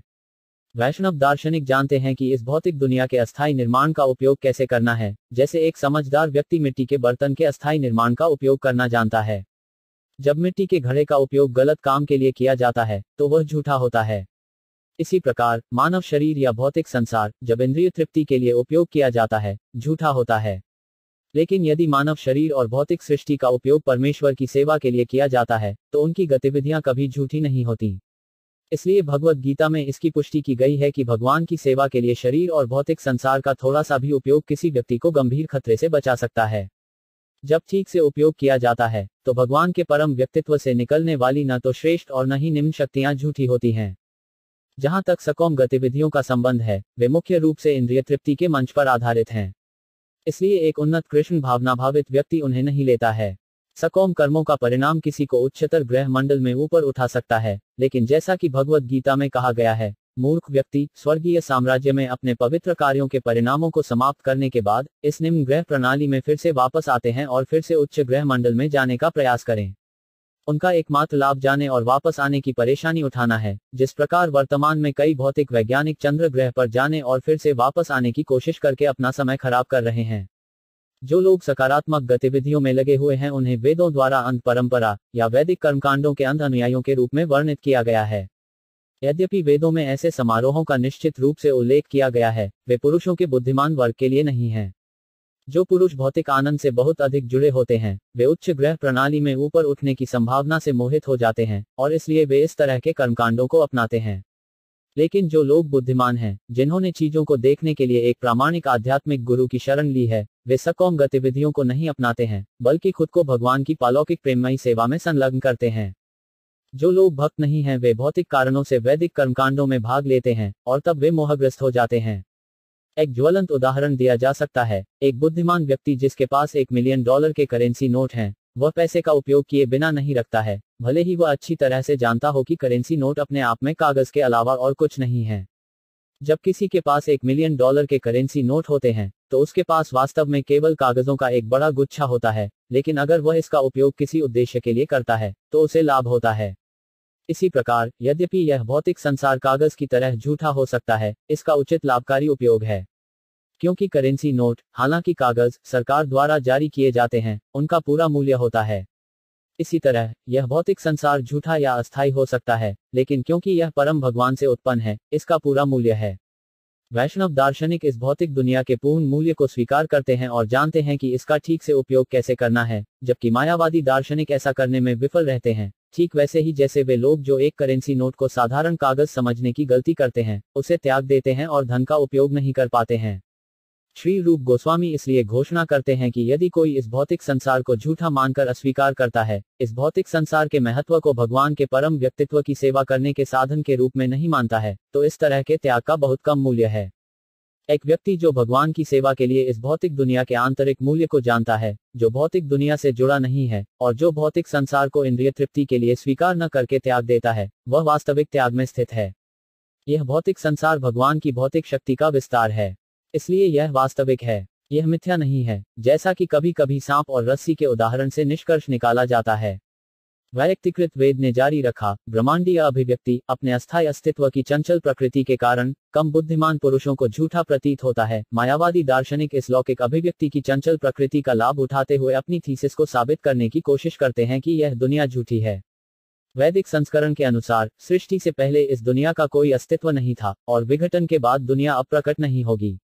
शून्यवादी भी इस वैदिक संस्करण का लाभ उठाते हैं और निष्कर्ष निकालते हैं कि इस भौतिक संसार का कारण शून्य है।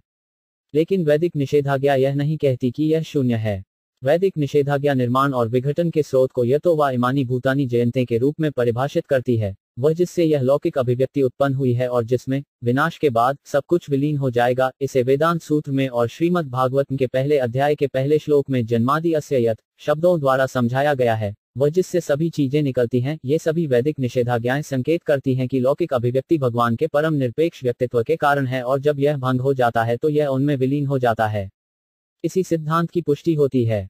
भगवत गीता में, ब्रह्मांडीय अभिव्यक्ति अस्तित्व में आती है और फिर से विलीन हो जाती है, और विघटन के बाद यह सर्वोच्च भगवान के अस्तित्व में विलीन हो जाती है, यह कथन निश्चित रूप से पुष्टि करता है कि बहिर्हंग माया, या बाहरी ऊर्जा के रूप में जानी जाने वाली विशेष ऊर्जा, हालाँकि चंचल प्रकृति की है, परम भगवान की ऊर्जा है, और इस तरह यह झूठी नहीं हो सकती।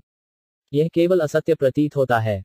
मायावादी दार्शनिकों का निष्कर्ष है कि चूँकि भौतिक प्रकृति का प्रारंभ में कोई अस्तित्व नहीं है और विघटन के बाद अस्तित्वहीन है, इसलिए यह असत्य है। लेकिन मिट्टी के बर्तनों और व्यंजनों के उदाहरण से वैदिक संस्करण प्रस्तुत किया जाता है। हालाँकि परम सत्य के विशेष उप उत्पादों का अस्तित्व अस्थायी है, सर्वोच्च भगवान की ऊर्जा स्थायी है। मिट्टी का बर्तन या पानी का जग टूट सकता है या किसी अन्य आकार में परिवर्तित हो सकता है, जैसे कि एक थाली या कटोरा, लेकिन घटक या भौतिक आधार, अर्थात पृथ्वी, वही रहता है। ब्रह्मांडीय अभिव्यक्ति का मूल सिद्धांत हमेशा एक ही है, ब्रह्म या परम सत्य, इसलिए मायावादी दार्शनिकों का सिद्धांत की यह मिथ्या है निश्चित रूप से केवल एक मानसिक मंगणंत कहानी है। लौकिक अभिव्यक्ति चंचल और अस्थायी है, इसका मतलब यह नहीं है कि यह झूठा है। मिथ्यात्व की परिभाषा वह है जिसका कभी कोई अस्तित्व नहीं था, लेकिन जो केवल नाम के लिए मौजूद है, उदाहरण के लिए घोड़े के अंडे या खरगोश के सींग या आकाश में फूल, ऐसी घटनाएँ हैं जो केवल नाम के लिए मौजूद हैं। न घोड़े के अंडे हैं, न खरगोश के सींग हैं, और न आकाश में फूल उग रहे हैं। बहुत सी चीज़ें हैं जो नाम या कल्पना में मौजूद हैं, लेकिन वास्तव में कोई वास्तविक अभिव्यक्ति नहीं है। ऐसी बातों को झूठ कहा जा सकता है। लेकिन वैष्णव इस भौतिक संसार को केवल इसकी अस्थायी प्रकृति, इसके प्रकट होने और फिर से घुलने के कारण मिथ्या नहीं मान सकते। साकार वेद ने आगे कहा कि परमात्मा और जीवात्मा, या परमात्मा और जीवात्मा, किसी भी परिस्थिति में समान नहीं हो सकते, भले ही वे दोनों एक ही शरीर के भीतर बैठे हों, जैसे एक ही पेड़ पर बैठे दो पक्षी। जैसा कि वेदों में घोषित किया गया है, ये दोनों पक्षी मित्र के रूप में बैठे हुए भी समान नहीं है। एक तो बस साक्षी है। यह पक्षी परमात्मा, या परमात्मा है। और दूसरी चिड़िया पेड़ का फल खा रही है। यही जीवात्मा है। जब ब्रह्मांडीय अभिव्यक्ति होती है तो जीवात्मा या व्यक्तिगत आत्मा अपने पिछले सकोम कर्मों के अनुसार विभिन्न रूपों में सृष्टि में प्रकट होती है और अपने वास्तविक अस्तित्व की लंबी विस्मृति के कारण वह स्वयं को एक विशेष रूप से पहचानती है जो उसे प्रदान की जाती है।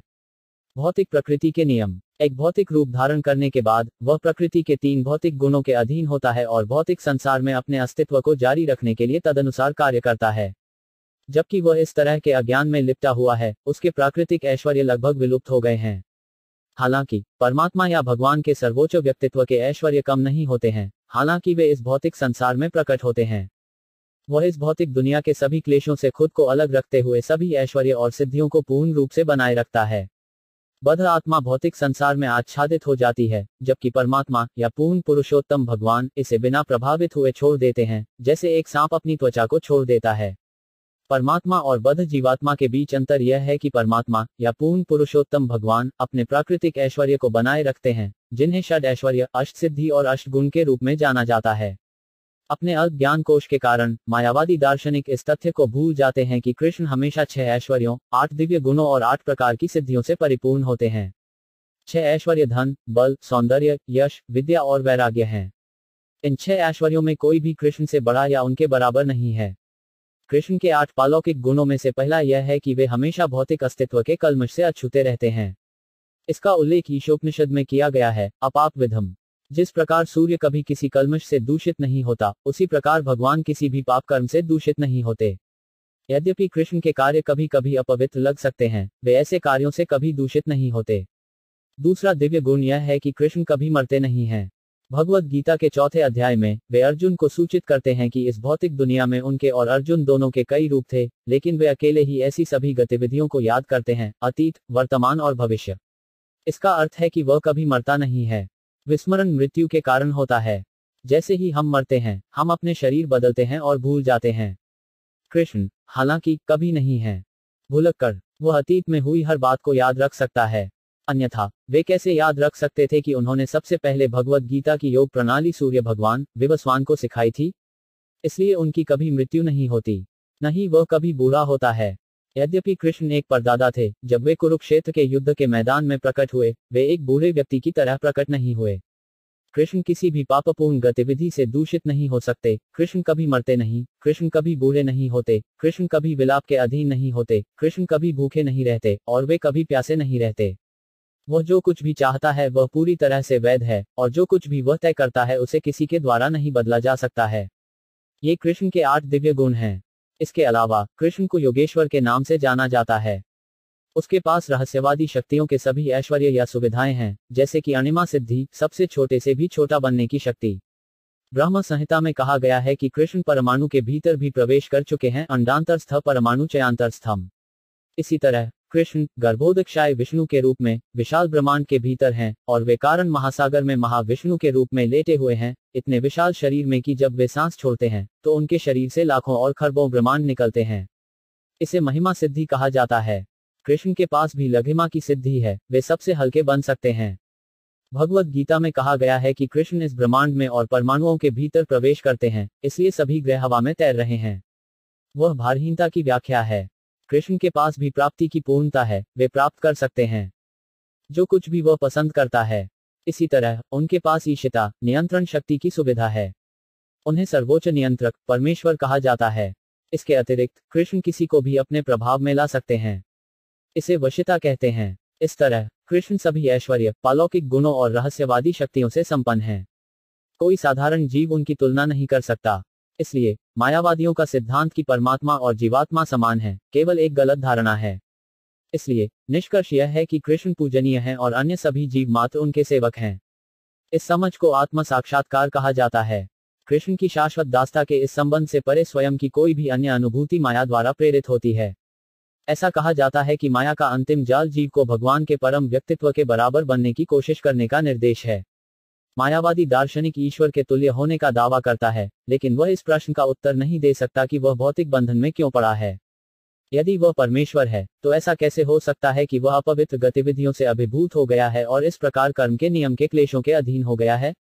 जब मायावादियों से इस बारे में पूछा जाता है तो वे ठीक से जवाब नहीं दे पाते हैं। यह अटकल की कोई भगवान के परम व्यक्तित्व के बराबर है, पापी जीवन का एक और लक्षण है। कोई कृष्ण भावनामृत को तब तक ग्रहण नहीं कर सकता जब तक कि वह सभी पापमय गतिविधियों से पूरी तरह से मुक्त नहीं हो जाता। तथ्य यह है कि मायावादी सर्वोच्च भगवान के साथ एक होने का दावा करते हैं, इसका मतलब है कि वह अभी तक पापी गतिविधियों की प्रतिक्रियाओं से मुक्त नहीं हुए हैं। श्रीमद भागवत का कहना है कि ऐसे व्यक्ति अविशुद्ध बुद्ध या हैं, जिसका अर्थ है कि क्योंकि वे मिथ्या रूप से स्वयं को मुक्त मानते हैं और साथ ही स्वयं को पूर्ण सत्य के समान समझते हैं, उनकी बुद्धि शुद्ध नहीं होती है। साकार वेदों ने कहा कि यदि योगी और ज्ञानी स्वयं को पापी इच्छाओं से मुक्त नहीं करते हैं तो उनकी आत्मा साक्षात्कार की विशेष प्रक्रिया कभी भी सफल नहीं होगी। प्रिय भगवान, साक्षात वेद जारी रखा, यदि संत लोग पापी इच्छाओं की जड़ों को पूरी तरह से मिटाने की परवाह नहीं करते हैं तो वे परमात्मा का अनुभव नहीं कर सकते हैं, हालाँकि वे व्यक्तिगत आत्मा के साथ साथ बैठे हैं। समाधि, या ध्यान, का अर्थ है कि व्यक्ति को अपने भीतर परमात्मा को खोजना है। जो पाप में प्रतिक्रियाओं से मुक्त नहीं है, वह परमात्मा को नहीं देख सकता। यदि किसी व्यक्ति के गले में रत्न जड़ित लॉकेट है, लेकिन वह रत्न भूल जाता है तो यह लगभग ऐसा है मानो उसके पास वह रत्न नहीं है। इसी तरह, यदि कोई आत्मा ध्यान करती है लेकिन वास्तव में अपने भीतर परमात्मा की उपस्थिति का अनुभव नहीं करती है तो उसका ध्यान व्यर्थ है। इसलिए जिन लोगों ने आत्म साक्षात्कार के मार्ग को अपनाया है, उन्हें माया के प्रभाव से संदूषण से बचने के लिए बहुत सावधान रहना चाहिए। श्री रूप गोस्वामी कहते हैं कि एक भक्त को सभी प्रकार की भौतिक इच्छाओं से पूरी तरह मुक्त होना चाहिए। एक भक्त को कर्म और ज्ञान के परिणामों से प्रभावित नहीं होना चाहिए। व्यक्ति को केवल कृष्ण को समझना होता है और उनकी इच्छाओं को पूरा करना होता है। वो शुद्ध भक्तिमय अवस्था है। वैयक्तिकृत वेद ने जारी रखा, रहस्यवादी योगी जिनके पास अभी भी इंद्रिय के लिए दूषित इच्छाएँ हैं। तुष्टिकरण अपने प्रयास में कभी सफल नहीं होते हैं नहीं वे व्यक्ति के भीतर परमात्मा को महसूस कर सकते हैं। इस प्रकार तथाकथित योगी और ज्ञानी जो विभिन्न प्रकार की इंद्रिय तृप्ति में अपना समय बर्बाद कर रहे हैं या तो मानसिक अटकलों द्वारा या सीमित रहस्यवादी शक्तियों के प्रदर्शन द्वारा कभी भी बद्ध जीवन से मुक्त नहीं होंगे और बार बार जन्म लेते रहेंगे और मौतें। ऐसे व्यक्तियों के लिए यह जीवन और अगला जीवन दोनों ही क्लेश का स्रोत होते हैं। ऐसे पापी व्यक्ति पहले से ही इस जीवन में क्लेश भोग रहे हैं और क्योंकि वे आत्म साक्षात्कार में सिद्ध नहीं हैं, वे अगले जन्म में और क्लेश से ग्रस्त होंगे। पूर्णता प्राप्त करने के सभी प्रयासों के बावजूद, ऐसे योगी इंद्रिय तृप्ति की इच्छाओं से दूषित होते हैं। इस जीवन में और अगले जीवन में पीड़ित रहेंगे। श्री विश्वनाथ चक्रवर्ती ठाकुर इस संबंध में टिप्पणी करते हैं कि यदि सन्यासी सन्यासी जीवन के व्यक्ति, जिन्होंने आत्म साक्षात्कार के लिए अपना घर छोड़ दिया है, स्वयं को भगवान की भक्ति सेवा में संलग्न नहीं करते हैं, लेकिन परोपकारी कार्यों से आकर्षित होते हैं, जैसे कि शिक्षण संस्थानों, अस्पतालों या यहाँ तक मठों चर्चों या देवताओं के मंदिरों को खोलने पर, उन्हें इस तरह के कार्यों से केवल इस जीवन में ही नहीं, बल्कि अगले जीवन में भी परेशानी होती है। सन्यासी जो इसका लाभ नहीं उठाते हैं। कृष्ण को साकार करने के लिए जीवन केवल अपना समय और ऊर्जा त्याग आदेश के अधिकार क्षेत्र से बाहर की गतिविधियों में बर्बाद करते हैं। हालाँकि, विष्णु मंदिर के निर्माण जैसे कार्यों में अपनी ऊर्जा लगाने का एक भक्त का प्रयास कभी व्यर्थ नहीं जाता। ऐसे कार्यों को कृष्णार्थ अखिल चेष्टा कहा जाता है। कृष्ण को प्रसन्न करने के लिए की जाने वाली विविध गतिविधियाँ। एक परोपकारी का स्कूल भवन खोलना और एक भक्त द्वारा मंदिर का निर्माण करना समान स्तर पर नहीं है। यद्यपि एक परोपकारी व्यक्ति द्वारा एक शैक्षणिक संस्थान खोलना एक पवित्र गतिविधि हो सकती है, यह कर्म के नियमों के अंतर्गत आता है, जबकि विष्णु के लिए एक मंदिर का निर्माण भक्ति सेवा है। भक्ति सेवा कभी भी कर्म के नियम के अधिकार क्षेत्र में नहीं आती। जैसा कि भगवत गीता में कहा गया है, सगुणन समतीत ब्रह्म भुयाय कल्पते, भगवान के व्यक्तित्व के भक्त भौतिक प्रकृति के तीन तरीकों की सभी प्रतिक्रियाओं से ऊपर हैं और ब्रह्म प्राप्ति के पालौकिक मंच पर स्थित हैं, भक्त इस जीवन और अगले जीवन दोनों में मुक्त होते हैं। इस भौतिक संसार में यज्ञ, विष्णु या कृष्ण के लिए किए गए किसी भी कार्य को मुक्त कार्य माना जाता है, लेकिन भगवान के अचूक परम व्यक्तित्व अच्युत के साथ संबंध के बिना कर्म के नियम के परिणामी कार्यों को रोकने की कोई संभावना नहीं है। कृष्ण भावनामृत का जीवन मुक्ति का जीवन है। निष्कर्ष यह है कि एक भक्त भगवान की कृपा से इस जीवन और अगले जीवन में मुक्त होता है, जबकि कर्मी, ज्ञानी और योगी कभी भी इस जीवन में या अगले जीवन में मुक्त नहीं होते हैं। साकार वेद ने आगे कहा, प्रिय भगवान, जिसने भी आपकी कृपा से आपके चरण कमलों की महिमा को समझा है, वह भौतिक सुख और संकट के लिए कठोर है। जब तक हम भौतिक संसार में रहते हैं, तब तक भौतिक कष्ट अपरिहार्य हैं, लेकिन एक भक्त ऐसे कार्यों और प्रतिक्रियाओं पर ध्यान नहीं देता है, जो पवित्र और अपवित्र गतिविधियों के परिणाम हैं। नहीं कोई भक्त सामान्य रूप से लोगों की प्रशंसा या निंदा से बहुत ज़्यादा परेशान या प्रसन्न होता है। एक भक्त की कभी कभी उसके दिव्य कार्यों के कारण अत्यधिक प्रशंसा की जाती है और कभी कभी उसकी आलोचना की जाती है, भले ही प्रतिकूल आलोचना का कोई कारण न हो। हालाँकि, शुद्ध भक्त हमेशा सामान्य लोगों द्वारा प्रशंसा या निंदा करने के लिए कठोर होता है। वास्तव में, भक्त के कार्य दिव्य स्तर पर होते हैं। उसे भौतिक गतिविधियों में लगे लोगों की प्रशंसा या निंदा में कोई दिलचस्पी नहीं है। यदि भक्त इस प्रकार अपनी दिव्य स्थिति को बनाए रख सकता है तो इस जीवन में उसकी मुक्ति और अगले जीवन की गारंटी भगवान के परम व्यक्तित्व द्वारा दी जाती है। इस भौतिक संसार में एक भक्त की दिव्य स्थिति शुद्ध भक्तों की संगति में बनी रहती है, बस उसके द्वारा विभिन्न युगों में और विभिन्न अवतारों में भगवान द्वारा किए गए शानदार कार्यों को सुनकर। कृष्ण भावनामृत आंदोलन इस सिद्धांत पर आधारित है। श्री नरोत्तम दास ठाकुर ने गाया है, मेरे प्रिय भगवान, मुझे आपकी दिव्य प्रेममयी सेवा में लगे रहने दें, जैसा कि पिछले आचार्यों ने बताया है, और मुझे शुद्ध भक्तों की संगति में रहने दें।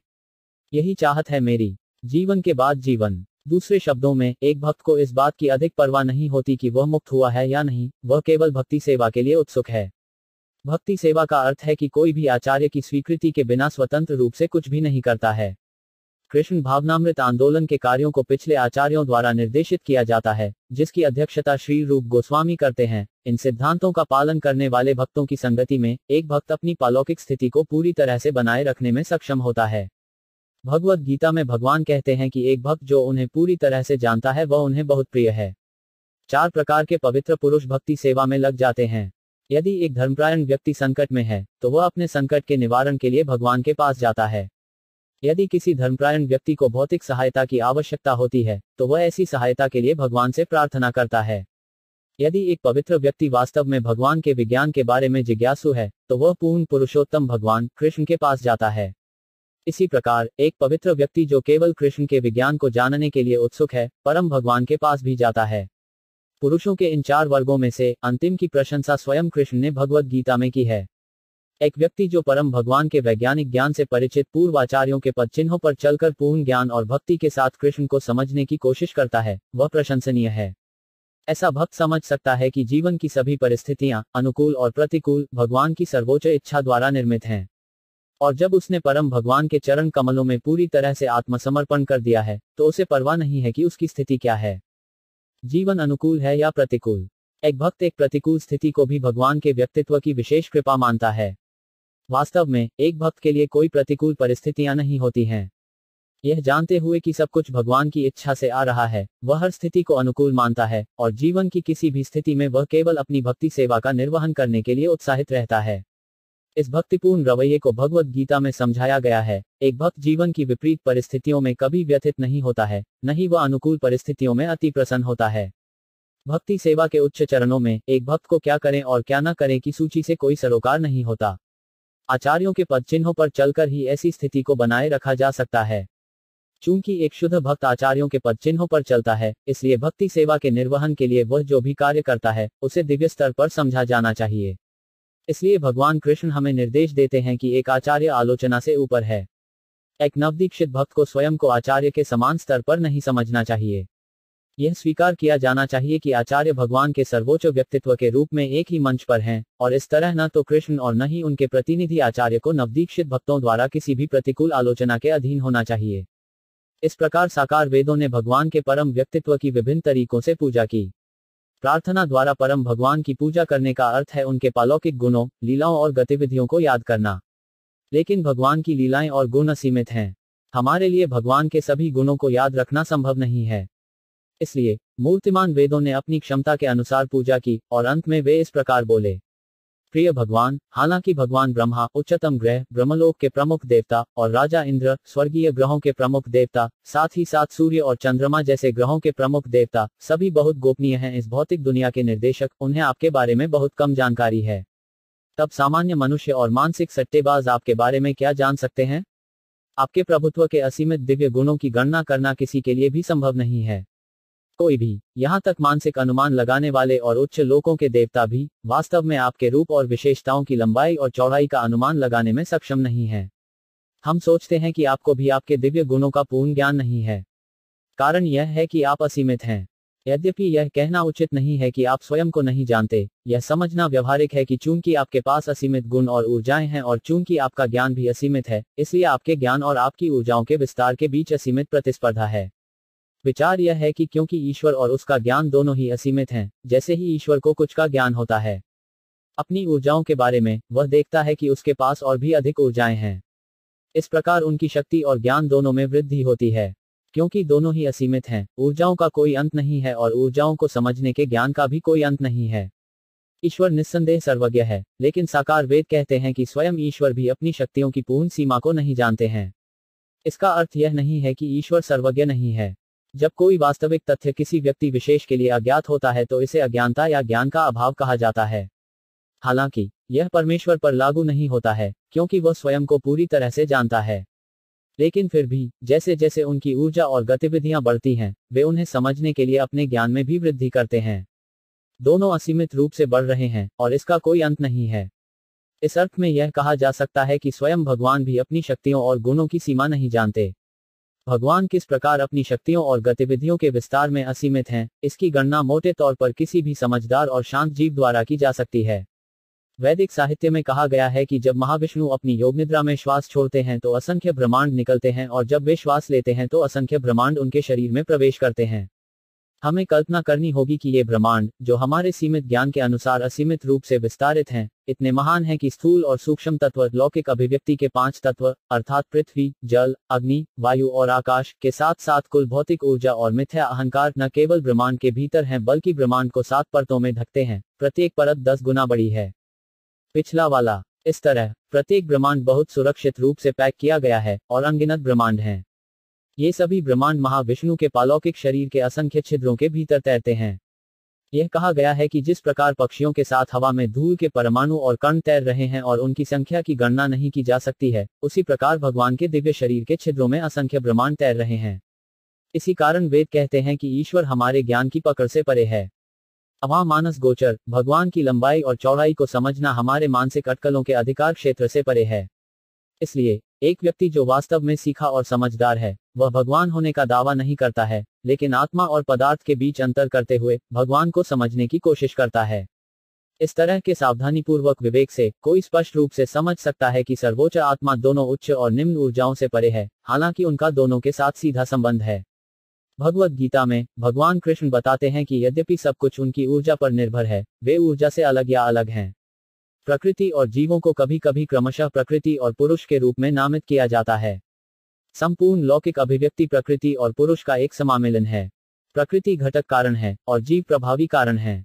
ये दो कारण एक साथ जुड़ते हैं और प्रभाव यह ब्रह्मांडीय अभिव्यक्ति है। जब कोई इस लौकिक अभिव्यक्ति और इसके भीतर चल रही हर चीज़ के बारे में सही निष्कर्ष पर पहुँचने के लिए पर्याप्त भाग्यशाली होता है तो वह जानता है कि यह प्रत्यक्ष और अप्रत्यक्ष रूप से स्वयं भगवान के सर्वोच्च व्यक्तित्व के कारण होता है।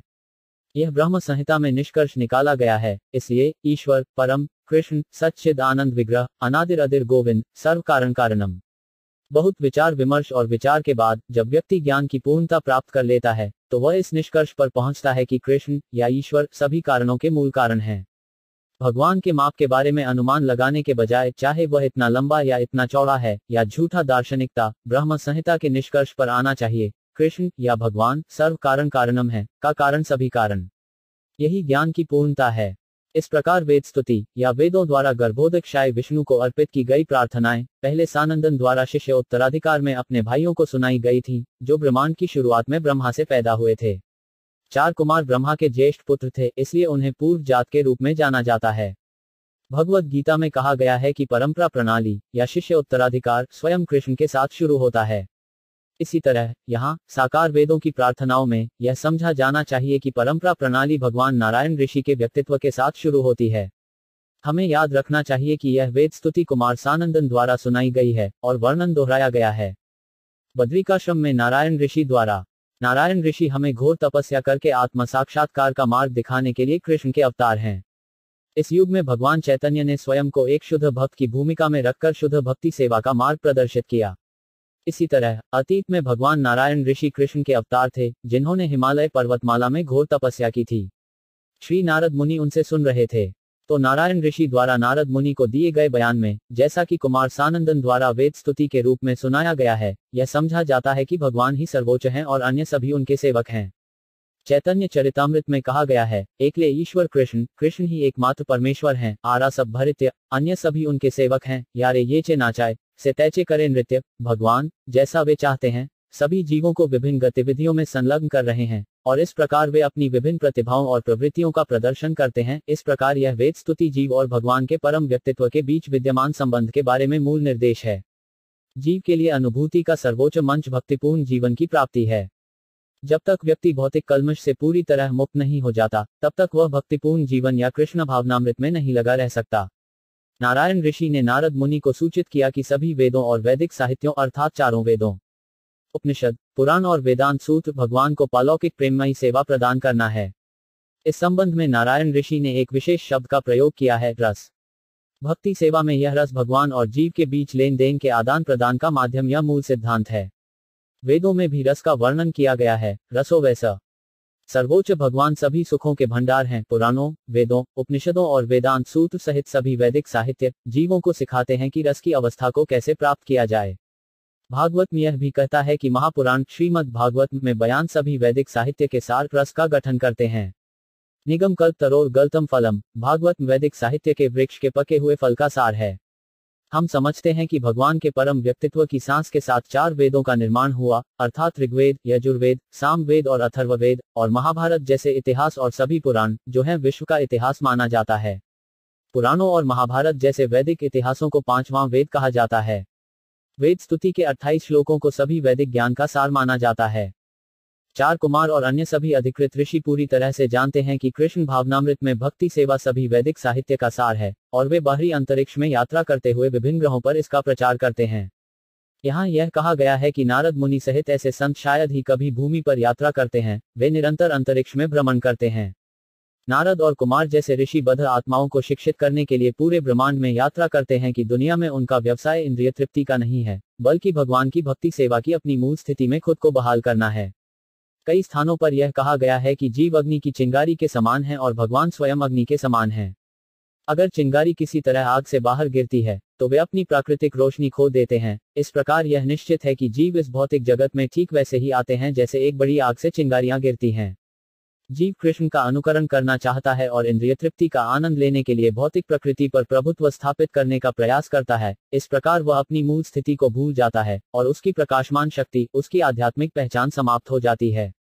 हालाँकि, यदि कोई जीव कृष्ण भावनामृत ग्रहण करता है तो उसे उसकी मूल स्थिति में बहाल कर दिया जाता है। भक्ति सेवा की इस प्रक्रिया का प्रचार करने के लिए, नारद और कुमार जैसे ऋषि और संत लोगों को शिक्षित करने और अपने शिष्यों को बढ़ाने के लिए पूरे ब्रह्मांड में यात्रा करते हैं। उनका उद्देश्य यह है कि सभी बद्ध जीवों को उनकी मूल चेतना, या कृष्ण चेतना को पुनर्जीवित करने के लिए शिक्षित किया जाए, और इस प्रकार भौतिक जीवन की दयनीय स्थितियों से राहत प्राप्त की जा सके। श्री नारद मुनि नैष्ठिक ब्रह्मचारी हैं। ब्रह्मचारी चार प्रकार के होते हैं। पहले को सावित्र कहा जाता है, जो एक ब्रह्मचारी को संदर्भित करता है, जिसे दीक्षा और पवित्र धागा समारोह के बाद कम से कम तीन दिनों के ब्रह्मचर्य का पालन करना चाहिए। अगले को प्राजापत्य कहा जाता है, जो एक ब्रह्मचारी को संदर्भित करता है, जो दीक्षा के बाद कम से कम एक वर्ष तक ब्रह्मचर्य का कड़ाई से पालन करता है।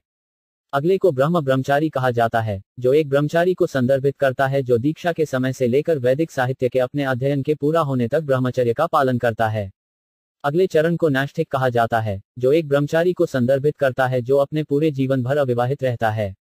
इनमें से, पहले तीन उपकुर्वाण हैं, जिसका अर्थ है कि ब्रह्मचारी बाद में विवाह कर सकते हैं, ब्रह्मचारी अवधि समाप्त होने के बाद। नैष्ठिक ब्रह्मचारी, हालाँकि, किसी भी यौन जीवन के लिए पूरी तरह से अनिच्छुक है, इसलिए कुमारों और नारद को नैष्ठिक ब्रह्मचारी के रूप में जाना जाता है।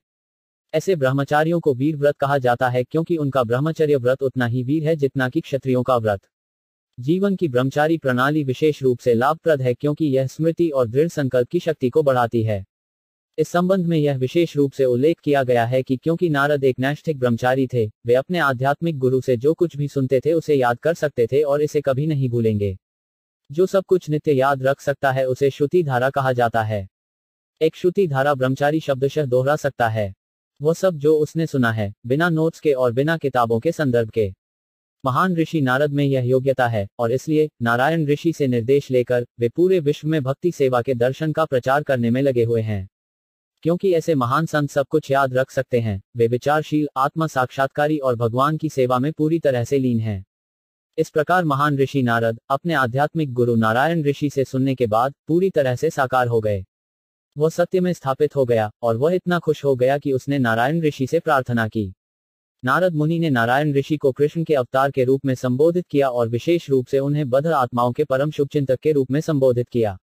भगवत गीता में कहा गया है कि भगवान कृष्ण प्रत्येक सहस्राब्दी में केवल अपने भक्तों को सुरक्षा देने और अभक्तों का विनाश करने के लिए अवतरित होते हैं। नारायण ऋषि, कृष्ण के अवतार होने के नाते, उन्हें बद्ध आत्माओं के शुभचिंतक के रूप में भी संबोधित किया जाता है। जैसा कि भगवत गीता में कहा गया है, हर किसी को पता होना चाहिए कि कृष्ण जैसा कोई शुभचिंतक नहीं है। सभी को यह समझना चाहिए कि भगवान कृष्ण सभी के परम शुभचिंतक हैं और उन्हें उनकी शरण लेनी चाहिए। इस तरह कोई पूरी तरह आश्वस्त और संतुष्ट हो सकता है, यह जानकर कि उसके पास कोई है जो उसे सारी सुरक्षा देने में सक्षम है। स्वयं कृष्ण, उनके अवतार और उनके पूर्ण विस्तार सभी बद्ध जीवों के परम शुभचिंतक हैं, लेकिन कृष्ण राक्षसों के भी शुभचिंतक हैं, क्योंकि उन्होंने उन सभी राक्षसों का उद्धार किया जो वृंदावन में उन्हें मारने आए थे, इसलिए कृष्ण की कल्याणकारी गतिविधियाँ परम हैं। क्योंकि चाहे वे किसी राक्षस का विनाश करते हैं या किसी भक्त को सुरक्षा देते हैं, उनकी गतिविधियों का परिणाम एक ही होता है। ऐसा कहा जाता है कि पूतना राक्षसी को कृष्ण की माँ के समान स्थान दिया गया था। जब कृष्ण एक राक्षस का वध करते हैं तो दानव को अत्यधिक लाभ होता है, उतना ही जितना एक शुद्ध भक्त को भगवान द्वारा हमेशा संरक्षित रहने से लाभ होता है। नारद मुनि, अपने आध्यात्मिक गुरु, नारायण ऋषि को सम्मान देने के बाद, उनके शिष्य व्यासदेव के आश्रम में गए। व्यासदेव द्वारा अपने आश्रम में उचित रूप से स्वागत किए जाने और बहुत आराम से बैठने पर नारद मुनि ने नारायण ऋषि से जो कुछ सुना था, उसकी पूरी कहानी सुनाई।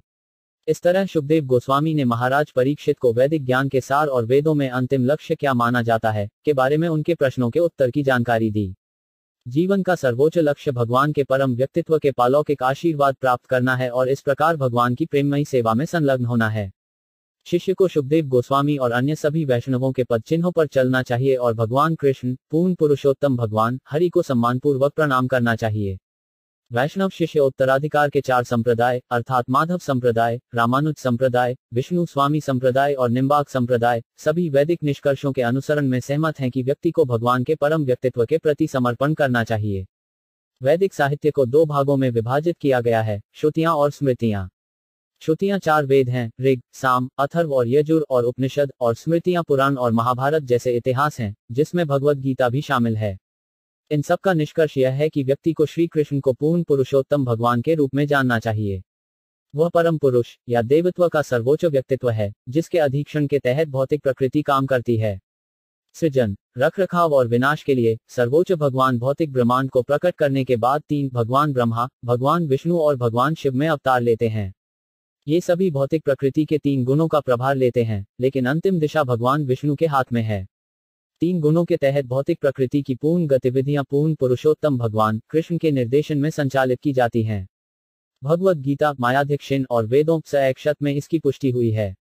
नास्तिक सांख्यवादी दार्शनिक निश्चित रूप से अपने तर्क देंगे कि भौतिक लौकिक अभिव्यक्ति प्रकृति और पुरुष, भौतिक प्रकृति और जीव, या भौतिक कारण और प्रभावी कारण के कारण है। लेकिन कृष्ण सभी कारणों के कारण है। वह भौतिक और प्रभावी कारणों दोनों का कारण है। प्रकृति और पुरुष अंतिम कारण नहीं है। ऊपरी तौर पर ऐसा प्रतीत होता है कि एक बच्चे का जन्म पिता और माता के संयोजन के कारण होता है, लेकिन पिता और माता दोनों का अंतिम कारण कृष्ण है। इसलिए वे मूल कारण हैं, या सभी कारणों के कारण हैं, जैसा कि ब्रह्म संहिता में पुष्टि की गई है। परम भगवान और जीव दोनों भौतिक प्रकृति में प्रवेश करते हैं। सर्वोच्च भगवान, कृष्ण, अपने पूर्ण विस्तारों में से एक कारणोदक्षाय महाविष्णु, विशाल विष्णु रूप के रूप में प्रकट होते हैं, जो कौशल महासागर में पड़ा हुआ है। फिर महाविष्णु के उस विशाल रूप से गर्भोदक्षाय विष्णु विस्तार करते हैं और हर ब्रह्मांड में प्रवेश करते हैं। उनसे, ब्रह्मा, विष्णु और शिव का विस्तार होता है। विष्णु क्षीरोदक्षाय के रूप में सभी जीवों के हृदय में प्रवेश करते हैं, साथ ही साथ परमाणु सहित सभी भौतिक तत्वों में भी। ब्रह्म संहिता कहती है, अंदांतर स्थ परमाणु चयांतर स्थम, भगवान इस ब्रह्मांड के भीतर हैं और प्रत्येक परमाणु के भीतर भी हैं, जीव के पास विभिन्न प्रजातियों और रूपों में लिया गया एक छोटा सा भौतिक शरीर है, और इसी तरह संपूर्ण ब्रह्मांड भगवान के परम व्यक्तित्व का भौतिक शरीर है। इस शरीर को शास्त्रों में विराट रूप के रूप में वर्णित किया गया है। जिस प्रकार प्रत्येक जीव अपने विशेष शरीर का पालन करता है, भगवान का सर्वोच्च व्यक्तित्व उसके भीतर प्रवेश करके संपूर्ण ब्रह्मांडीय सृष्टि का पालन करता है। जैसे ही जीवात्मा भौतिक शरीर को छोड़ता है, शरीर तुरंत नष्ट हो जाता है, और इसी तरह जैसे ही भगवान विष्णु लौकिक अभिव्यक्ति को छोड़ते हैं, सब कुछ नष्ट हो जाता है। इसलिए केवल जब व्यक्तिगत जीव भगवान के परम व्यक्तित्व के प्रति समर्पण करता है तो भौतिक अस्तित्व से उसकी मुक्ति संभव है। भगवत गीता में इसकी पुष्टि की गई है, माँ में वे प्रपद्यंते मायाम एतातरंती ते। भगवान के परम व्यक्तित्व के प्रति समर्पण, और कुछ नहीं, इसलिए मुक्ति का कारण है। भगवान के परम व्यक्तित्व को आत्मसमर्पण करने के बाद जीव भौतिक प्रकृति के गुणों से कैसे मुक्त हो जाता है यह एक कमरे के भीतर सोए हुए व्यक्ति के उदाहरण से प्रदर्शित होता है। जब एक आदमी सो रहा होता है तो हर कोई देखता है कि वह कमरे के भीतर मौजूद है, लेकिन वास्तव में वह खुद उस शरीर के भीतर नहीं है, क्योंकि सोते समय एक आदमी अपने शारीरिक अस्तित्व को भूल जाता है। हालाँकि अन्य लोग देख सकते हैं कि उसका शरीर मौजूद है।